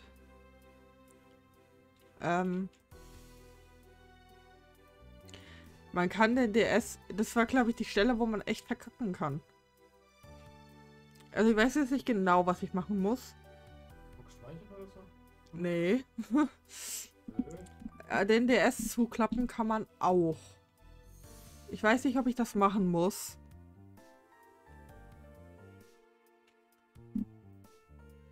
Weil du kannst die auch vom Dach... Äh, kannst die auch vom Dach... Jetzt oder nie. Okay, gut. Man kann die auch vom Dach kicken, tatsächlich. Man kann sie auch vom Dach werfen, wenn man den DS zuklappt. Ach so. Ja, deswegen muss ich jetzt gerade ein bisschen aufpassen. Marie, Mr. Hyde. Ich hätte nie gedacht, dass Sie so dumm sind, Marie. Wenn Sie gerettet werden möchten, dann sagen Sie es gefälligst. Ich kann das nicht sagen. Ich weiß, wozu diese Kerle, Kerle fähig sind. Es interessiert doch keinen. Es interessiert doch Kyle nicht. Was sind diese Kerle? Sie wissen, was mein Bruder und mein Mann getan haben. Okay. Und sie wissen auch, wie die beiden gestorben sind. Sie haben mich in die Enge getrieben und mich bewegungsunfähig gemacht. Aber so gefährlich sind äh, sie auch sind. Ihre Macht reicht bis in die Unternehmen hinein. Sie haben dafür gesorgt, dass die Untersuchungen zu meinem Fall eingestellt worden sind. Was ist die Belohnung dafür, dass ich kooperiert habe? Aha. Was haben ihr Bruder und ihr Mann denn getan? Als Mike und Peter damals im Hotel Cape West arbeiteten, hatten sie ein Geheimnis. Sie waren nebenbei in den Handel mit gestohlenen Edelsteinen involviert. Sagten sie Edelsteine? Liebesgut, ja. Das Hotel Cape West war ein Umschlagplatz für gestohlene Edelsteine. Deswegen die Partys. Hier wechselten sie für Bares, wie im Besitzer und mein Mann und mein Bruder waren dabei. Für Geld haben die beiden wohl alles getan. Sogar eine Leiche transportiert und Beweisstücke vernichtet. Die haben damals seinen Vater verschwinden lassen. Der Ring, den mein Bruder mir geschenkt hat, war eine Belohnung für diese Arbeit. Ah ja. Das waren keine Unfälle, oder? Ich rede von ihrem Mann und ihrem Bruder. Es kommt darauf an, wie man den Begriff definiert. Sie starben beide an, äh, bei einem Unfall, aber dahinter steckten diese Kerle. Sie sagten, dass Mike und Peter nicht mehr benötigt wurden und man sie entsorgt hätte. Mikes Tod und die Versicherung. Die Hochzeit mit Peter. Das Scheitern von Peters Geschäft und sein Tod. Das alles haben diese Leute inszeniert. Okay. Das war's schon. Sie dürfen nicht glauben, dass ich dies die ganze Zeit über gewusst habe. Ich erfuhr es erst, als ich in dieses Apartment gezogen war. In einer Umzugskiste entdeckte ich die Versicherungspolice meines Mannes. Ich wendete mich an die Versicherung und genau zu dieser Zeit kontaktierten sie mich. Es waren Anrufe, Briefe. Mir unbekannte Menschen begannen, mich auf der Straße anzusprechen. Stück für Stück erfuhr ich die ganze schreckliche Wahrheit. Was mein Mann und mein Mann, äh, was mein Mann und mein Bruder, mein Mann und mein Mann, ja, okay. Was mein Mann und mein Bruder für Menschen gewesen waren, warum sie gestorben waren. Und dann erfuhr ich, dass die Organisation, äh, was die Orga Organisation mit mir vorhatte. Und sie hatten davor keinen blassen Schimmer, was ihre Angehörigen wirklich trieben. Was ist denn das jetzt? Achso, okay. Nee. Doch, gerade ruft jemand an. Nein, ich wusste nichts. Das heißt, in eine Sache, an eine Sache erinnere ich mich. Einmal kam mein Bruder mit einer klaffenden Wunde von der Arbeit zurück. Er wollte mir nicht verraten, wo er sich, sich zugezogen hat. Ich machte mir natürlich große Sorgen. Aber er sagte nur eins zu mir. Ich habe ein Geheimnis, an dem du nicht... Äh, was? Habe ein Geheimnis, an dem du nicht rühren darfst. Du musst mir versprechen, keine Fragen zu stellen, wenn so etwas wieder passiert. Sonst kann ich nicht mit dir sonst kann ich nicht mit dir leben. Was? Ich habe ihn danach nie wieder für auf etwas angesprochen. Peter habe ich übrigens etwas ähnliches versprochen. Und ich habe mein Versprechen gehalten. Vielleicht war das meine Art, die beiden zu lieben. Das dachte ich mir, als ich erfuhr, was sie wirklich gemacht hatten. Manchmal ist es besser, wenn man nichts weiß, oder? Diese Gangster sagten mir, dass ich ihnen nicht mehr entkommen kann. Dass sie mein Leben in der Hand haben. Deshalb hatte ich auch Angst, zu meinen Nachbarn hier eine Beziehung aufzubauen auch als Rex auftauchte, dachte ich, dass er zu ihnen gehört. Ich dachte, sie hatten ihn mir auf die Fersen, äh, sie hatten ihn mir auf die Fersen gehetzt. Marie. Wer zum Henker sind diese Kerle? Können Sie mir das verraten? Sie nennen sich Nile. Nile also. Sind Sie sich da sicher? Ganz sicher. Sie haben es mir selbst gesagt. So ist das also. Ah, hi Rex. Du weißt zu viel, du musst sterben. Tschüss.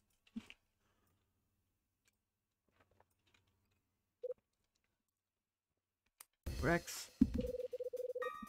Interessant, das muss ich schon sagen. Haben Sie uns etwa belauscht? Belauscht nicht doch. Sagen wir einfach, ich war zufällig zugegen, aber das ist wirklich ein Ding. Dass Nile direkt dahinter steckt. Was wissen Sie denn von denen? Eine ganze Menge Täubchen. Sonst hätte ich Ihren Fall ganz sicher nicht angenommen. Sag mal, Rex, wonach suchst du eigentlich wirklich? Ich versuche die Teile des Puzzles zusammenzusetzen. Du interessierst dich für Puzzles? Könnte man so sagen. Es interessiert mich. Ich interessiere mich für das Puzzle, das er mir damals hinterlassen hat. Seit 13 Jahren bin ich schon dabei, die Teile Stück für Stück zusammenzusetzen. Dein Kollege, ha? Du sprichst von Jack Green, oder? Er war dein Kollege. Das hast du gewusst halt? Jedenfalls weiß ich es jetzt. Green hat einen Artikel über Condor geschrieben, der sein letzter werden sollte. Dann weißt du also Bescheid, wie? Du weißt, dass er ermordet wurde. Das dachte ich mir bereits. Doppelbefragung. Man hat ihn also ermordet. Das haben sie, die Schweine. Es sollte wie ein Unfall aussehen, aber mich haben sie nicht getäuscht. War mal halt. Weißt du, wer Check auf dem Gewissen hat?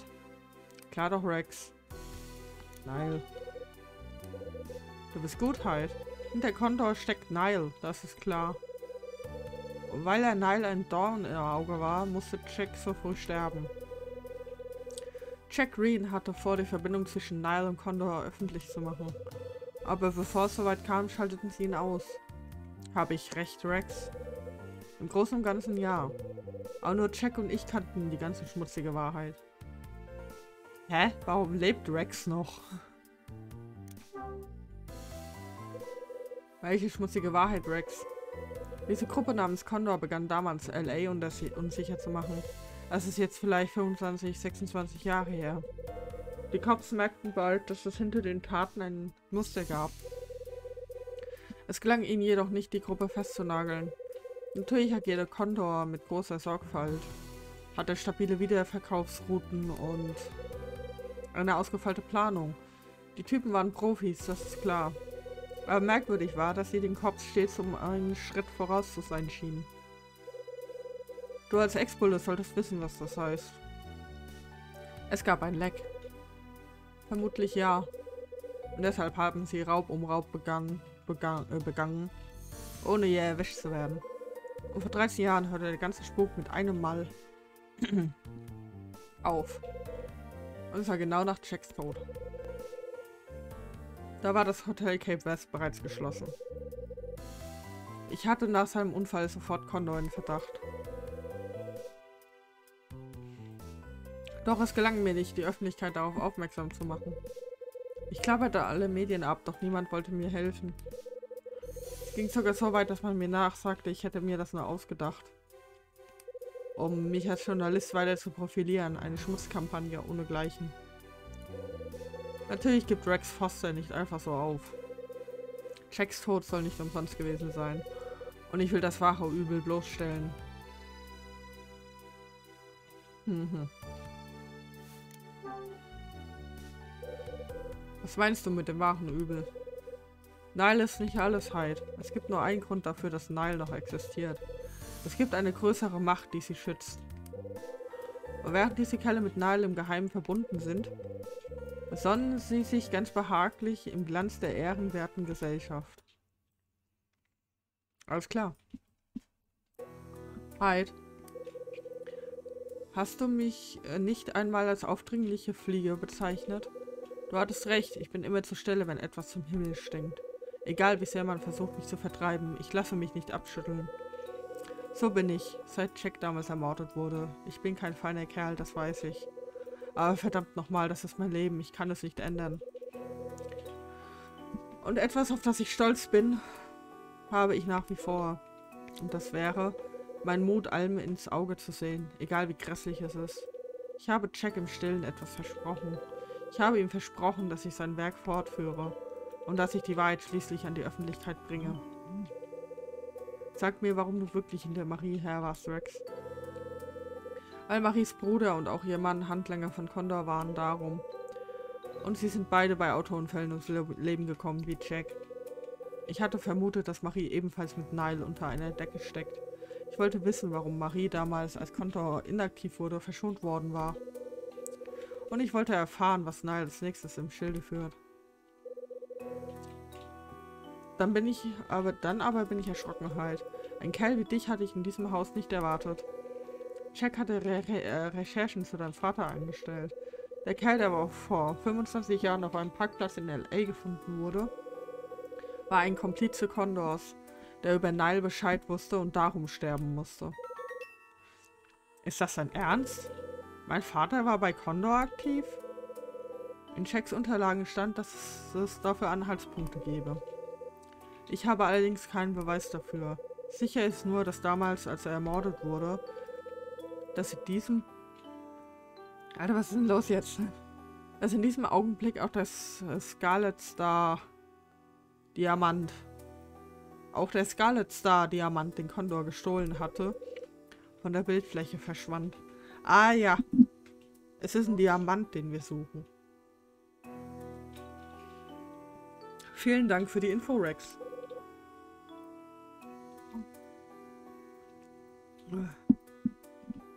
Der Scarlet Star. Halt. Wenn Nile nun Marie erpresst und die Taten verübt werden, die Condors Handschrift tragen, dann hat das nichts Gutes zu bedeuten. Ich werde mich dranhängen und herausfinden, was diese Typen im Schilde führen. Marie, was ist denn? Wir sehen uns heute wohl das letzte Mal. Ich werde sie von nun an nicht mehr belästigen. Eines aber möchte ich Ihnen mit auf den Weg geben. Verlassen Sie die Stadt so schnell es geht. Das bringt doch nichts. Nile wird mich ausspüren, wo auch immer ich mich verstecke. Überlassen Sie das nur mir. Wie meinen Sie das? Was glauben Sie, warum Nile, mich noch nicht erledigt hat? Ich kenne Wege und Winkel, die sonst keiner kennt. Kommen Sie morgen früh um 6 zur Union Station, wenn Sie mir vertrauen. Bringen Sie Ihr Gepäck mit. Ich warte 10 Minuten auf Sie, keine 10 Sekunden länger. In Ordnung. Hyde, auch wir sehen uns wohl zum letzten Mal. Rex, was hast du jetzt vor? Das weißt du doch längst, oder? Du kannst dir doch denken, was ich hier noch zu erledigen habe. Woher sollte ich das wohl wissen, Hyde? Ich bin doch nur ein kleiner, mieser Schnüffler. Also dann, Rex, was denn noch? Ich habe da noch etwas für dich. Das ist ein Notizbuch. Ach. Du hast es also gehabt. Hast du es etwa vermisst? Nicht wirklich, aber trotzdem danke. Na, Rex ist auch kein verkehrter Kerl. Er hätte nur von Anfang an was sagen können. Hm. Aber einen wildfremden Mann? Ja, schon. Ja, eben. Hätte auch einfach nein sein können. Und jetzt?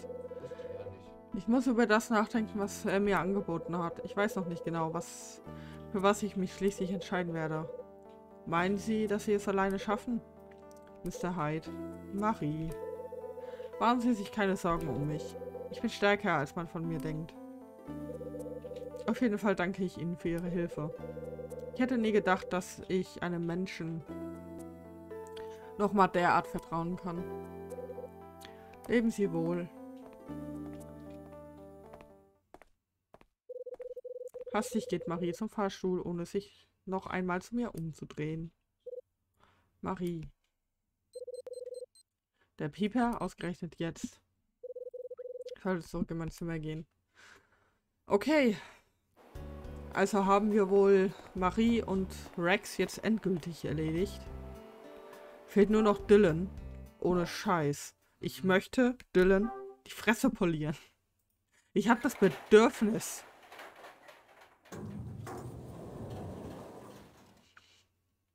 Der hängt seine Nase in Dinge rein, die ihn einen Scheiß angehen. Und ich wette mit euch. Rex hat erwähnt, dass es einen Spitzel gibt. Oder irgendjemand hat erwähnt, dass es hier einen Spitzel gibt. Ich wette, das ist Dylan. Der ist viel zu neugierig. Der ist viel zu neugierig, der kleine Pisser.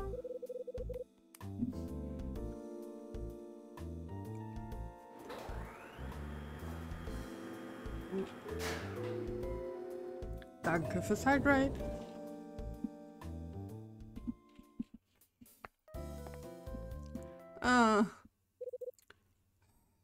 Alter. Was macht dieser fettleibige Sau da vorne? Was macht der vor meiner Tür? Gespräch suchen. Dylan. Verpiss dich, bevor ich dir das Gesicht einhämme. Ey. Mr. Hyde. Hey, listen. Der ist so, hey, listen. Nur schlimmer. Was zum Henker treiben Sie da? Ich... Sie wollten doch gerade in meine Wohnung, oder? Das muss ein Missverständnis sein. Ich halte das Haus in Stand, das ist alles. Ja, genau. Im Moment überprüfe ich die Türknäufe in diesem Stock. Manche sind etwas lose. Ich reiß dir meinen gleich ab und schiebe ihn dir in den Arsch. Ach ja? Aber sagen Sie, Mr. Hyde. Ich habe vorhin wieder diesen Rex gesehen. Alter. Er ist mit dem Fahrstuhl aufs Dach gefahren. Stellen Sie sich das vor. Oh mein Gott, frische Luft schnappen. Und weiter. Was hat er da oben los gemacht? Einen von der Palme gewedelt. Ja, was wohl. Und wissen Sie was, Mr. Hyde? Kurz bevor er hoch ist, ist da Miss Rivet ebenfalls aufs Dach gefahren. Merkwürdig, oder? Ich sage Ihnen, die beiden, die haben was miteinander, okay? Schluss mit dem Unsinn, Dylan. Ich habe keine Lust mehr auf Ihr Getratsche. Und abgesehen davon ist es mir egal, was Rex da auf dem Dach getrieben hat. Wirklich, Mr. Hyde, sind wir da nicht alle ein bisschen neugierig? Und überhaupt muss das für Sie doch von besonderem Interesse sein. Und warum das, Dylan? Schließlich waren Sie auch auf dem Dach, oder? Alter, der Typ weiß so viel. Und deshalb kann ich mir einfach nicht vorstellen, dass... Dylan, ich bitte Sie, verraten Sie mir doch, was da oben gerade passiert ist. Ich brenne schier vor Neugier, Mr. Hyde.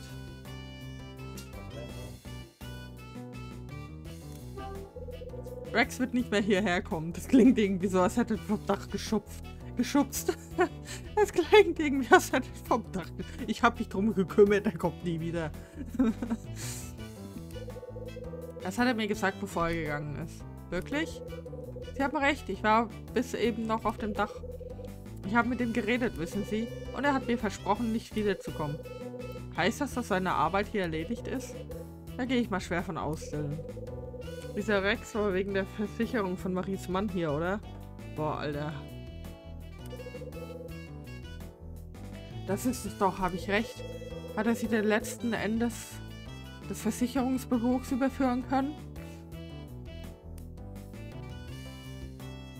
Nein. Nein, hat er nicht.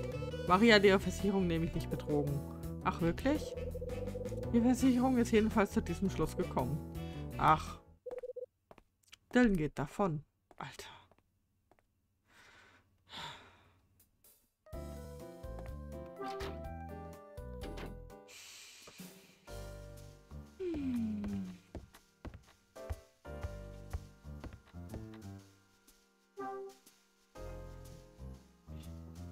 Reden wir mal mit Menschen, mit denen wir reden wollen, okay?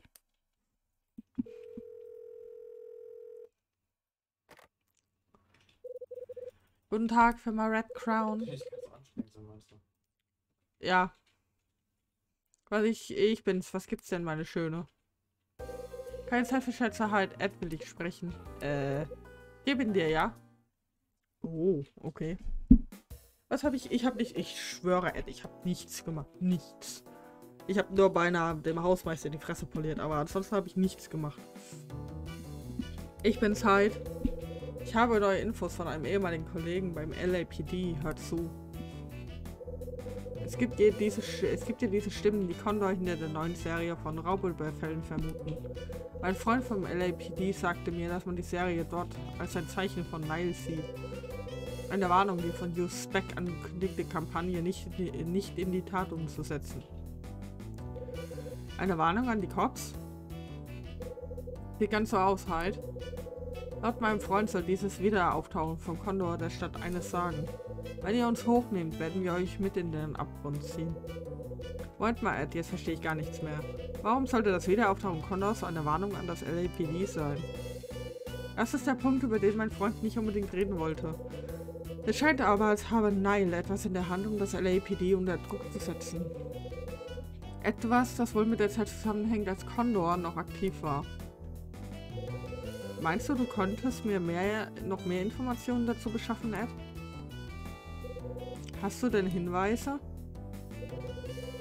Ed, auch ich bin mir, äh, auch ich bin mir sicher, dass Nile hinter der Hauptserie steckt. Hm. Hör zu, Ed, ein Journalist, der über die Verbindung zwischen Nile und Condor schrieb, wurde vor 13 Jahren kaltgestellt. Ich habe mit seinem Freund gesprochen. Und der sagte mir, dass mein Vater eventuell bei Condor dabei war. In Ordnung, halt. Ich sehe mal, was ich tun kann. Soll ich mich auch gleich noch einmal nach diesem Frank Raver erkundigen? Wenn du schon dabei bist. Apropos Frank, den habe ich jetzt schon eine ganze Weile nicht mehr gesehen. Geht's dir gut? Condor, Nile, das LAPD, dazu mein Vater und der Scarlet Star. Die Sache nimmt immer größere Ausmaße an. Ruhig Blutheit, nur keine Panik. Ich weiß nicht, wie all diese Dinge zusammenhängen, aber ich werde es herausfinden. Okay. Ich habe jetzt 1565 Stones. Bitte, was hast du? Stone was. Okay, gut, das ist ein bisschen übertrieben. Okay, das ist ein bisschen, nur ein bisschen, nur ein bisschen.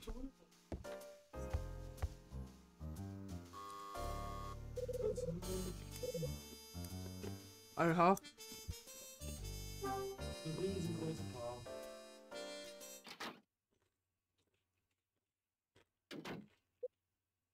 Ich hab hier Tickets zurückgemacht, da kannst du dann theoretisch gerade einfach vorbeikommen. Wow, was für ein Zufall. Kaum wird Frank Raver erwähnt. Und taucht er vor meiner Tür auf. Ich muss mit Ihnen reden, Mr. Hyde. Möchtest du Dylan verprügeln? Ach ja. Ich habe gerade mit Dylan gesprochen. Sie waren mit Miss Wilbert und diesem Rex Foster auf dem Dach. Sie haben sich da zu dritt unterhalten, richtig? Alter, Dylan. Kann schon sein. Und was geht Sie das an? Hm.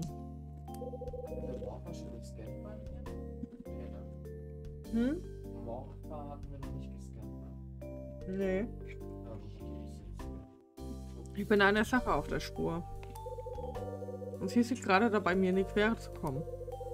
Ich habe sie noch gebeten, sich den Person auf dem Foto, auf dem Bild nicht zu nähern, oder? Das haben sie, Frank. Aber ich erinnere mich nicht, Ihnen irgendeine Zusage gemacht zu haben. Was sagen Sie da? Hören Sie, ich möchte einfach, dass Sie mich nicht bei meinen Nachforschungen behindern. Das war zu keinem Zeitpunkt meine Absicht, Frank.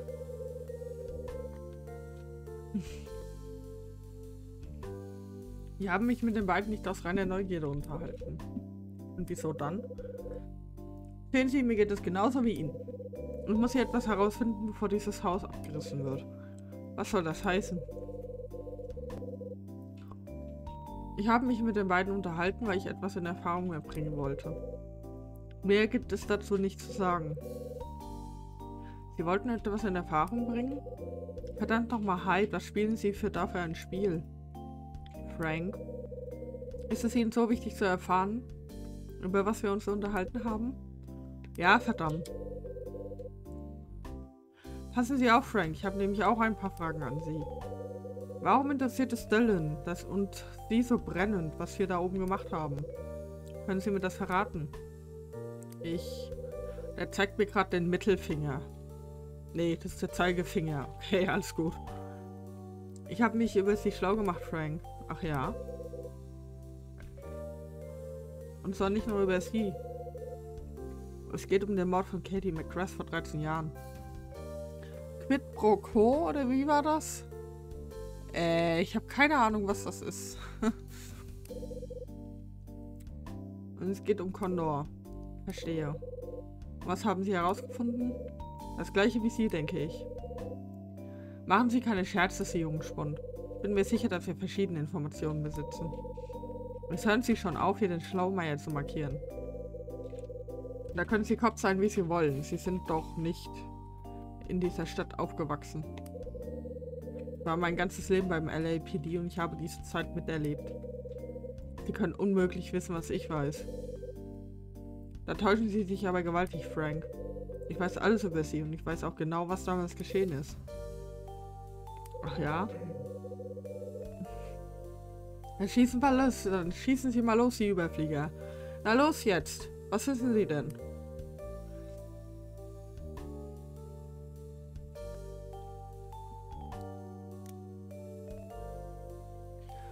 Apropos Klugsch Klugscheiße, Klugscheiße. äh, quid pro quo, lateinisch für dies, äh, dies für das, ist ein Rechtsgrundsatz und ökonomische, ökonomisch, äh, ökonomisches Prinzip, nachdem eine Person, die etwas gibt, dafür eine angemessene Gegenleistung erhalten soll. Vergleichbar ist es mit den ebenfalls lateinischen Sprichwörtern manus manum lavat, eine Hand wäscht die andere und do ut, äh, und, äh, und do ut des. Ich gebe, damit du gibst. Ah ja. Okay, ich kenne nur Venny wie die Vici. ich kam, sah und haute wieder ab. Kennst du aber nicht? Doch, haben wir bestimmt schon mal gesehen. Hier diesen äh, Hannibal Lecter. Ja, Mit natürlich. der Anwältin bei ihm, die zu ihm in die Psychiatrie kam. Äh, wo, er ihr glücklich erzählt hat, dass er auf Levern steht. Äh, auch. Das ah. Hat er doch immer gesagt, Quid pro quo, Doktor. Ja gut, das kann Oder gut. Ja gut, das kann gut sein. Das kann ich. Das ist ewig her, wo wir den Film geguckt haben und wir fanden ihn beide scheiße.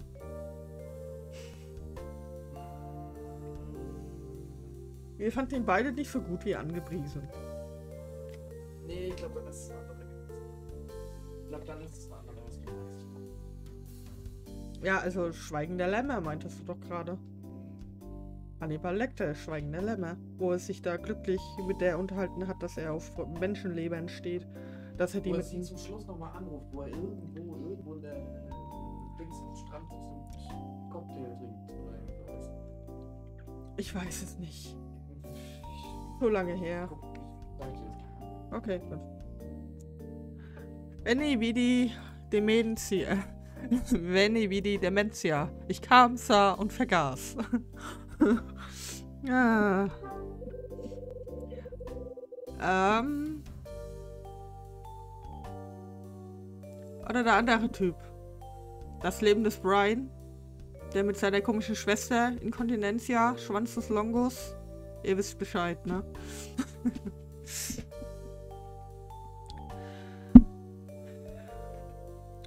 Sie wurden von der Innenrevision angeklagt, als sie in den 40ern waren, richtig? Woher? Sie waren mal einer der Besten, was? Allerdings waren ihnen zur Aufklärung der Fälle praktisch alle Mittel recht. Hä? Was ist das hier? Warum hängst du da? Das kitzelt, hör auf damit. Und dann wurden sie aus der ersten Reihe abgezogen und versetzt, stimmt's? Sie haben gut recherchiert. Ah, Sani. Hi, Sani. Scheint. Incontinentia Buttrocks. Wer kennt, wer kennt sie nicht? Ich habe keine. Bu- Buttocks. Ich habe keine Ahnung, wie sie mit Nachnamen heißt, weil. Und oh, langsam, langsam, langsam.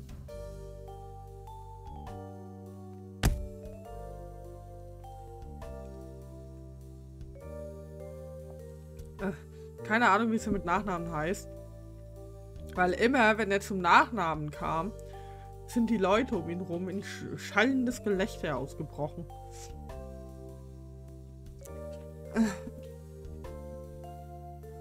Treats. Hm, Chips oder was Süßes? Chips, süß. Chips, süß. Hm. Hm. Chips, okay.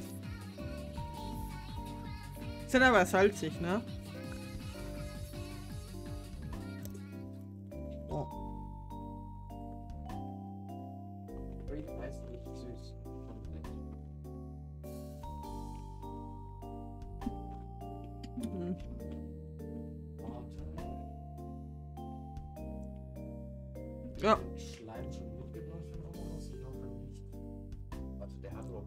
Genau, süß oder salzig. Beziehungsweise es sind auch keine richtigen Chips, es sind Tortillas, aber egal. Theoretisch hätte ich auch süß, Salz und scharf machen können, weil ich habe hier Süßes, dann die Tortillas, salzig, Tortilla in den scharfen Dip, wäre dann scharf.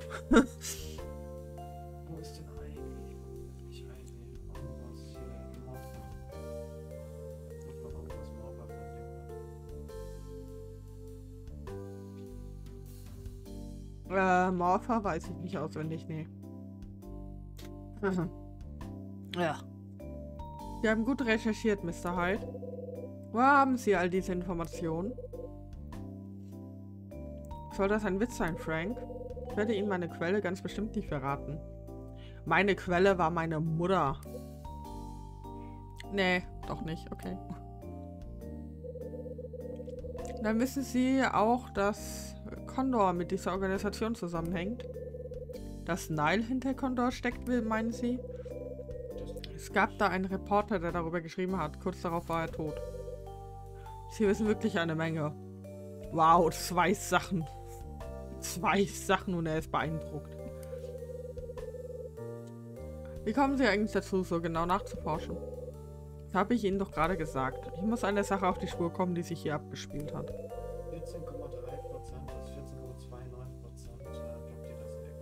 Okay. Sie interessieren sich für den Fall, der 13 Jahre in der Vergangenheit liegt. Mein Fall liegt aber noch länger zurück. Welchen Fall meinen Sie? Gleichheit 17,91. Ein Fall, der sich vor 25 Jahren abgespielt hat, Frank. Was? Hey. Warum erschreckt Sie das? Ein Vorfall vor 25 Jahren, sagten Sie? Hören Sie, Mr. Hyde, was für eine Sache sind Sie da auf der Spur? Was kann ich Ihnen sagen, Frank? Ich suche den Scarlet Star, der vor 25 Jahren verschwunden ist. Den Scarlet Star? Dann wissen Sie also über den Scarlet Star Bescheid? Ja, ich habe vor fünf Minuten rausgefunden, dass das ein Edelstein ist. Sie kennen also, Sie kennen den Scarlet Star? Natürlich kenne ich den Scarlet Star. Er war vor 25 Jahren hier im Hotel. Er lag in einem Safe. Aber ich weiß nicht, wohin er verschwunden ist. Der Einzige, der das weiß, ist Michael McGrath. Michael McGrath? Ja, der ist tot. Woher in aller Wiss Welt wissen Sie denn vom Scarlet Star, Mr. Hyde? Der Sohn von Michael McGrath hat mir davon erzählt. Sein Sohn, sagen Sie. Michael hat vor seinem Tod mit ihm darüber gesprochen. Und Michaels Sohn hat mich gebeten, den Scarlet Star zu finden. Michael McGrath lebt nicht mehr? Er ist vor drei Jahren in einem Krankenhaus gestorben. Zuvor hatte er seinem Sohn alles anvertraut, sogar wer der Mörder von Katie ist. Was sie nicht sagen. Vielleicht sollten wir beide uns etwas eingehender unterhalten. Ähm, das wird eine Befragung. Das mit Frank wird eine Befragung. Und ich check die bis heute nicht. Weil er verlangt, weil man Polizist war, dass man die Fragen in einer richtig in einer in der richtigen Reihenfolge stellt. Und ich bin kein Polizist, ich weiß nicht, was der will. Ähm, deswegen werde ich dafür, also für die Befragung von ihm, werde ich definitiv eine Lösung benutzen. Nur damit ihr Bescheid wisst. Weil ich habe keine Lust, da ewig rumzumachen. Da könnten sie recht haben. Mr. Hyde, ich werde mich jetzt erst einmal zurückziehen.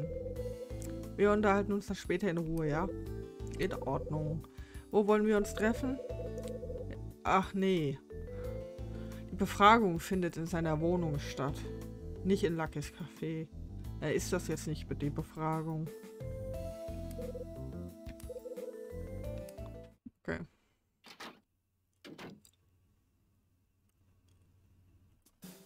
Okay, ähm, ich werde aber trotzdem mal speichern. Rummel hat recht.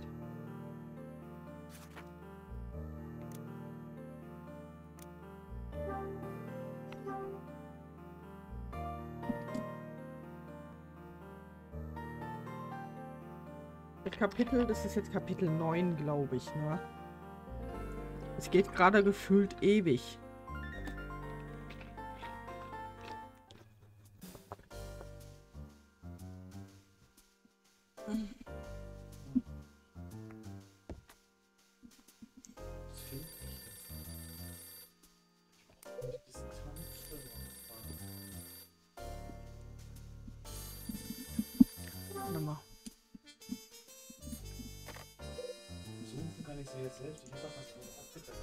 Warte mal ganz kurz. 1400. Bitte. So. Hallo. Ich höre eine unsichere und ängstliche Stimme am anderen Ende der Leitung. Wer ist da? Marie? Was will die denn jetzt noch? Ach, sie jetzt Marion. Wo hast du beide Telefonnummer her? Ich habe Angst. Kann mal jemand die Peitsche besorgen, bitte?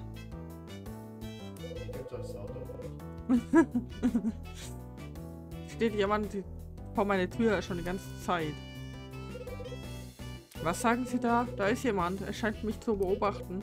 Ich bitte Sie. Ein Moment, ich komme. Bleiben Sie, wo Sie sind, verstanden? Ich will so lachen. Ich gehe jede Wette ein, dass es Dylan ist. Bin gleich bei Ihnen. Beeilen Sie sich. Ich verwette meine Süßigkeiten, dass das Dylan ist. Oh, bitte nicht. nicht wer, wer zum Henker könnte das sein? Macht schon mal eure Fäuste bereit, Leute. Ah, sind schon. Bin gedrückt.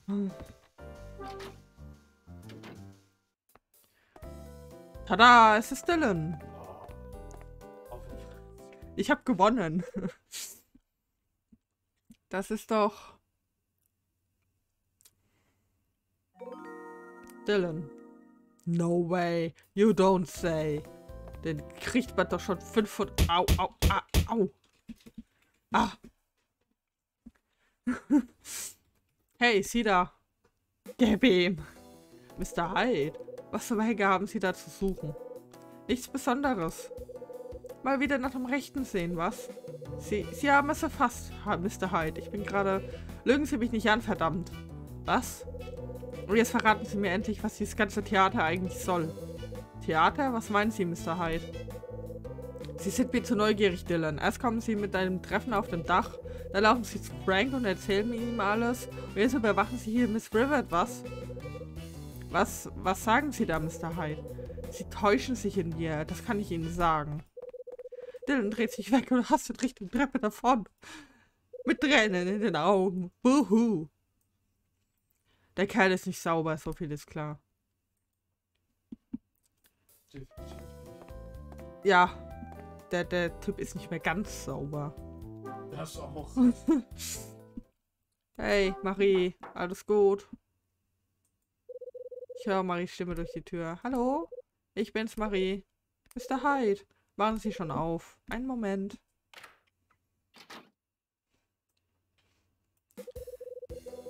Was passiert eigentlich, wenn wir das Miss Patris sagen? Dass der lauscht. Dass der Bewohner belästigt. vielleicht höre ich jetzt so. Glaube ich jetzt nicht, aber ja, Wissen Sie, wer der Kerl vor Ihrer Tür war? Das war Dylan. Dylan Fitcher, dieser Klempner? Ey, ganz ehrlich, nee. Nix, nix Klempner. Es gibt nur einen Klempner. Und der ist von Nintendo. Genau der. Sein Bruder zählt nicht. Was will der denn von mir? Er hat wohl mitbekommen, dass wir und Rex vorhin auf dem Dach waren. Er war vorhin bei mir, hat rumgeschnüffelt. Warum macht er sowas? Marie Dillon kannte sie, bevor sie hier eingezogen sind. Was sagen Sie da? Er sagte, er habe in ihrer letzten Wohnung die Wasserleitung repariert. Das ist unmöglich, Mr. Hyde. Wir haben immer den gleichen Klempner gehabt und das war nicht Mr. Fitcher. Ich bin mir ganz sicher, dass er nicht bei uns war. Interessant. Verdächtiger geht es wohl kaum noch. Marie, ich habe eine Bitte. Zeigen Sie mir den Brief, mit dem Sie erpresst wurden. In Ordnung. Hier ist er. Oh, okay. Ich nehme den Erpresserbrief an mich. Rex hat diesen Brief also nicht geschrieben. Das bedeutet... Mr. Hyde, meinen Sie etwa? Wer weiß, Marie. Dürfte ich mir diesen Brief kurz ausleihen? Was haben Sie vor? Nichts, was Ihnen Ärger machen könnte. Ich komme gleich wieder, Marie. Lassen Sie ja niemanden in Ihr Zimmer, Das verstanden? Das. Das Problem ist, wenn er jetzt vorhat, Dylan diesen Brief zu zeigen. Ja, dann weiß der ja, dass der jemand den Brief von dir hat. Also von ihm nichts. Und Dylan ist so eine Tratschtatsche. Und Dylan hätte wirklich was mit Nile zu tun. Und der erzählt das Nile. Dann ist sie sowas von tot. Und er gleich mit. Also, ah, Kyle. was wollte ich jetzt? Hoffentlich habe ich noch eins. Mich wundert sowieso irgendwie, Oh, dass Kyle nicht von denen gejagt wird. Noch ein Ersatzboot. Das ist doch ein Ersatzboot. Ja, ein rotes, kein Speeder. Ah, okay. Ich hätte gerne mal Speeder wieder. Ich habe gerade verstanden, du hast doch ein Ersatzbrot. Nee, das habe ich schon gefunden. Mach die Tür auf, Fettsack.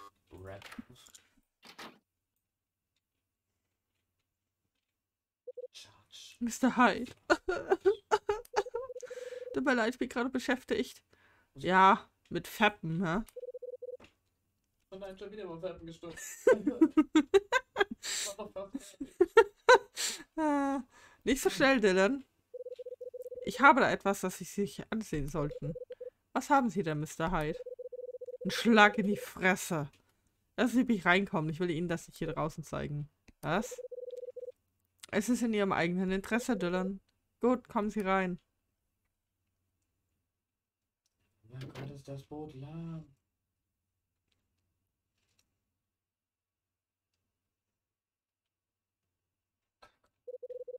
Wie, die Koffer sind bereits gepackt? Da hat es jemand aber sehr eilig.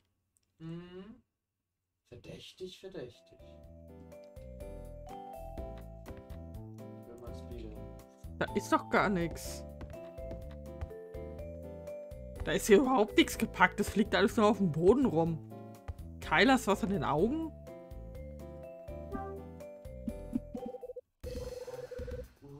Wie ich sehe, ist in ihrer Umzugsvorbereitung. Ups, das wollte ich jetzt nicht. Ja, ich. Alle Koffer schon gepackt. Sie scheint es eilig zu haben, Dylan.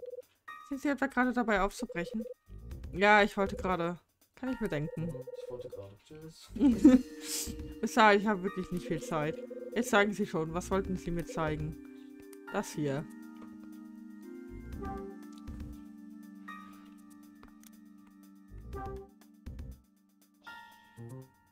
Oh. Wissen Sie, was das ist? Ich. Das ist ein Brief, mit dem Miss Marie Rivet erpresst wurde. Kyle, bist du noch ganz sauber? Nichts, was ihn Ärger bereiten würde. Bist du noch ganz dicht im Schädel? Alles gut? Du bist blond, ne? Ja, Kyle ist, glaube ich, blond.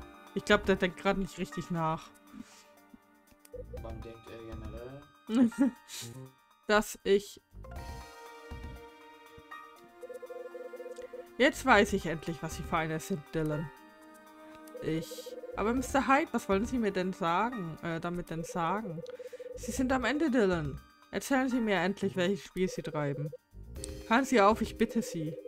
Was hatten Sie gerade eben vor, Maries Wohnung zu suchen? Dass ich... Dylan? Sie haben Marie beobachtet. Ich... Ich habe nur eine Anweisung befolgt, Mr. Hyde.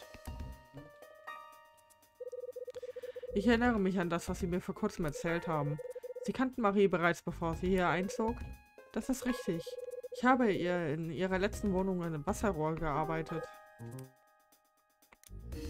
Marie erinnert sich nicht daran. Ach, wirklich? Ich erinnere mich aber sehr wohl daran.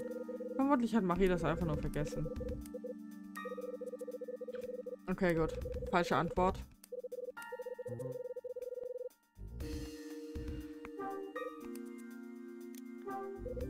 Sie waren nie bei Marie. Was? Ich habe mit ihr gesprochen. Es ist doch eigentlich... Es ist doch eigentlich Jacke wie Hose, oder nicht? Jetzt sagt doch beides das Gleiche. Ich habe mit ihr gesprochen. Sie hatte immer den gleichen Klempner. Und zwar nicht sie. Woher kennen Sie Miss Rivert wirklich, Dylan? Ich, ich... Ich habe Informationen über sie bekommen. Okay, dann spuck's mal aus, du dummer Drecksack. Und verpiss dich. Wessen Anweisungen haben Sie befolgt, Dylan? Das kann ich Ihnen nicht sagen. Ich weiß doch längst Bescheid, Dylan. Was wissen Sie, Mr. Hyde? Ich weiß, wer Ihnen Ihre Anweisungen gibt, Dylan. Niall? Was zum... Da habe ich wohl den Schwarze getroffen, was? Aha. Sie... Was wissen Sie noch alles, Hyde? Eine ganze Menge. Niall hat Sie dazu gebracht, diesen Brief zu schreiben. Ihr Job ist es außerdem, die Bewohner dieses Hauses zu überwachen.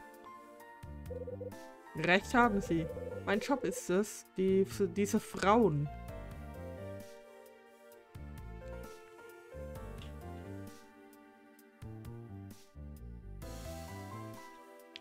Diese Frauen hier im Haus zu überwachen. Nur die Weiber?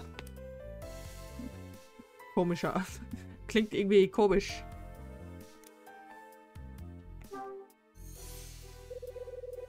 Worüber haben Sie denn Informationen erhalten? Ich... Etwas darüber, das, was Sie erzählen sollten. Ja, das ist richtig. Aber wissen Sie auch, was für Informationen das waren? Natürlich weiß ich das. Dass Ihr Bruder und Ihr Mann Mitglieder von Condor waren, oder? Ja, das ist richtig. Die Menschen um Marie herum waren bei Condor dabei. Aber das wusste sie selbst nach dem Tod ihres Mannes noch nicht. Es ist bereits 13 Jahre her, dass Condor aufgelöst wurde. Aber aus dieser Zeit ist eine Frau übrig geblieben, die Niles sehr gelegen kam. Man kann, äh, kam bei Nile auf die Idee, die Condor-Karte auszuspielen. Der kleine Drecksack arbeitet für Nile. Dabei ist er aber sehr indiskret. Was meinen Sie eigentlich mit diesen Frauen? Das muss ich Ihnen doch nicht sagen, oder? Sagen Sie es trotzdem. Na, wird's bald. Ist ja gut. Es geht natürlich um Marie und Miss Patrice. Besonders die Alte ist mir wichtig. Irgendwas versteckt sie in ihrem Zimmer. In ihrem Zimmer, sagen sie. Ganz ohne Zweifel. Ich habe sie schließlich lang genug beobachtet. Alter, Dylan, was ist, wenn das am Ende nur ein Dildo ist? Jetzt ohne Witz. Was wäre, wenn? Wofür sollte Nile Condor denn verwenden? Das ist doch wohl klar. Um einen Deal mit dem LAPD abzuschließen. Ein Deal? Wie das denn? Immerhin haben die Bullen bis jetzt kein einziges Mitglied der Bande festgenommen. Und warum wohl? Weil es bei den Ermittlungen eine faule Stelle im LAPD gegeben hat. Er quatscht gern, oder? Ja. Und das nutzt halt ein bisschen aus. Ich schätze, Sie haben mich durchschaut, Mr. Ja, es ist wirklich so. Er ist der Meinung, sie versteckt was in ihrem Zimmer. Vielleicht ist es der alten Dame peinlich. Ne? Deswegen habe ich gerade gesagt, könnte es, ne, was wäre, wenn?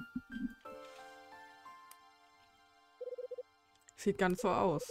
Wann haben Sie denn begonnen, Verdacht zu schöpfen? Das darf ich Sie doch fragen. Alter, du bist von Anfang an sass gewesen. Sie waren mir von Anfang an verdächtig, Dylan, seit ich sie angesprochen habe. Danke, Kyle. Haha, sie sind lustig, bitte auf zu lachen. In nur einer Woche haben sie mich durchschaut. Du bist aber auch sehr auffällig. Es wäre besser gewesen, wenn wir uns nicht unterhalten hätten. Da hätte ich nämlich meine Hausmeisterrolle bis zum Ende durchhalten können. Alle haben mir meine kleine Komödie abgekauft, alle außer ihnen. Aber jetzt ist es zu spät für solche Überlegungen. Jetzt werde ich sehen, dass ich Land gewinne. Nicht so schnell, Freundchen. Sagen Sie mir erst einmal, was Sie jetzt vorhaben.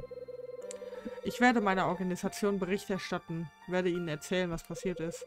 Über Sie werde ich ebenfalls ein paar Worte verlieren müssen, Mr. Hyde. Was wollen Sie? Haben Sie etwa Angst vor Nile Hyde? Hätte ich an Ihrer Stelle auch. Man wird nicht erfreut darüber sein, dass Sie mich einfach so enttarnt haben. Sind Sie bereit, mit den Konsequenzen Ihrer törichten Neugierde zu leben? Bist du bereit, gleich auf die Fresse zu bekommen? Oh, bitte. da können Sie Gift draufnehmen, Sie schleimige Kröte. Meint Sie etwa, ich hätte Angst vor Ihren lächerlichen Drohungen? Wenn ich eine Angst haben sollte, sind Sie das und das wissen Sie genau. Oh, welch Kühnheit. Sie sind ja ein echter Draufgänger, Mr. Hyde. Oder einer wie Sie vergeudet sein Leben als Klinkenputzer. Wirklich zu schade. Das müssen Sie mir gerade sagen, Dylan. Im Gegensatz zu Ihnen habe ich nämlich Rückgrat. Ich habe einen Freund an Nile verloren. Und auch wenn ich kein Kopf mehr bin, ist mir ihre, ist mir ihre Bande ein Dorn im Auge. Dylan, ich bin es nicht gewohnt, mich mit so kleinen Fischen wie Ihnen herumzuschlagen. Ha. Eine Frage aber sollten Sie sich stellen. Meinen Sie wirklich, dass Nile erfreut sein wird zu hören, dass ich Sie enttarnt habe? Worauf wollen Sie hinaus? Glauben Sie denn im Ernst, dass Nile etwas für einen Verlierer wie Sie übrig hat? Nile wird dich umbringen. so wie ich Nile kenne, wird man dort nicht gerade froh über ihr Ungeschick sein. Sie werden als erster dran glauben, da bin ich mir sicher. Was zum... Ich kann Ihnen genau sagen, was man sich bei Nile denken wird. Man wird sich denken, dass Sie so dämlich waren, sich von mir enttarnen zu lassen. Und wie Sie schon sagten, ist die Condor-Karte von großer Bedeutung für Nile. Man braucht sie, um einen Deal mit dem LAPD abzuschließen. Und plötzlich steht ein Ex-Cop auf der Bühne, der all diese Informationen besitzt. Und Sie sind schuld daran, Dylan. Ich möchte nicht in Ihre Haut stecken. Wollen Sie mich erpressen? Nein. Ich darauf hinweisen, dass es vielleicht nicht gut wäre. Ich, ja. Aber ganz ehrlich, er soll machen, was er will. Wenn er von denen gekillt wird, dann ist es besser für alle. Wie käme ich dazu? Ich sage nur die Wahrheit, das ist alles. Zuerst werden Sie dran glauben müssen. Dann werde ich es wohl sein. Das kann ich nur. Und jetzt, Dylan? Was mache ich denn jetzt nur? Gute Frage. Gar nichts. Helfen Sie mir, ich bitte Sie. Nein, nein, Kyle, wehe. Ha, mal sehen. Also hören Sie zu. Kyle, du bist so ein Arschloch. Ich werde niemandem etwas verraten, bis wir hier alle draußen sind. Sie nutzen die Zeit, um zu fliehen, am besten gleich nach Alaska oder so. Nach spätestens zwei Tagen wird Nile beginnen, nach ihnen zu suchen. Und dann sollten sie ganz weit weg sein, Freundchen.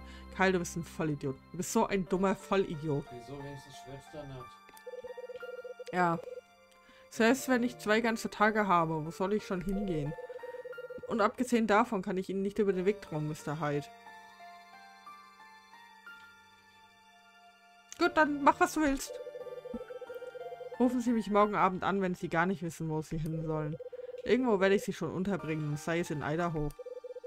Es liegt ganz an Ihnen, ob Sie mir vertrauen wollen. Dylan. Was zum... Dylans rechte Hand bewegt sich. Keine Bewegung, Mr. Hyde. Hat der eine Knarre am... Hat er eine Knarre am... Wo hat er die Knarre her? Der hatte gerade seine Hände unten. Wo hat er die Knarre rausgezogen?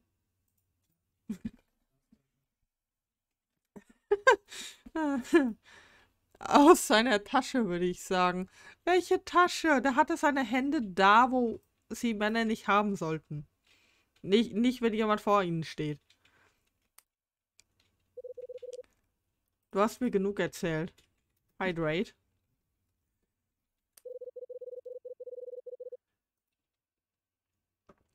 Im Schuh. Am Sack.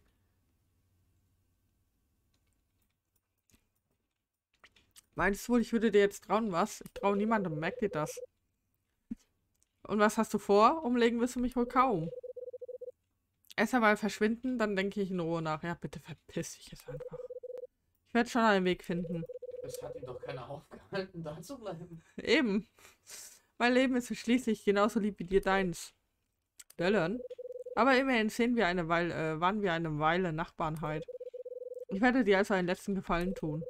Morgen Abend rufe ich dich an und sage dir, was ich machen werde. Bis dahin hast du von Nile nichts zu befürchten. Erpresst er ihn gerade? Ist das dein verfickter Ernst? Schlaf dich noch einmal in aller Ruhe aus, Hyde. Du wirst deine Kräfte bald brauchen.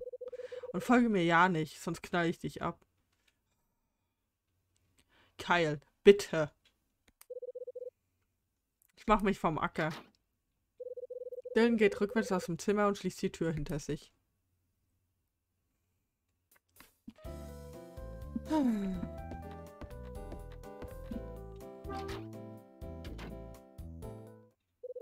Ich muss Marie von Dylan erzählen. Können wir dann jetzt bitte mal das Kapitel abschließen? Es geht viel zu lange. Oh Gott, ey, wir haben schon wieder elf. Ich bin mir nicht sicher, ob ich das Spiel durchgespielt krieg. Naja, egal.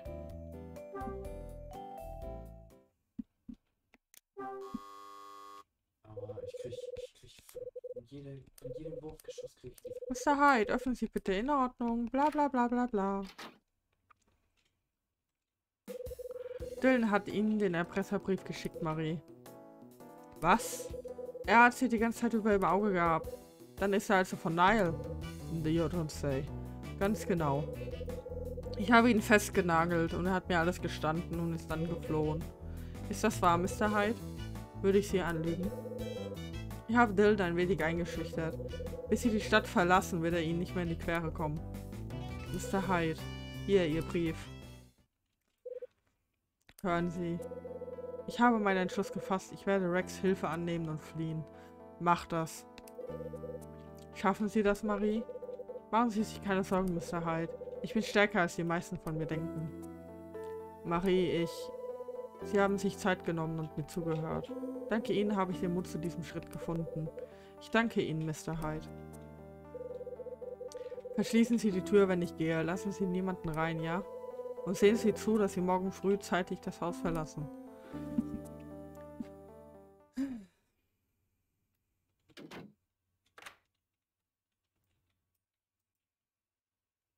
Okay, um vier wollte sich doch, glaube ich, der Bulle mit uns treffen. Frank.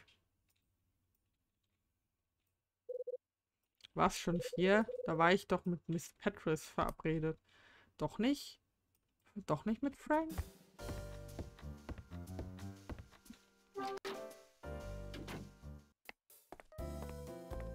Na gut, dann quatschen wir halt mit Petris und dann kommt wahrscheinlich Frank an die Reihe. Aber gut, jetzt können wir wenigstens keine Random mehr über den Weg laufen und mich ausfragen und ausquetschen und sonst was machen. Der Pisser ist jetzt endlich weg. Das macht Frank jetzt. Karl Hyde, Mr. Hyde. Wir waren doch verabredet, Miss Patris. Bitte öffnen Sie, wir müssen reden. Entschuldigen Sie, Mr. Hyde. Mir ist etwas dazwischen gekommen. Wir müssen unser Gespräch leider verschieben. Was soll das denn? Lassen Sie mich jetzt bitte in Ruhe, ja? Die ist gerade beschäftigt. Ja, das ist wahrscheinlich, sie ist wahrscheinlich damit beschäftigt mit dem Ding. Mit dem geheimnisvollen Ding. Nicht zu fassen, was mache ich jetzt nur? Ich sollte wohl zurück in meine Wohnung gehen.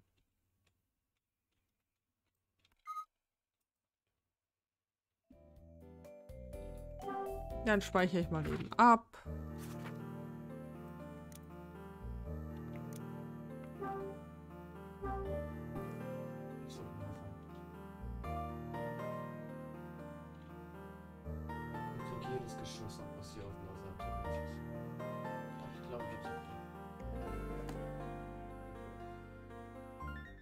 Ah, wartet mal ganz kurz.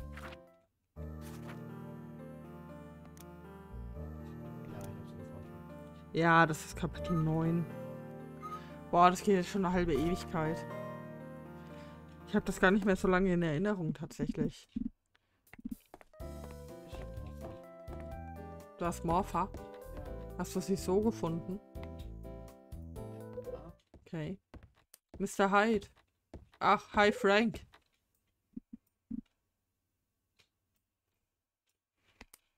Ohne Sie hatte ich gerade gesucht. Wir waren doch erst später verabredet. Was wollen Sie denn jetzt schon? Sie waren doch eben bei Dylan, nicht wahr? Ja, ich habe ihn verjagt und weiter. Schon möglich. Wer ist Dylan? ich habe ihn gerade aus der Wohnung rennen sehen. Es juckt doch niemanden. Was war denn da los? Der Typ hat die Fliege gemacht, wenn Sie wissen, was ich meine. Sie meinen, er kommt nicht wieder? Der Kerl war ein Spitzel für Nile. Ich habe ihn festgenagelt, da hat er sich aus dem Staub gemacht. Was Sie nicht sagen. Dann war Dylan also doch für Nile hier. Ach, du hast das gewusst? Warum sagst du nichts, du Arsch?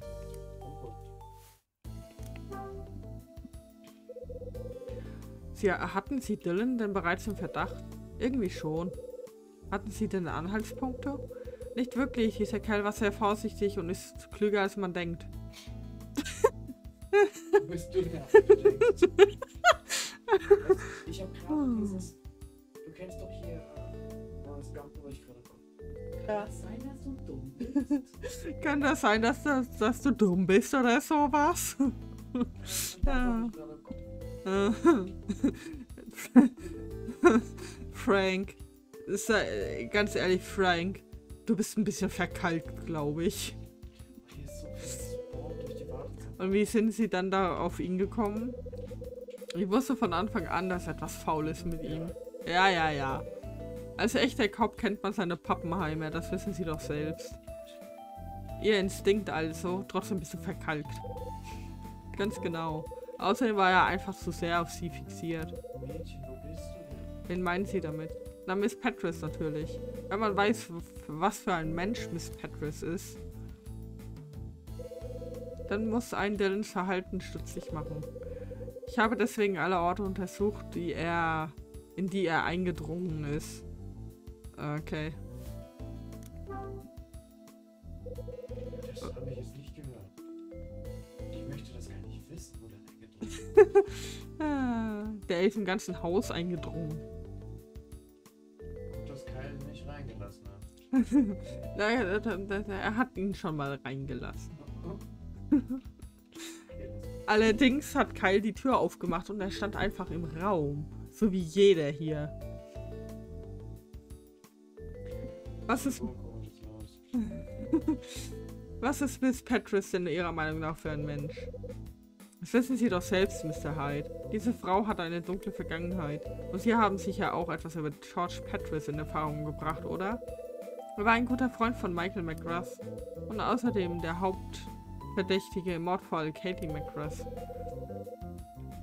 Sie haben doch mit dem Sohn von Michael McGrath geredet, oder? Er wird Ihnen doch von seinem Verdacht erzählt haben. Wer ist denn seiner Meinung nach der Mörder seiner Mutter? George Petris.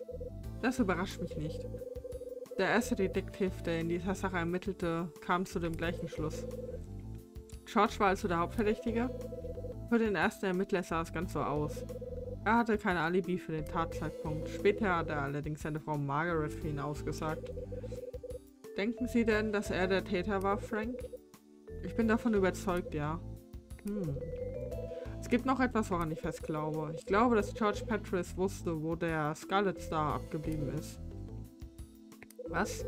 Wenn Nile Miss Petris überwacht, dann einzig aus diesem Grund. Hören Sie mal, Frank. Vorhin sagten Sie äh, aber noch etwas ganz anderes, oder? Sie haben doch gesagt, dass der Einzige, der über den Verbleib des Scarlet Star Bescheid wusste, Michael McGrath gewesen sei. Von den Angestellten des Hotels meinte ich. George Petris war der Kopf von Condor.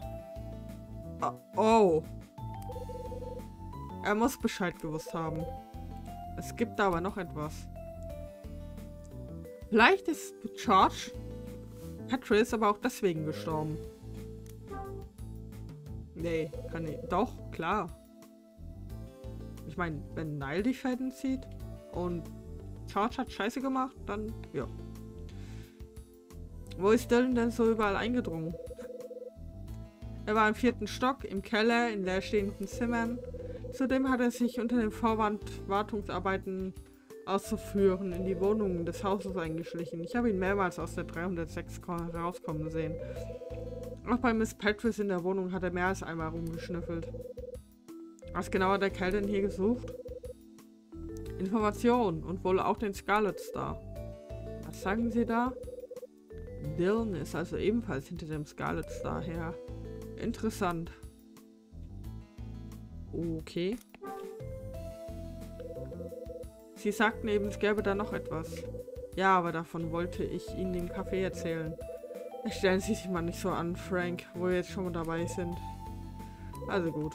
Ich sehe das so. Michael McGrath wusste, wo sich das Star befindet. Allerdings bekam es mit Angst zu tun, als seine Frau ermordet wurde. Es hat den Scarlet Star irgendwo versteckt. Zum Beispiel in einem Hotel, das gerade seine Pforten geschlossen hatte. Zum Beispiel, ja. Bin mir sicher, dass Michael McGrath sich irgendwo Notizen gemacht hat. Er wusste, dass man beginnen würde, den Scarlet Star hier zu suchen. Wer würde den Scarlet Star denn hier suchen? All diejenigen, die wissen, wie der Scarlet Star wirklich verschwunden ist. Und wer ist das? Ja, George Patrice und seine Frau Margaret zum Beispiel. Ich denke, dass Mike und Peter davon wussten und natürlich Niall. Mike und Peter, Maries Bruder und Ehemann also. Niall und Miss Patrice sind die einzigen Parteien, die heute noch übrig geblieben sind. Äh, heute noch übrig geblieben sind. Niall und Miss Patrice also. Irgendwas will mir an dieser Schlussfolgerung nicht so recht gefallen. Moment mal. Frank. Es gibt da noch jemanden, der über das Verschwinden des Scarlet Star Bescheid weiß. Ach ja? Und dieser jemand sind Sie, Frank. Verraten Sie mir, woher Sie all das wissen. Ich... Sagen Sie mir die Wahrheit, wenn Sie nicht wollen, dass unser Gespräch hier endet. Sie haben recht, Mr. Hyde. Wissen Sie, warum mich... Äh, warum mich diese Geschichte so interessiert? Ich möchte meinen Namen reinwaschen. Ah.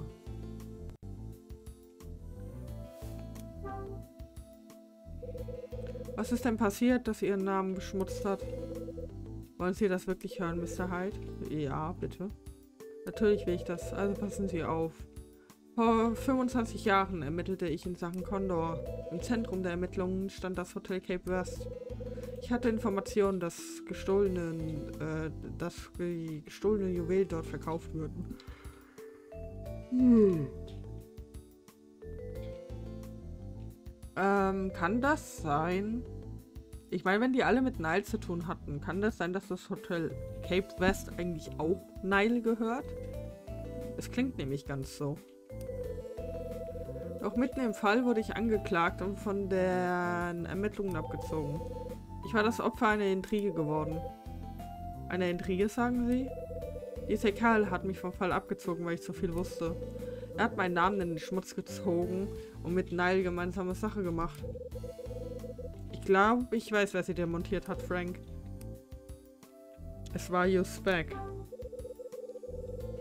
Der ist für das Bürgermeisteramt kandidiert, oder? Da haben sie einen Volltreffer gelandet halt. Der Kerl versucht jetzt in den besseren Kreisen zu punkten dass ich nicht lache. Er will die Vergangenheit dieses... Ich will die... Ich will die Vergangenheit dieses Lügners an die Öffentlichkeit bringen. Und damit zugleich meinen Namen reinwaschen, der durch ihn befleckt wurde. Mr. Hyde, Sie werden sich auch wundern, was für ein verbockter alter Hund ich bin. Ich war damals ein ganz normaler Cop, keine, Aus keine Ausnahmetalent oder so. Ich war einfach jung und voller Motivation. Es machte mir nichts aus, aus der Masse herauszustechen, äh, herauszustechen, um zu Ergebnissen zu kommen. Ich war dem Kerl ein Dorn im Auge, mich anzuschwärzen. War es eine leichteste Übung. Den Rest meiner Zeit habe ich dann auf einer unbedeutenden Position im Büro verbracht. Aber auch ich, aber auch ich habe meinen Stolz, Mr. Hyde. Ich habe mich nach meiner Pensionierung wieder an den Fall rangehängt. Frank, ihr Ziel ist es also, Use-Spec bloßzustellen. Suchen Sie etwa nach einem Verbe Beweis für die Verbindung zwischen Nile, Nile und dem LAPD? Genau danach suche ich. Ich bin mir sicher, dass sich das Scarlet Star in diesem Haus befindet. Und ich bin mir sicher, dass sich McGraths Notizen äh, sowohl einen Hinweis auf den Scarlet Star als auch ob die Verstrickungen der Kopf findet. Dieser Beweis ist das, was ich suche. Sie waren also im vierten Stock unterwegs, um an diese Notizen zu gelangen. Ich habe sie gesucht, ja, allerdings habe ich dort nie was gefunden. Vielleicht ist mir jemand vorgekommen, da hat sie woanders versteckt. Und du? Ja. Hatte Dylan da nicht irgendwas gesagt? Es geht natürlich um Marie und Miss Petras. Besonders die Alte ist mir wichtig. Irgendetwas versteckt sie in ihrem Zimmer. Ganz ohne Zweifel. Ich habe sie schließlich lang genug beobachtet. Mr. Hyde, was denn? Sie sind so still. Wissen Sie etwa, wo sich die Notizen von Macbeth befinden könnten? Sagen Sie schon. Ich weiß nichts, Frank. Sie sahen mir aber eben noch ganz anders aus, Mr. Hyde. Wenn Sie etwas wissen, dann sagen Sie es mir. Der Kerl wird ja richtig penetrant. ich habe Ihnen doch gesagt, dass ich nichts weiß. Das glaube ich nicht. Wirklich, ich weiß nichts. Jetzt hören Sie schon auf. Ich habe Ihnen doch auch alles erzählt. Verdammt nochmal, raus mit der Sprache. Jetzt reicht's mir aber mit Ihnen. Was soll dieses Geschrei? Ich bin nicht schwerhörig, Frank. Aber Sie scheinen mir verdammt verzweifelt zu sein. Ich und verzweifelt? Jetzt hören Sie schon auf. Wenn Sie nichts wissen, dann ist es auch gut. Das will ich meinen, Frank. Mr. Hyde, ich habe Ihnen bereits zu viel erzählt. Unsere Verabredung im Café fällt flach, verstanden? Ich muss jetzt weiter. Okay. Der Kerl ist ja ganz verrückt nach diesen Aufzeichnungen. Frage mich, was er sich davon verspricht. Cool, was soll ich machen? Da kommt jemand die Treppe hinunter. Hinunter? Nochmal? Alter. Mr. Hyde, hätten Sie noch kurz Zeit? Was gibt's denn nun schon wieder? Noch kurz Zeit? Ja, ja. Die sind doch eben weg.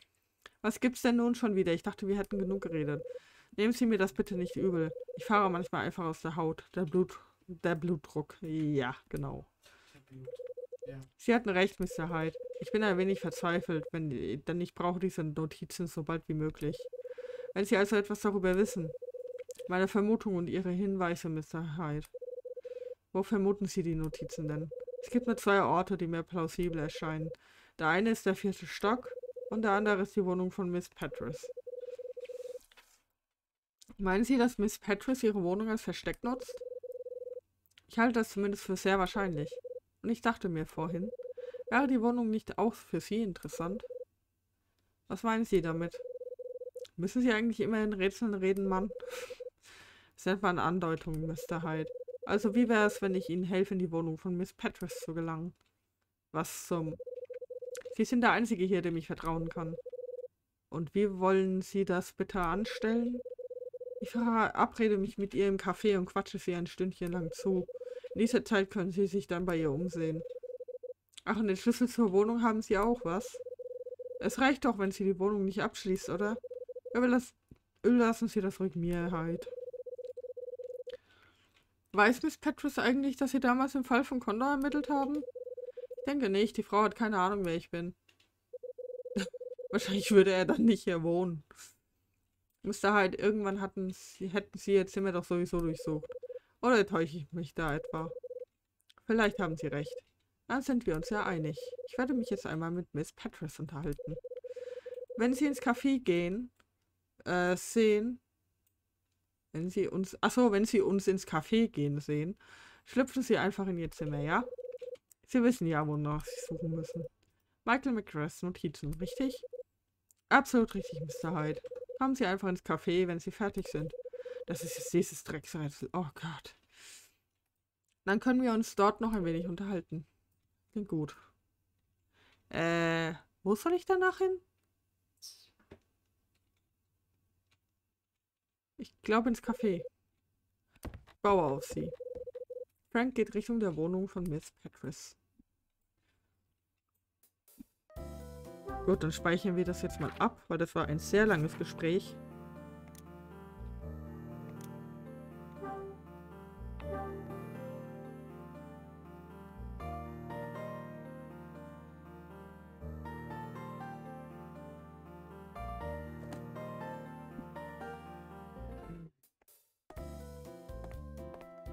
Das könnte jetzt ein bisschen kompliziert werden tatsächlich. Es gibt dafür auch keinen Trick. Ich höre Stimmen. In Ordnung. Ja, im Café. Ich höre Schritte. Die Stimmen werden leiser. Wäre süß.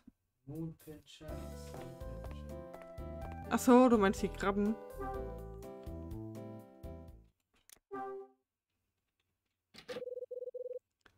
Nicht abgeschlossen. Mal sehen, was ich hier finde. Okay.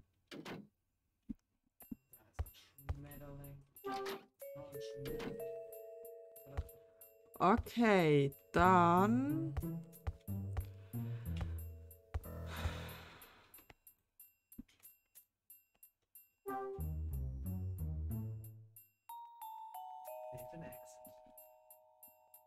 Ich hab's jetzt fünfmal gemacht.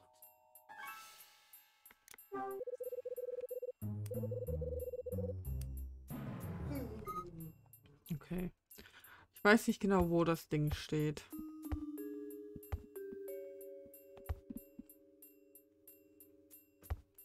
Hier vielleicht? Ah.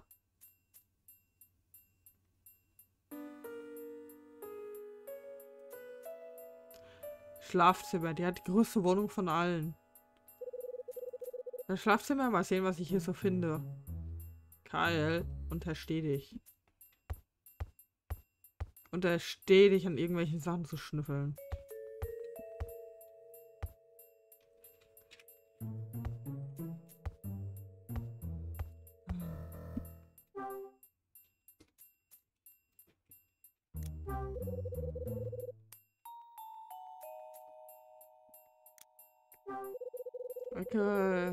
Weißes Tuch eingewickelt ist. Was könnte das sein? Ist es das, was ich suche? Ja, eine Holzschachtel. Was da wohl drin ist, sieht auf jeden Fall teuer aus.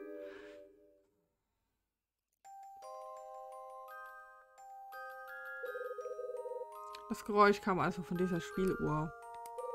Irgendwas steckt da drin fest. Sieht mir stark nach einem Schlüssel aus.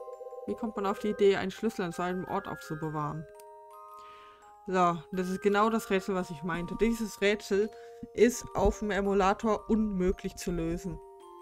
Auf dem Emulator kann man dieses Spiel nicht durchspielen.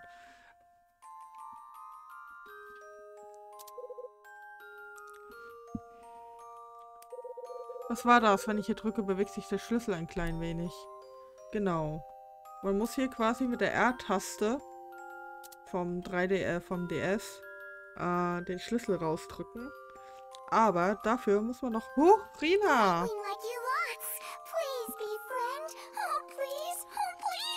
Äh, ich mach dafür am besten mal komplett den Ton aus jetzt. Da. Äh, okay, gut, nee. Alles gut. Äh, hi Rina, ich bin gerade ein bisschen, ähm, ich war gerade am Erklären gewesen, wie man dieses Rätsel hier löst. Es ist nämlich nicht ganz einfach. ist nämlich tatsächlich nicht ganz einfach. Und hi Groot, hi Kura, hi Rina, wie war euer Stream? Wie war der Quizabend? Ging der jetzt raus? Was? Ja, okay. Ja, ja, er ging raus, dauert manchmal noch ein bisschen. Äh, ich war gerade dabei, dieses Rätsel zu lösen. Das ist unfassbar scheiße. Und es ist auch das Rätsel, ähm, was auf dem Emulator nicht lösbar ist. Das ist auf dem Emulator nicht lösbar, weil man muss quasi den DS, Moment. Shit. Ah, kacke. Moment, ich mach das euch mal leiser. Aber Sekunde. Machen wir das jetzt einfach mal so, weil sonst platzen mir die Ohren. Man muss nämlich gucken, dass man den DS halb zuklappt. Und. Moment. War gut, danke. Wobei beim letzten Quiz Star Wars waren ein paar Übersetzungsfehler drin. Ärgerlich. Ja gut, okay. Ja gut, das passiert. Da kann man leider überhaupt nichts machen. Ah, Moment. Oh, shit, wie ging das jetzt nochmal?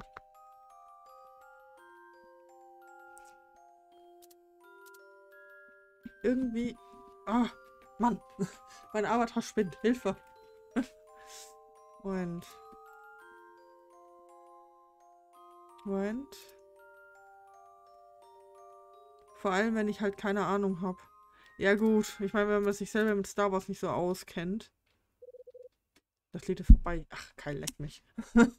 Aber wie geht's dir denn? Wieder gesund? Ja, mir geht's besser.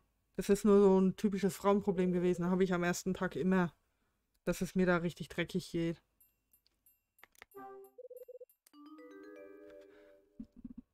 Aber jetzt muss ich erstmal gucken, wie ich hier diesen Schlüssel hier rankomme. Und? So, okay. Hä? Ah, ich verstehe, ja. Muss die Trommel... Ja, ich weiß, dass man die irgendwie blockieren muss, aber anscheinend funktioniert das auf dem 3DS nicht. Normalerweise muss man den nur halb zuklappen und dann reagiert die schon. Funktioniert das jetzt echt auf dem 3DS nicht? Wollt ihr mich verarschen oder was?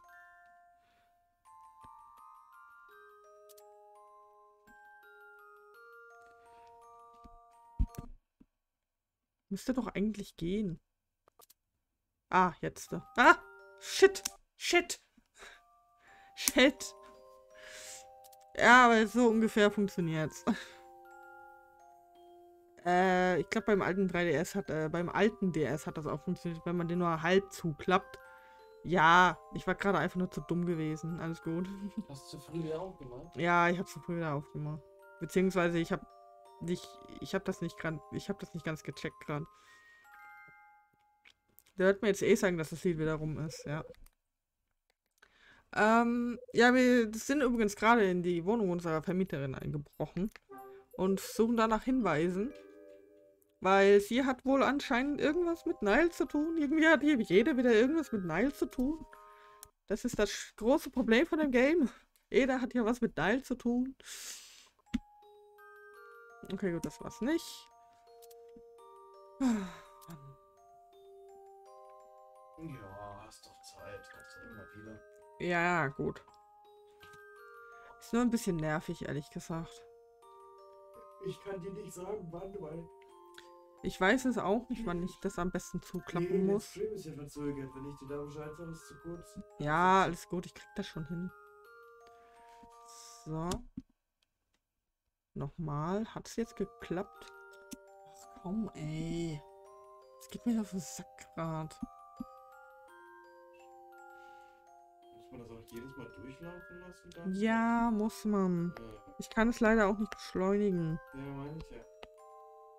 Jetzt hört er eh gleich wieder auf. Ich höre es am besten, ich höre am besten gleich auf. Dieser Schlüssel interessiert mich. Macht das Rätsel nicht so kacke, verdammt. Das ist richtig schlimm. Also das Rätsel ist richtig schlimm. Das ist Müll.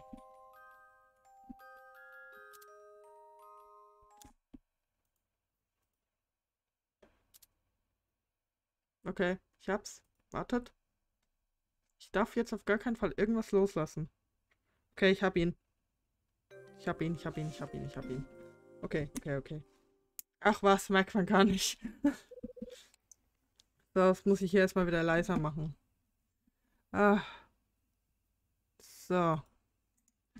Müssen wir es erstmal wieder von meinen Ohren, ouch, müssen wir es erstmal wieder von meinen Ohren angenehm machen. So. Und für euch wieder ein bisschen lauter. Ich denke, so war es okay.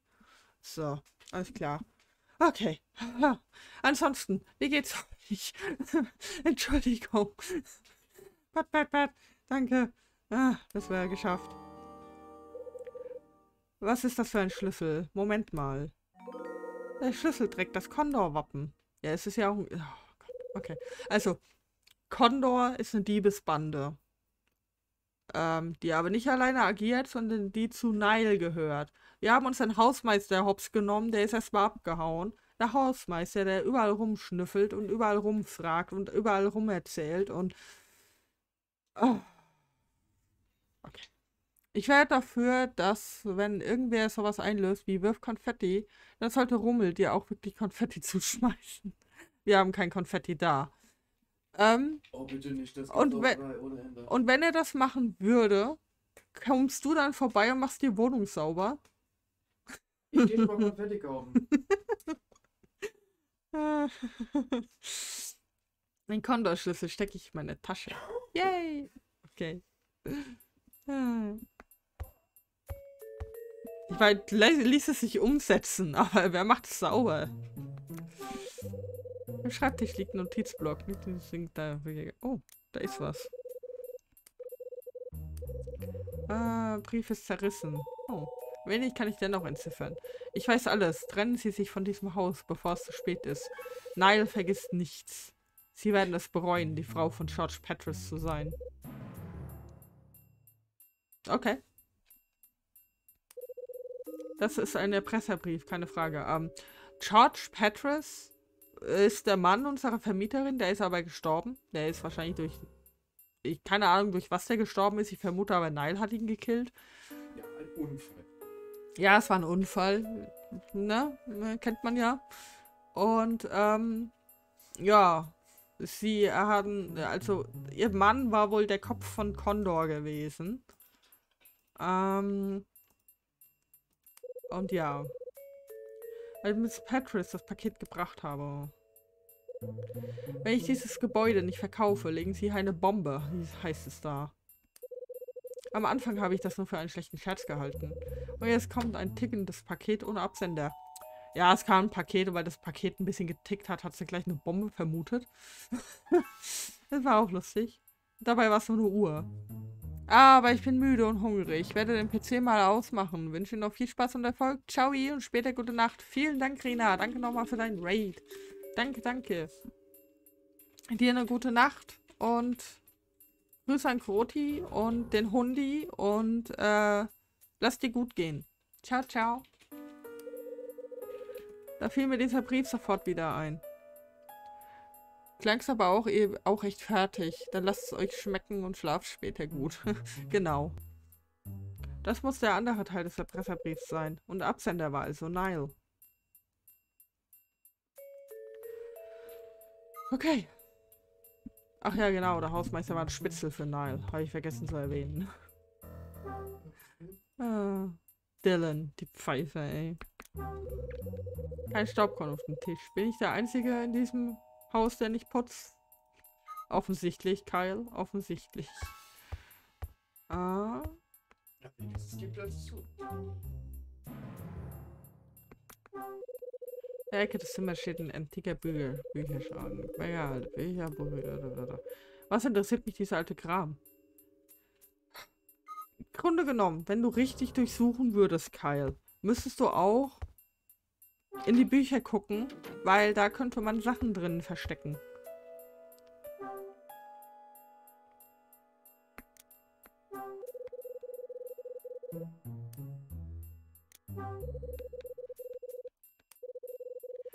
Zum Henker schickt einer Frau in diesem Alter eine goldene Herrenuhr?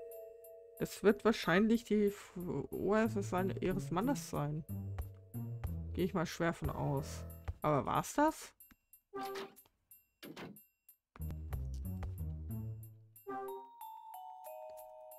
Nein, ich kann doch nicht gehen. Hier muss es doch etwas geben. Och, Kyle. Du Arschgeige.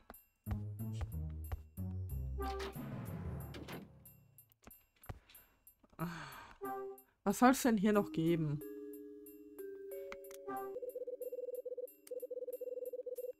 Gut, okay, da ist nix.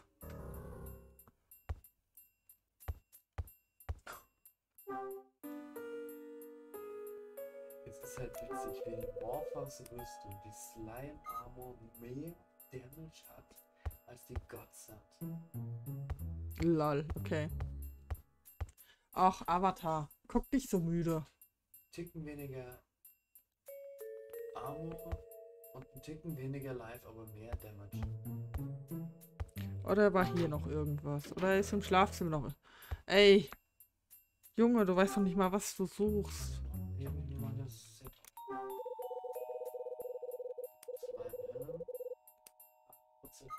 Gut, okay, den Quatsch lese ich jetzt nicht vor.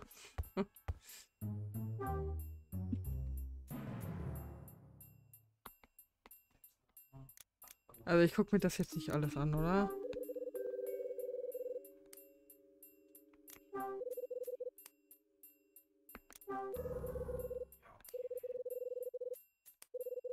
Mit Blumen scheint sie es zu haben. Wenigstens können diese hier nicht vertrocknen.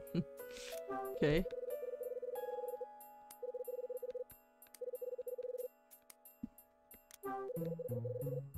Hier, ein Golden Jellyfish. Plus 1,9 Health every, every sec.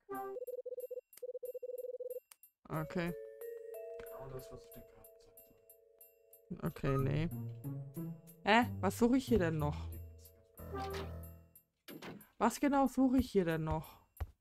Sag mir das doch mal bitte, Kyle. Hoch. Ah. Gucken wir mal die Nachtschränkchen durch.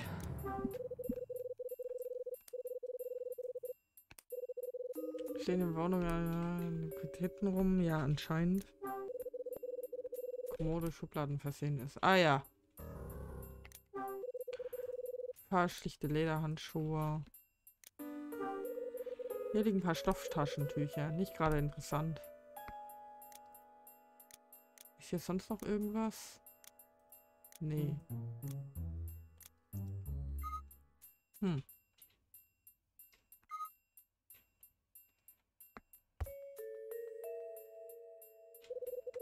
Michaels Notizen, von denen Frank mir erzählt hat, scheint es hier nicht zu geben. Ich habe nur den Erpresserbrief und diesen Schlüssel finden können. Was sich mit dem wohl äh, anfangen lässt? Aber so langsam wird es Zeit aufzubrechen. Nicht, dass mich die Alte noch hier erwischt. Ach. Alt. Ja, ja. Kyle ist sehr nett zu seiner Vermieterin. Er sagt ja auch zu seinem toten Vater sein Alter.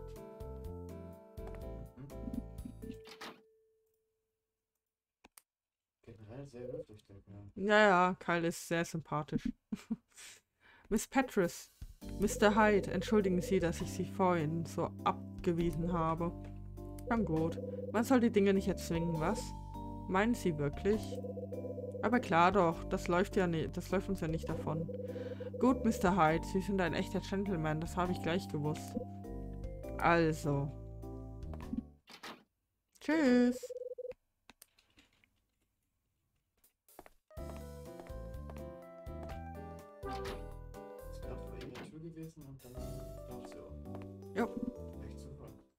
Ja, ja, ja. Mr. Hyde. Na, waren Sie erfolgreich? Dank Ihnen bin ich problemlos in die Wohnung hineingekommen. Allerdings habe ich Michaels Aufzeichnungen dort nicht gefunden. Das ist schade. Etwas habe ich allerdings gefunden. Was denn? Sagen Sie schon. Ein Schlüssel, der das Kondorwappen trägt. Das Kondorwappen, sagen Sie? Mr. Hyde, geben Sie mir diesen Schlüssel, ich bitte Sie. Ich werde mich bei Ihnen erkenntlich zeigen, das verspreche ich Ihnen. Was zum Henker soll das denn jetzt wieder? Sie können mir viel erzählen, Frank. Was sagen Sie da? Tut mir leid für Sie, aber meine Ziele gehen vor. Dieser Schlüssel könnte sich noch als nützlich erweisen.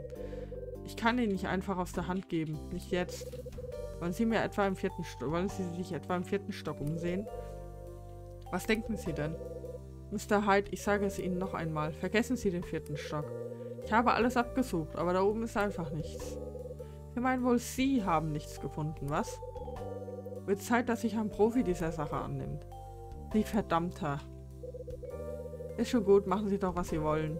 Mich brauchen Sie ja jetzt nicht mehr. Nicht so schnell, Frank. Was wollen Sie denn noch? Erzählen Sie mir, über was Sie sich mit Miss Petrus unterhalten haben. Nichts Besonderes, über was man sich in unserem Alter eben unterhält. Haben Sie etwas über Dylan gesagt?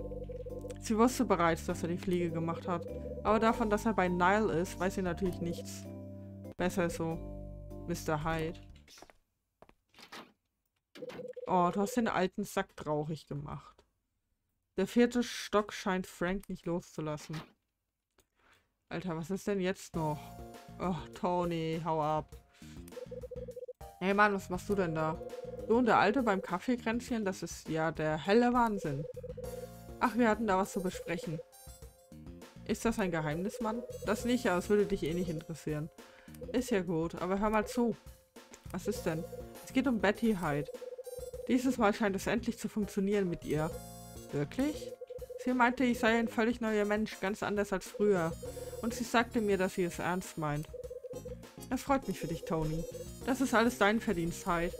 Erzähl doch keinen Müll, Tony. Ich habe überhaupt nichts gemacht. Nein, ich bin mir sicher, dass du mir die Augen geöffnet hast, Mann. Ich bin so froh wegen Betty. Danke, Hyde. Tony. Da fällt mir ein, ich möchte zur Abwechslung auch mal was für dich tun. Hast du keinen Wunsch, Hyde?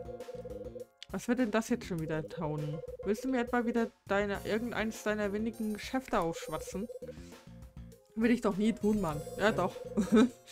Außerdem ziehen wir doch sowieso bald aus. Nein, ich dachte nur, dass ich mich erkenntlich zeigen könnte. Kann ich denn nicht irgendwie zur Hand gehen?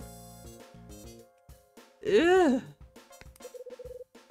Lass mich überlegen. Du hast doch bestimmt noch immer Geldsorgen, oder? Was soll das denn? Äh, was soll denn das auf einmal? Was fragst du mich? Wenn du die Antwort doch sowieso schon kennst. Aber es macht ja keinen Sinn, an Geld zu denken. Wenn ich dir einen Deal anbiete, steigst du ein? Was für ein Deal denn halt? Hast du Interesse? Es packt schon aus, Mann. Aber es bleibt unter uns verstanden. Also ich habe herausgefunden, dass im vierten Stock des Hauses ein Edelstein versteckt ist. Ein Edelstein? Hier im Haus? Psst, nicht so laut. Das Ding heißt Scarlet Star und ging vor 25 Jahren verloren. Hab's durch Zufall erfahren. Und in diesem Haus. Du musst gar nicht weiterreden, Hyde. Bitte nicht blöd. Du willst den Edelstein finden, bevor das Haus abgerissen wird, was?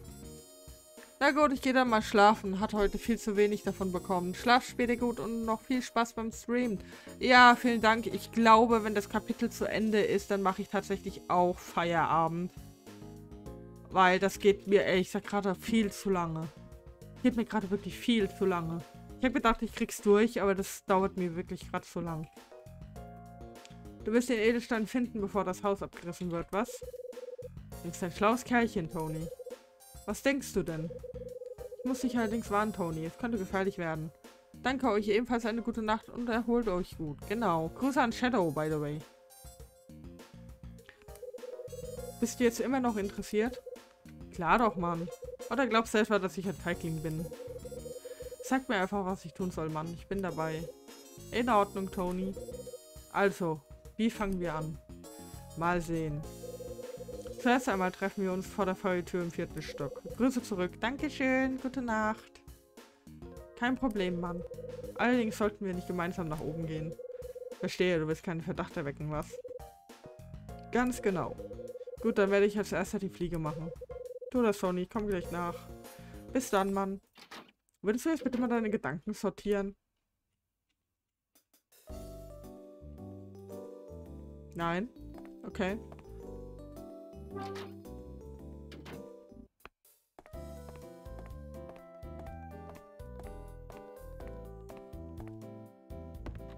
Ich weiß nämlich, dass wir Frank auch noch befragen. Aber das wird wahrscheinlich nicht mehr in diesem Kapitel passieren.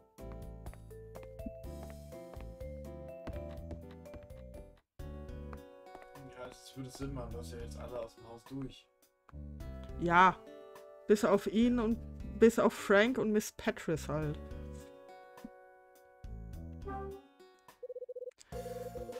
Ich habe die Feuertür schon mal aufgemacht, aber es gibt ein Problem. Wir brauchen Licht, sonst sehen wir nichts da drin. Stimmt ja. Miss Petris sagte, dass sie den Strom kappen lassen wird. Und was ist mit Zimmerschlüsseln? Ah, du hast recht. Mit Miss Petris können wir wohl nicht zählen. Vielleicht sollten wir einfach mal Dylan fragen. Du meinst, ich soll ihn fragen, ob er die Zeitschlüssel von Miss Petris borgen kann? Nein, das ist doch viel zu kompliziert. Dylan ist recht häufig hier im vierten Stock. Für die Zimmer hier hat er seine eigenen Zweitschlüssel. Bist du dir sicher? Super sicher, Mann. Er hat mir auch einmal eins der Zimmer aufgeschlossen, weißt du? Klingt gut, dann werde ich die Schlüssel mal unten besorgen. Als ob der die da liegen lässt. Tony, du siehst dich derweil nach einer Lampe um, okay? Kein Problem, Mann. Sieh lieber zu, dass du die Schlüssel bekommst. Klar doch.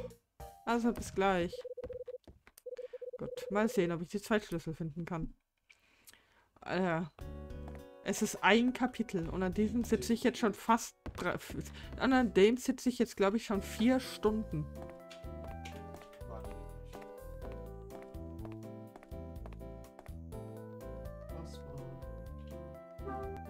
Was für ein Passwort? So. Ra, rück deine Schlüssel raus.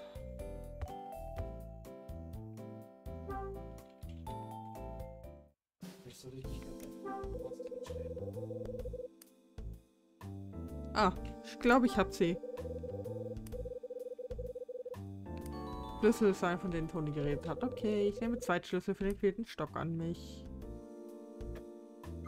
Lässt er die einfach da liegen? Ich glaub's ja nicht. Okay.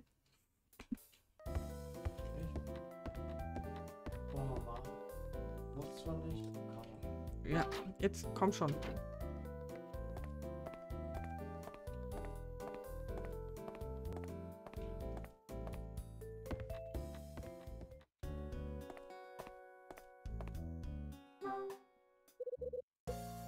Habe auf dich gewartet. Und, warst du erfolgreich? Was denkst du denn? Hast du die Schlüssel halt? Bin hier kein Anfänger. Hätte ich auch nicht erwartet, Mann. Hier, für dich. Alles klar. Ich nehme die Taschenlampe von Tony entgegen. Na dann mal los. Oh yeah. Klar, natürlich. Jetzt habe ich den an der Backe.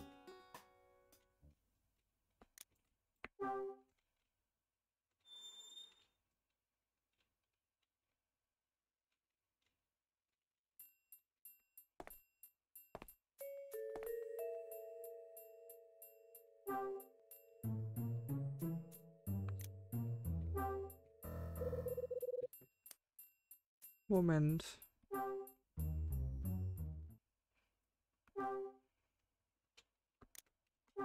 Ja, ist gut, ich bin nicht. Okay.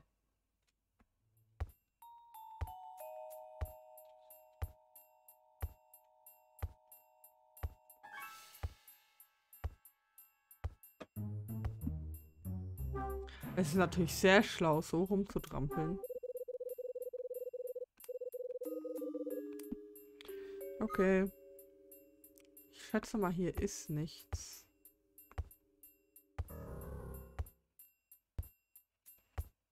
Ich muss halt oben auch ein bisschen gucken. Also rechts in dem Fall.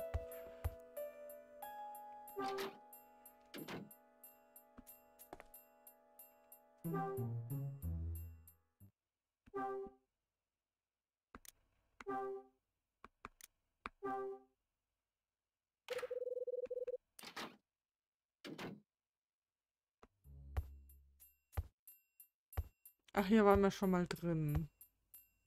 Das ist das, wo die Lampe umgefallen ist. Hydrate. Danke, Sani.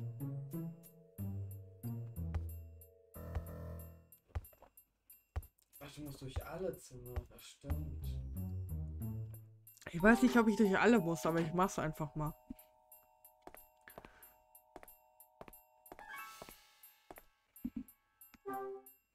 Weil in vielen Zimmern waren wir auch noch gar nicht drin.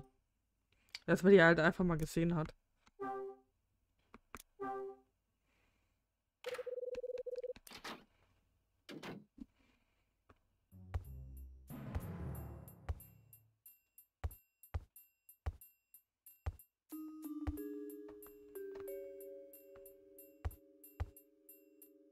Okay.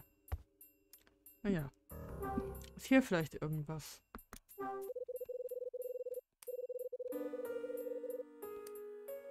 Okay.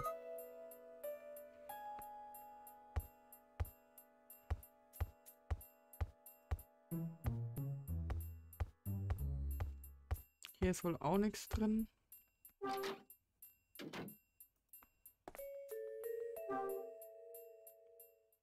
Das Problem ist, ich weiß es halt nicht.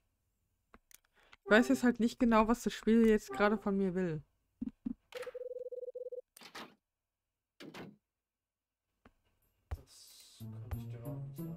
Das ist das Zimmer, wo wir als erstes reinsehen. Ich denke, da haben wir alles.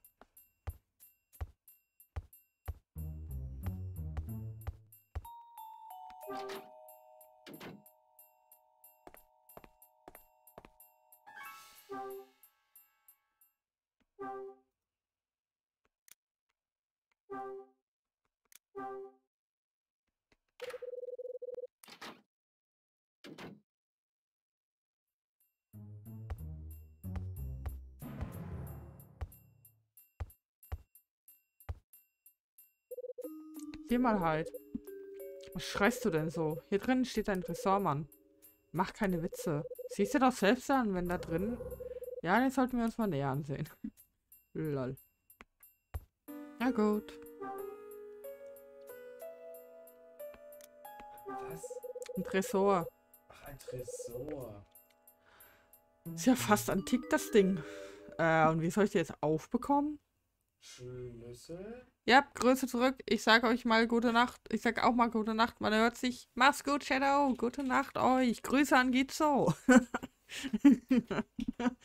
Schlaf gut. Bis zum nächsten Mal. Diese Nummernscheibe. Tut sich gar nichts. Diese Rädchen sind eingerostet und bewegen sich kein Stück. Wie bekomme ich den nur auf?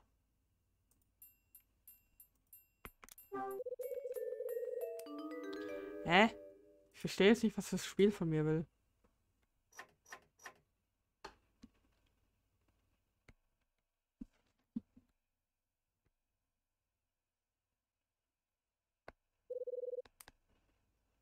Da ist so ein Drehrad, oder? Ja, die sind eingerostet. Das hat er aber schon gesagt. Das habe ich jetzt gerade von ihm gelesen. Also so viel Streamverzögerung habe ich.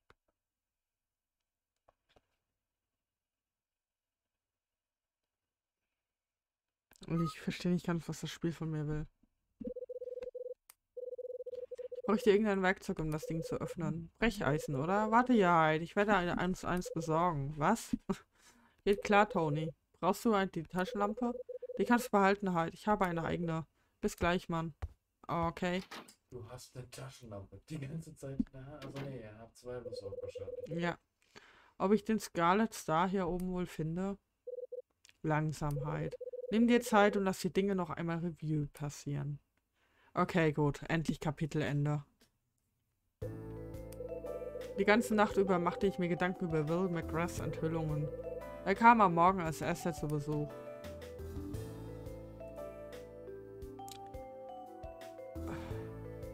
Dylan? Nee. Hä? Ich weiß es nicht mehr. Ah, Dylan tatsächlich. Dylan war es, der als erster bei mir vor der Tür stand. Er wollte unbedingt wissen, was ich mit Will besprochen hatte.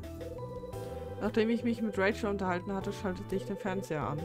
Ich sah das Interview mit einem Opfer des Juwelenraubs. Die Frau mit dem Hut hatte Ähnlichkeit mit Marie und ich befragte sie daraufhin. Was erzählte mir Marie, als sie aufs Dach geflohen war?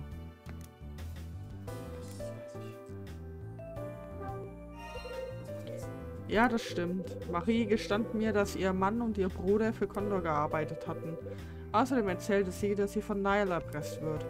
Rex stieß dazu und wir unterhielten uns eine Weile. Rex ist Nile auf den Fersen und will die Hintermänner bloßstellen. Nachdem ich mit Marie und Rex geredet hatte, knöpfte ich mit Dylan vor. Ich erfuhr, dass er Marie erpresst hatte. Er lebte im Auftrag von Nile im Haus. Was war seine Aufgabe?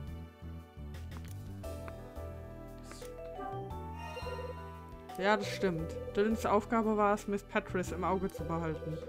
Außerdem sollte er Anhaltspunkte für den Verbleib des Scarlet Star finden. Als ich ihn zum Geständnis getrieben hatte, verließ er fluchtartig das Haus. Frank hatte Dylans Flucht mitbekommen. Wir unterhielten uns ein wenig. Frank erzählte mir von seiner Vergangenheit beim LAPD. Hugh Speck hatte ihn damals mit einer Intrige auf das Abstellgleis befördert. Wer wusste laut Frank, wo sich der Scarlet Star befindet? Michael McGrath, glaube ich. Ja. Ja, das stimmt. Frank zufolge musste, wusste Michael McGrath, wo sich der Scarlet Star befindet. Angeblich hat er eine Notiz über das Versteck des Scarlet Star hinterlassen. Frank hatte mir bereits vom Scarlet Star erzählt. Jetzt erfuhr ich zudem, dass die Person, die mit Nile und Condor in Kontakt stand, Miss Patris ist. Nachdem ich mit Dylan und Frank gesprochen hatte, wollte ich in Miss Patris Wohnung nach den Aufzeichnungen von Michael McGrath suchen. Mit Franks Hilfe schaffte ich mir Zutritt und sah mich gründlich in der Wohnung um. Konnte die Notizen allerdings nirgends finden. Was fand ich stattdessen? Den Schlüssel. Ich dachte gerade, Rummel steht hinter mir. Ich fand einen Schlüssel mit dem Emblem, äh, Emblem von Condor, welche Tür er wohl öffnet. Frank wollte den Schlüssel unbedingt haben, aber hier beginnt mein Finale. Zusammen mit Tony mache ich mich auf, den vierten Stock noch einmal zu erkunden. Wenn ich die Wahrheit finden kann, dann wohl nur hier. Könnte es sein, dass Michael seine Aufzeichnung hier oben versteckt hat? Ist es möglich, dass sich der Scarlet Star nach all der Zeit noch immer hier befindet? Und viel wichtiger, werde ich endlich die Wahrheit über den Tod meines Vaters erfahren. Die Zeit der Enthüllung naht, das spüre ich. Noch weiß ich nicht, ob ich bereit bin für das, was im Schatten all der Jahre hier unentdeckt schlummerte. Ich weiß, dass es nicht angenehm werden wird. Ich glaube, du kriegst jetzt erstmal eine übergezogen. Bin mir nicht sicher.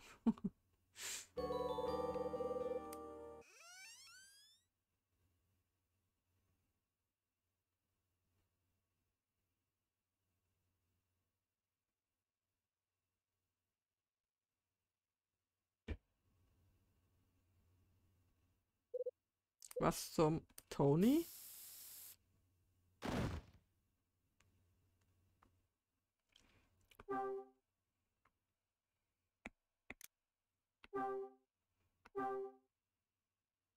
Gut.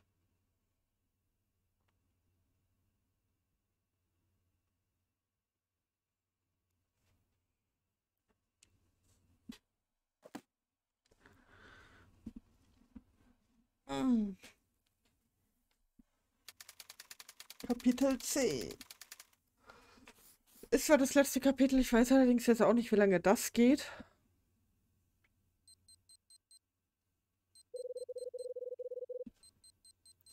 Und es ist mir auch vollkommen egal. Ich werde hier jetzt pausieren.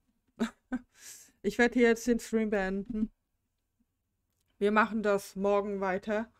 Ähm, ich kann allerdings nicht sagen, ob ich es schaffe, bis um 16 Uhr zu streamen. Ich sage noch einmal Bescheid, weil ich müsste noch mal, äh, ich müsste morgen noch mal weg, ein paar Sachen erledigen. Und äh, da kann es durchaus sein, dass sich der Stream äh, verschiebt. Äh, ja. Aber ich, so, ich setze mal kurz jemanden zum Raiden raus. Ähm.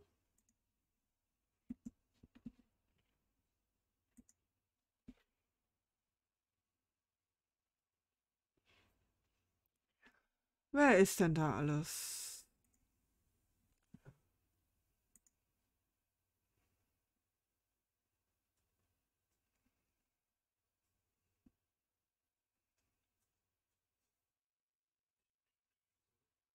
Ha? So. Ich suche gerade jemanden zum Raiden, aber es ist keiner da.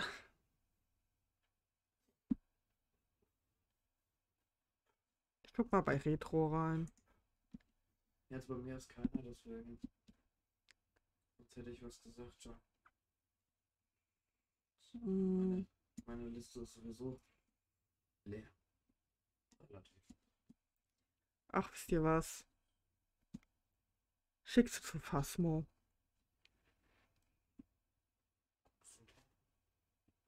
Achso, ich habe gedacht, du willst den Raiden. Achso, ja, ich kann den Raider auch machen. Ich hab nur meine Hände gerade abgedrückt. Okay.